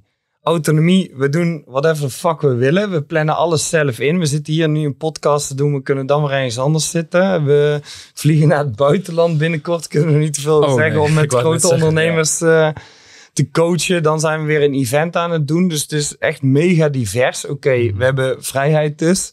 We hebben binding. We spreken met echt mega boeiende mensen met hoge IQ, hoge snelheid, die boeiende shit hebben te vertellen. Daar krijgen we voor betaald. Dat is ook super mooi. En zich ook prima. Ja. Dus, eh, ehm, maar competentie, we zijn constant bezig met ontwikkeling, groei. Letterlijk, ons bedrijf heet Grow, weet je wel. Mhm. Dus eh, eigenlijk als je daarnaar kijkt, hebben we alles wat gelukkig maakt, hebben we al. Dus ehm, wij kunnen fucking amicaal zijn als wij met z'n drieën zijn in business. Maar sowieso met, eh, ook met de rest. Wij kunnen gewoon, we hebben fun eh, heel de tijd. We kunnen naar Spanje vliegen, daar overleggen. En eh, tot heel weinig brainstorms komen. Ja, maar wel En- goede, goede tijd hebben. Ja, even in het licht af en toe. Alleen bijvoorbeeld voor mij geldt wel... Ik kan me echt te erg naar de kloten zuipen. En dan denk je ervan nog, yo, was het niet waard? En eh, wat fuck heb ik nu weer allemaal gedaan? Dus ik heb nou wel eens een periode dat ik zeg van... Yo, ik ga drie maanden helemaal niet drinken. Eh zullen we even op de podcast zeggen dat wij een wedstrijd tegen elkaar gaan knokken? Ja, moeten we wel nu. Ja, zo Nee. ja, Ja, man. ja, Maar eh, bij Hard Times eh, 5.0 gaan we tegen elkaar eh, knokken in de kooi. Dus ik ga sowieso meer dedicated zijn. Dus ik overweeg nog een jaar erachteraan te plakken met geen alcohol. Maar normaal, heel eerlijk, wij hebben ook gewoon, eh, om die openheid te geven, tenminste ik... Ik heb alles gezien, eh, alle duisternis, al het licht in het leven, weet je wel. Festivals, feesten. En nu kies ik een andere focus, want we hebben alles al om eh, gelukkig te zijn. Oké. En dan stel ik nog één vraag dieper. Ik merk namelijk als ik altijd aan het ondernemen ben, dat ik ook bijvoorbeeld met een podcast, ik vind het super tof om te doen, het kost me energie. Wat jullie ook al zeiden, bijvoorbeeld Miro, jij kan presenteren en je krijgt alleen maar energie ervan. Hoe zorg je dan voor de energiebalans? Dus niet work-life balance, fuck die shit. Ik geloof daar inderdaad ook niet in. Hoe zorg je dan voor die energiebalans dat je continu kan presteren zonder dat je zeg maar uitgeput raakt daarin? Nou ja, kiezen voor eh, een type business of een, desnoods een baan als je in loondienst bent, waar je dus energie van krijgt. Hè. Dus als iets aanvoelt als, als een hobby, ja, dan, dan win je het altijd van de concurrentie die het wel ziet als werk. Ja, Dus- dus dat plus leefstijl. Ja, dat ook. Hè. Zorg dat je fatsoenlijk eet, fatsoenlijk traint. Eh, dat zou elke man van onze leeftijd sowieso moeten doen. Überhaupt elke man, ongeacht je leeftijd. Dat heeft er ook een goede bijdrage aan. stukje mentale scherpte constant op, eh, op bijsturen. Dus zorg ook gewoon dat je af en toe een keer fatsoenlijk mediteert en een keertje zelfreflectie toepast. Voer een keer een gesprek met een guy die jou eh, wijst op jouw blinde vlekken. Neem coaching. Neem coaching, maar niet bij ons. wij zijn voor. Bij wie, dat moet je dan zelf maar even gaan uitvogelen. Dat, Kijk eh, maar even wat je doet. Ja, nee, je kunt, je, kunt, je kunt kijken of wij nog een plekje hebben. Maar eh, ja, voor nu niet. Maar eh komt dan nog wel. Ik weet niet of Martin überhaupt nog aanneemt. Maar Nee, in ieder geval, dat was de reclame. Ja, ja, prima. Hey, man, ik heb twee onderwerpen die ik nog even wil aanhalen. En eentje, dat is een vraag die wij heel veel krijgen, waar ik nu misschien hopelijk wel meer antwoord op kan geven. Namelijk, heel veel mensen die ons volgen zeggen, ja, hoe vind ik een goede businesspartner, een lotgenoot? Iemand met wie ik zaken kan gaan doen. Want ik heb eerder wel bedrijven gehad met vrienden en dat werkte dan niet. En waarom? Ja, staat daar allebei anders in. Het gaat weer uit elkaar. Toen vond ik hem en dat eh, werkt echt heel goed. Yin-yang, je, je, je vult elkaar aan waar nodig en je remt elkaar waar nodig als ik dan dit zie, denk ik, hey, misschien is er toch wetenschappelijk wel iets te vinden, waardoor ik kan zeggen of iemand wel of niet een goede businesspartner voor mij is. Kan dit daarin een handleiding geven? Onder andere. Ik denk ook dat de toon eh, belangrijk is. Waren jullie al bevriend met elkaar toen jullie elkaar leerden kennen? Of heeft het een soort Ehm, zakelijke Hoe bedoel je? Nee, nee, het was ehm, zijn. Oh, sorry, ik, stelde de vraag ook verkeerd. Eh, toen jullie samen gingen werken, waren jullie toen al bevriend met elkaar? Ja, ja, ja. Oké, dat vind ik wel een bijzondere, want over het algemeen zie ik wel bij klanten eh, dat als de, de toon zakelijk is en je wordt dan een soort van zakelijk bevriend, zoals wij dus zijn, eh pakt dat over het algemeen iets beter uit, mits profielen ook met elkaar matchen en 26 andere factoren natuurlijk daarop aansluiten. Dat vind ik wel een hele interessant om te benoemen. ja. We hebben wel een soort van, ehm, altijd wel een soort van werkrelatie gehad ook. Vaak. Kijk, we hebben in het begin zijn we wel gewoon gaan chillen, maar we hebben ook een hele lange tijd voor onze, onze ondernemerscarrière hadden we dezelfde baantjes. Weet je, Mm. deden we allebei beveiligerswerk of gingen we allebei bij een bepaald restaurant werken. Dat hebben we ook nog gewoon een jaar gedaan. Dus dat was ook een tijdje onze relatie. Ja, klopt. Op die manier wel. Ja. Heb jij de aanvulling op? Mm, ja, ik vind, kijk, je kan wel zeggen van oké, ehm, het profiel zoeken wat bij je past, maar er is veel meer van invloed. Dus het is ook wel niet zo'n betrouwbare horoscoop dat ik kan zeggen, oh, deze profielen matchen we even. Of het is een interessant businessmodel, maar dan is die heel complex. Ja. Ehm, ja, als je echt een ondernemer bent, begin voor jezelf. Ehm, een factor die we ook nog niet besproken hebben vandaag in het leven is ook geluk. Ja, het bestaat. Je hebt er alleen niks aan om het eh, mee te rekenen, omdat er eh, niks doet aan hetgene wat jij zelf voor invloed hebt. Eh, dus geluk. En daarna goed testen. Als je dan denkt, hey, misschien is het dat. Dan zou ik die dingen gaan toepassen en kijken van, hey, is het echt een daadwerkelijke match? Ja, moet ik er nog iets aan de praktijk aan toevoegen? Kom op de juiste plekken, weet je wel. Ehm, ja, evenement heel flauw, maar gewoon er zijn ook heel veel andere plekken waar gewoon veel ondernemers komen, gemeenschappelijke van die openbare werkplekken, weet ik het, dat je daar met eh, mensen connect of eh, netwerkevents. Eh, andere plekken waar je gewoon gelijkgestemden kan ont- ontmoeten, weet je wel. Ik Ja. denk dat je daar nog wel creatiever nog meer opties voor kunt vinden. Maar je hebt ook voortaan online. Je kan iedereen vinden online. Dus als je echt die ene partner vindt die perfect bij jou past of die echt dezelfde unieke profiel of iets heeft, net zoals jij, dan kun je ook online gaan zoeken. Ja. En ja, precies dat stukje wat jij zegt, ook geluk, is denk ik ook, ga gewoon gas geven. Als jij denkt met een vriend van, hey, ik wil dit misschien doen, ga dan niet drie weken lang twijfelen of het dan wel een goede match is. Ga het gewoon doen, werkt het niet, fuck it, skip het weer. In ieder geval, dat merk ik vaak. Zeker bij mensen die net beginnen met ondernemers, willen altijd alles helemaal uitdenken. Ja, ga het gewoon maar doen. En je ziet wel waar het schip strandt. Eens. Wat misschien nog een interessante aanvulling erop is, is als iets werkt in een beginstadium, wil niet, werken, wil niet zeggen dat het werkt in een later stadium. Dus jullie zitten bijvoorbeeld in een interessante fase qua bedrijf. Hè? Dus nu eh, wordt er wat geld verdiend links en rechts, top. Eh, op de manier zoals het nu gaat, zou je misschien alvast het gedachte-experiment willen uitvoeren van hey, ik vind het nu top gaan op deze manier, maar stel je voor de, de winst gaat straks keer 10 of keer 20, vinden we het dan nog steeds prima met eh, de hoeveelheid geld die van handen wisselt op een bepaalde verdeelsleutel met bepaalde werkzaamheden die jullie nu doen. Oh, mijn geluid viel even weg. Ja, maar, ja, maar dat is heel raar. Soms doet hij dat eventjes. Ehm, dat is sowieso iets waar je bij wil stilstaan. En eh, het tempo waarin jullie je eh, separaat van elkaar ontwikkelen, is ook wel een hele waardevolle om over na te denken. Hè? Dus pak een deel gezamenlijk op en eh, reflecteer ook op elkaar van, hey, gaat dit goed zo? Hè? Ja. Eh, het is goed om ergens een soort competitiveness te hebben, die hebben wij ook. Dat is ook waarom we tegen elkaar gaan knokken. Eh, maar ergens knokken we ook wel ergens een beetje intellectueel met elkaar op eh, frequente basis. En als een van de twee te hard gaat, wil niet zeggen dat de ander afgeremd moet worden. Of dat degene die het hardst gaat afgeremd moet worden. Maar dan moet de ander gewoon het beter zijn best gaan doen. Ja. Ja. en je kunt elkaar aanvullen. Dus, eh, Zeker. En ook die manier van aanvullen, die kan zich ook ontwikkelen. Dus ehm, ja, ik heb even niet een concreet voorbeeld, maar ik denk dat het vrij makkelijk is in te vullen. Stel, ik ga een bepaalde kant op, weet je wel, Jur gaat een bepaalde kant op, of Martin. Weet je wel, dan kunnen we ook kijken, hey, eh, we staan nu hier in de volgende fase, komende kwartaaldoel. Hoe kan iedereen zorgen dat zijn kwaliteiten optimaal tot zijn recht komen? Oké, en ook kwaliteiten ontwikkelen of alleen de kwaliteiten die je al hebt? Ja, allebei. Het is complementair aan elkaar, denk ik. En Ja, als en- je, mm.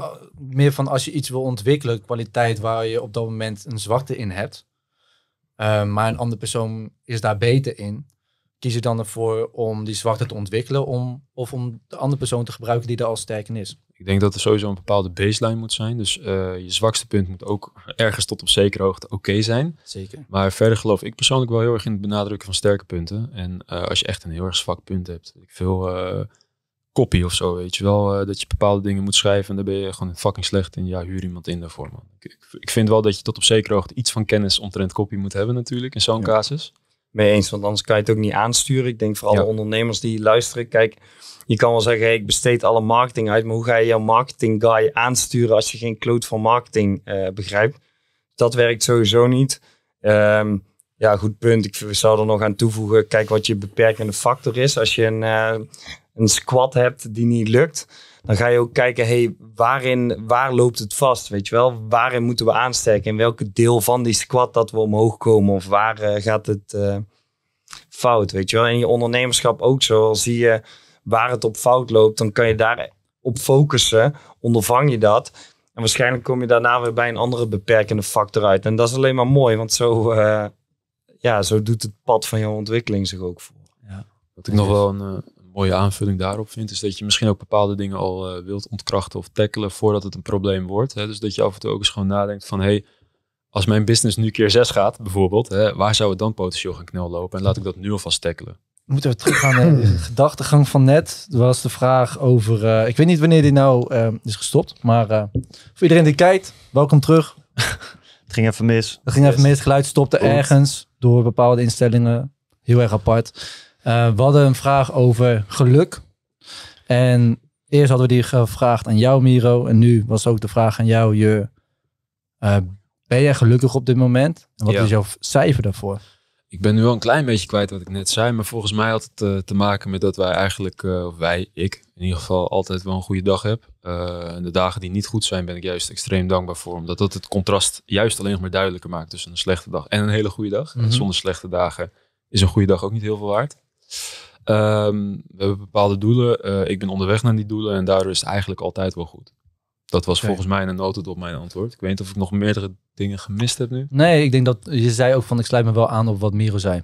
En Miro, jij had het uh, ja. uitgelegd in een paar minuten, dus dat sluit er wel goed op aan. Heb je eigenlijk, hebben jullie ooit moeite gehad met die zoektocht naar geluk? Want ik heb dat dan weer wel gehad. Ik heb natuurlijk, ik ben, uh, ik had vaak moeite met dat soort dingen. Dus dan zei ze, voel je je gelukkig? En dan ging ik dat op heel veel momenten denken. En dacht ik, nee, nu niet, nu niet. En dan, ja, nu wel. Maar daarna weer heel vaak niet. Toen hoorde ik ergens in een podcast een keer van een fout die heel veel mensen maken. Of in ieder geval een denkfout die veel gemaakt wordt bij geluk. Is dat mensen op zoek gaan naar continu geluk. En dat als we dat niet hebben, dat ze dan ongeluk ervaren. Omdat ze denken, ja, ik ben niet, heel vaak niet gelukkig. Hedonistisch geluk. Zoals ja, precies. Hoe? En, hedonistisch. Oh, hedonistisch, wat je net zei, ja. En toen besefte ik me ook ineens, oh ja, ik heb eigenlijk heel veel gewoon neutraal ben niet gelukkig, ben niet ongelukkig, ben gewoon bezig met werk bijvoorbeeld. ben gewoon neutraal eronder. En dan gebeurt er wat leuks, kan ergens om lachen, dan ben ik heel gelukkig. En als die momenten er vaak genoeg zijn, dan ben ik zeg maar, mijn throughline is gelukkig. Dat was voor mij echt een soort van openbaring. Dat ik dacht, oh shit, ben eigenlijk wel gelukkig. Oké. Ja, heel veel mensen snappen ook zingeving niet. Hè? Dus je geeft letterlijk zelf zin aan iets. Heel veel mensen denken echt super ingewikkeld erover. Maar als jij het uh, super vet vindt om, weet ik veel, hovenier te worden, zodat je lekker de hele dag kan tuinieren. En dat is voor jou het meest waardevolle wat er is, omdat je dat super tof vindt, ja, dat is jouw zingeving op zo'n moment. Ja, en die hovenier gelooft waarschijnlijk dat hij de wereld een mooiere plek maakt voor mensen om in te leven, omdat mensen in die tuin komen en dat ze daardoor meer kwaliteit van leven met hun familie kunnen uh, hebben. Dus hè, die betekenis eraan. Ja. ja. Dat is zingeving. Ja, dat en dat kan, ja, dat kan ook de vuilnisman zijn die ziet van, hey, zonder mij zou de wereld een puinhoop worden. Ja. Ja. Hey, ik heb nog dan een echt laatste onderwerp dat ik wil aansnijden. En dan nu echt, want daar ben ik wel benieuwd naar. Jullie hebben allebei ergens wel ooit een kinderwens, toch? Als in jullie zouden later een gezin willen met kids. Niet ja. nu, maar ooit. Hoe kijken jullie naar het opvoeden van kinderen? Van, hebben jullie daar wel eens over nagedacht? Want ik denk daar soms over na. Ik ben al zeven jaar met mijn vriendin samen, dus dan heb je het wel eens over dat soort dingen. En dan denk ik van ja, ik zou daar een soort van studie van willen maken voordat ik een kind neem. Van hoe doe ik dat nou goed? Want je kan iemand echt makkelijk opfokken als je gewoon een bepaalde dingen niet goed doet. Eens. Ik heb daar een paar dingen over. Ik denk sowieso dat het uh, voor, een, voor een man heel anders is dan voor een vrouw. Ik denk dat een vrouw uh, praktisch 24-7 aanwezig moet zijn in het uh, leven van een kind, zeker in het beginstadium. Ik denk dat het bij een man niet gaat om kwantiteit, wel om kwaliteit. Hè. Dus een man kan misschien met effectief een aantal uren in de week al heel, een heel eind komen. Dit was mijn aanname, die heb ik vaak ook gepeld bij klanten van mij die kinderen hebben. Mannelijke klanten en die zeggen ook van ja, zo ervaar ik dat ook op dit moment. Dat vind ik heel belangrijk om te parkeren. Ehm, hoe ik hem zelf zie is, uh, ja, ik wil zeker kinderen en ik denk er ook veel over na. Ook als in op wat voor manier ga ik ze opvoeden. Ik ben daar nog niet helemaal over uit. Ik weet alleen wel dat ze niet in het uh, reguliere schoolsysteem gaan uh, terechtkomen. Hè? Want ik wil niet dat zij op jonge leeftijd te maken krijgen met een, een, leraar die zegt van ja, maar Pietje die voelt zich vandaag een aubergine, dus je moet hem met het aanspreken. Ja, tief op, dat ga ik echt niet aan mijn kinderen blootstellen. En hoe, hoe doe je dat dan? Zeg maar van, heb je dan een, een niet-aubergine school? Of? ja, nou ja, uh, ik, ik vind, daar moet ik dus echt wel uh, Tibor iets in, in, nageven. Wat hij doet met de nieuwe lichting is wel echt, echt iets waar ik 100% achter sta. Ja. Eh, en ik denk dat er nog veel meer alternatieven uit de grond gaan komen. Plus, eh, als je geld genoeg hebt, is dat ook gewoon een optie. En dan wordt het gewoon een privéschool voor dat kind. Ja. Prima. Ja. Alles beter dan eh, wat nu eh, in de wereld eh, Ja. plaatsvindt. Oké. Cool. Dat is mijn visie in ieder geval. En jij, Miro? Ja, ik heb sowieso al eh, hardcore opvattingen daarover dat ehm, ehm, in ieder geval het reden tot onderzoek is als je geen kinderen wil, omdat eh, je biologie eh, ingeeft dat je kinderen maakt. Anders had die hele evolutietheorie ook niet gewerkt. Dus je wil jezelf afvragen hoe negatief denk je over de toekomst van de wereld als je geen kinderen wil. Hè? Dus dat is een, daar kunnen we een hele podcast over wijden over dat onderwerp.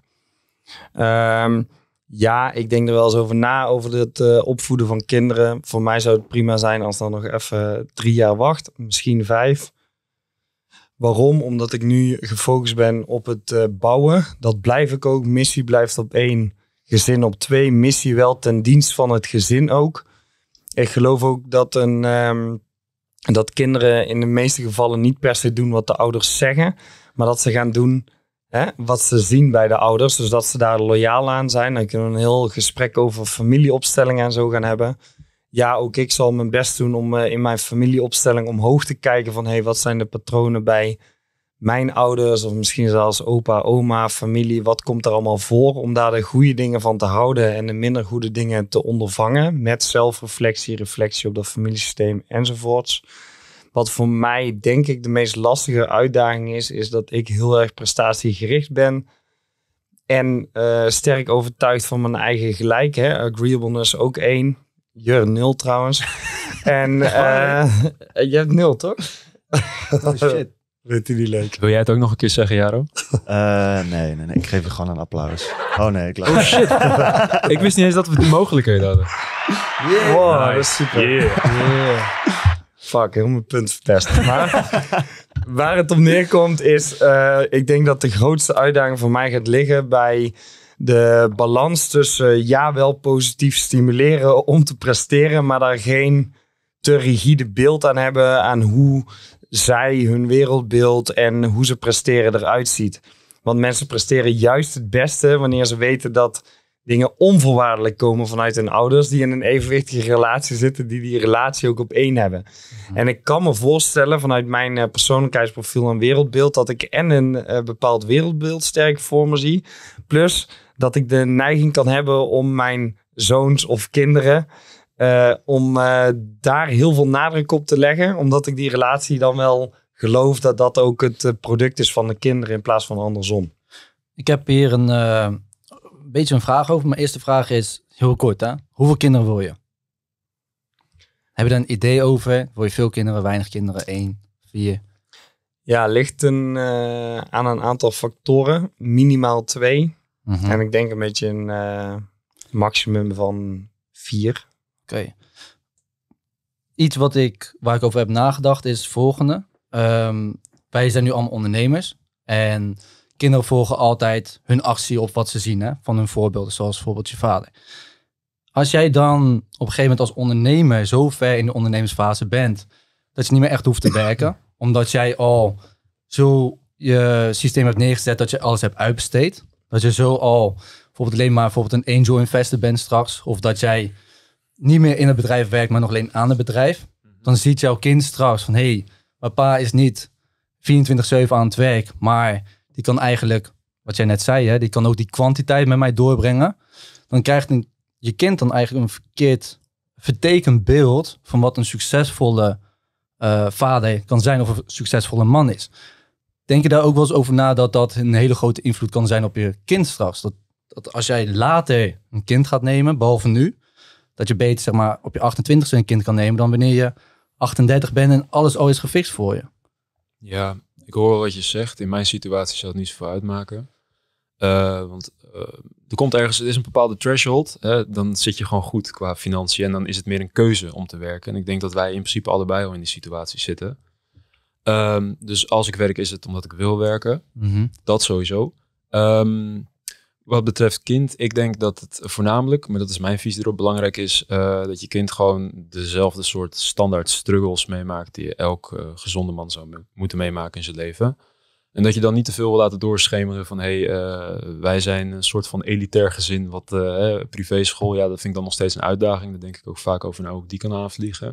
Maar in ieder geval niet in een kast van een huis per se wonen en dat allemaal maar normaliseren alsof het niks is. Weet je wel? Dat, dat zijn al dingen, daar denk ik vaak over na van hoe, je, hoe kun je dat het beste tackelen. Ik denk dat wij ons geen zorgen hoeven te maken dat ze sowieso al een beetje daddy issues krijgen. Dus. ja, ja, dat sowieso. Die, die drive gaat wel goed zitten. Zij gaat sowieso bewijsdrang krijgen. Want dat vind ik ook inderdaad wel daarop voortbedurend. Van, je hebt het over een uh, Range Rover van anderhalf ton. Als dat de auto is waarmee je kind altijd rondgereden wordt. Ja. Mhm. Dat creëert al een beeld van dat hij daarna bij een vriendje gaat die in de auto kijkt. Van fuck, met deze kleine Citroën dan... Uh, ja, dat wordt dus een, een, Range Rover en de Toyota ernaast. Ja, precies. Ja. ja. en dan kun je gewoon kiezen. En dat wordt dus een groot landhuis waar je misschien in het weekend bent. En dus die Toyota, die vier Toyota's naast die Range Rover compenseren voor die range, wil je zeggen?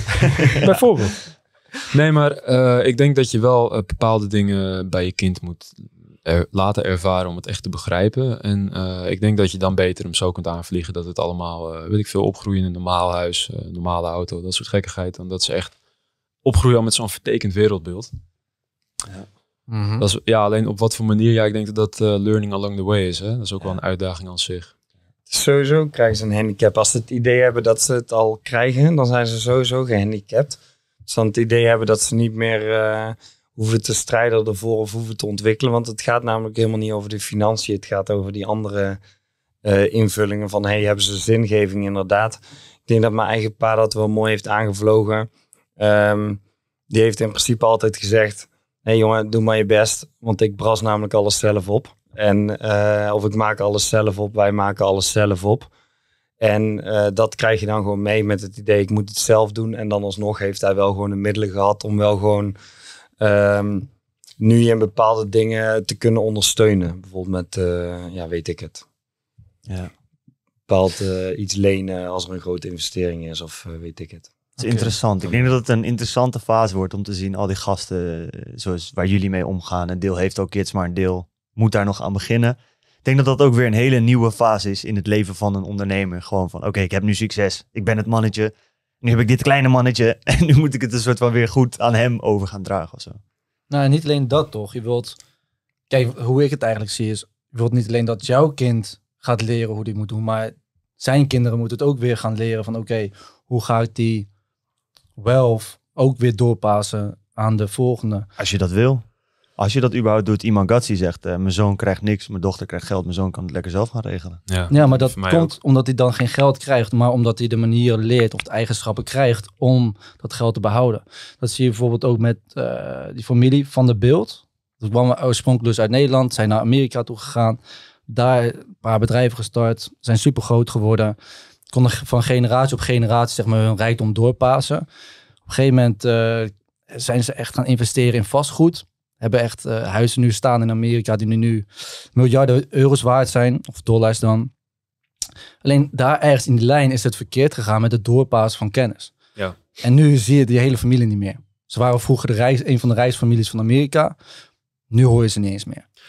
Ik denk niet dat het per se gaat alleen om het doorpassen van kennis. Uh, ik denk dat het uh, gaat om het laten ervaren van gewoon kutperiodes. Hè? Dus dat, het stukje karakter creëren en een stukje werkethiek creëren, dat, dat is geen kennis. Dat is iets mhm. wat je moet ervaren.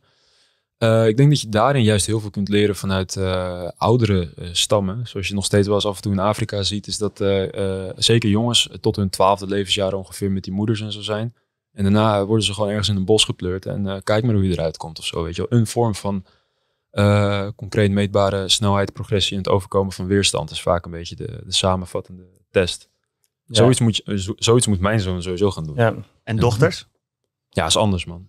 Ja, ja ik geloof sowieso, als je kijkt naar uh, psychologie daarin, als ik uh, bij de hand met een term mag gaan uh, smijten, de symbiotische toevoeging, dus veiligheid, liefde enzovoorts, die levensbehoeftes, wat het eigenlijk zijn als je een babytje hebt, ja, die mag krijsen en die geef je eten. Ja, that's simple, 100% ga je, ga je daar gewoon op in.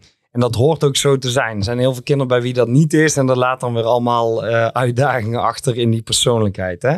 Die positief of niet kunnen uitpakken. Je wil eigenlijk zien dat die symbiotische toevoeging uh, redelijk lineair afneemt. Dus tot het achttiende of misschien wel iets later, dat die bijna tot nul afneemt. En dat er een bepaalde mate misschien dat je nog terug kan vallen op je ouders.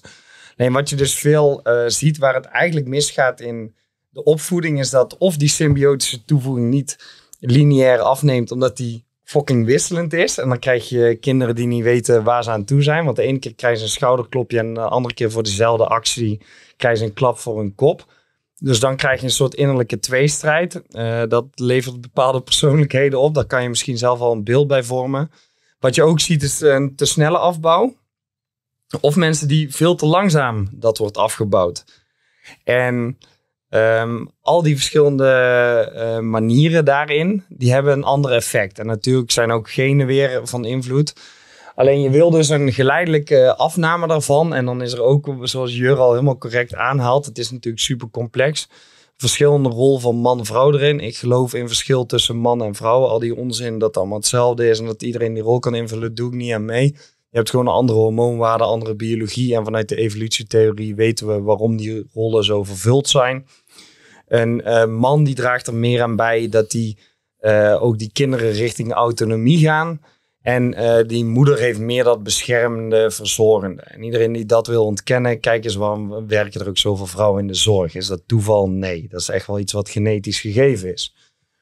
Dus ja, er zijn andere rollen in. En wat Jur eigenlijk hier al heel duidelijk doet, zegt... Ja, mijn zoon, wel degelijk autonomie, die gaat de jungle in als hij 12 is. Weet je wel, dan zie je dat hij die rol super mooi oppakt. Dat hij degene is dat al wordt mijn kind, mijn zoon te veel vertroeteld, dan trap ik hem de jungle in. Dat is echt mm. fucking masculien. Maar dat is waarschijnlijk wat die zoon nodig heeft. Ja. Dus uh, die rollen daarin zijn ook nog anders. En zelfs per persoon, de behoefte kan ook weer anders zijn. Hè? Dus de ene kan weer een langzamere afbouw van symbiotische toevoeging nodig hebben of sneller. Um, ja, de kans is dat die, uh, die, die boys van Jur, die ja, gewoon een genenpakket hebben, die moeten ook de fucking jungle in, weet je wel. Dus, dus waarschijnlijk is dat, die aanpak ook passend. Terwijl van iemand met een enigszins meer uh, hoog agreeable uh, doetje genenpakket en een matige levensstijl, laag testosteron. Ja, trap je die de jungle en dan wordt die opgevreten. Ja. Ja. Sterk. Interessant. Zeker. Maar leuke toevoeging daaraan is nog, de vader die hoog in de agreeableness is, zal zijn kind de jungle niet insturen. Dus ergens is het cirkeltje al rond dan, snap je?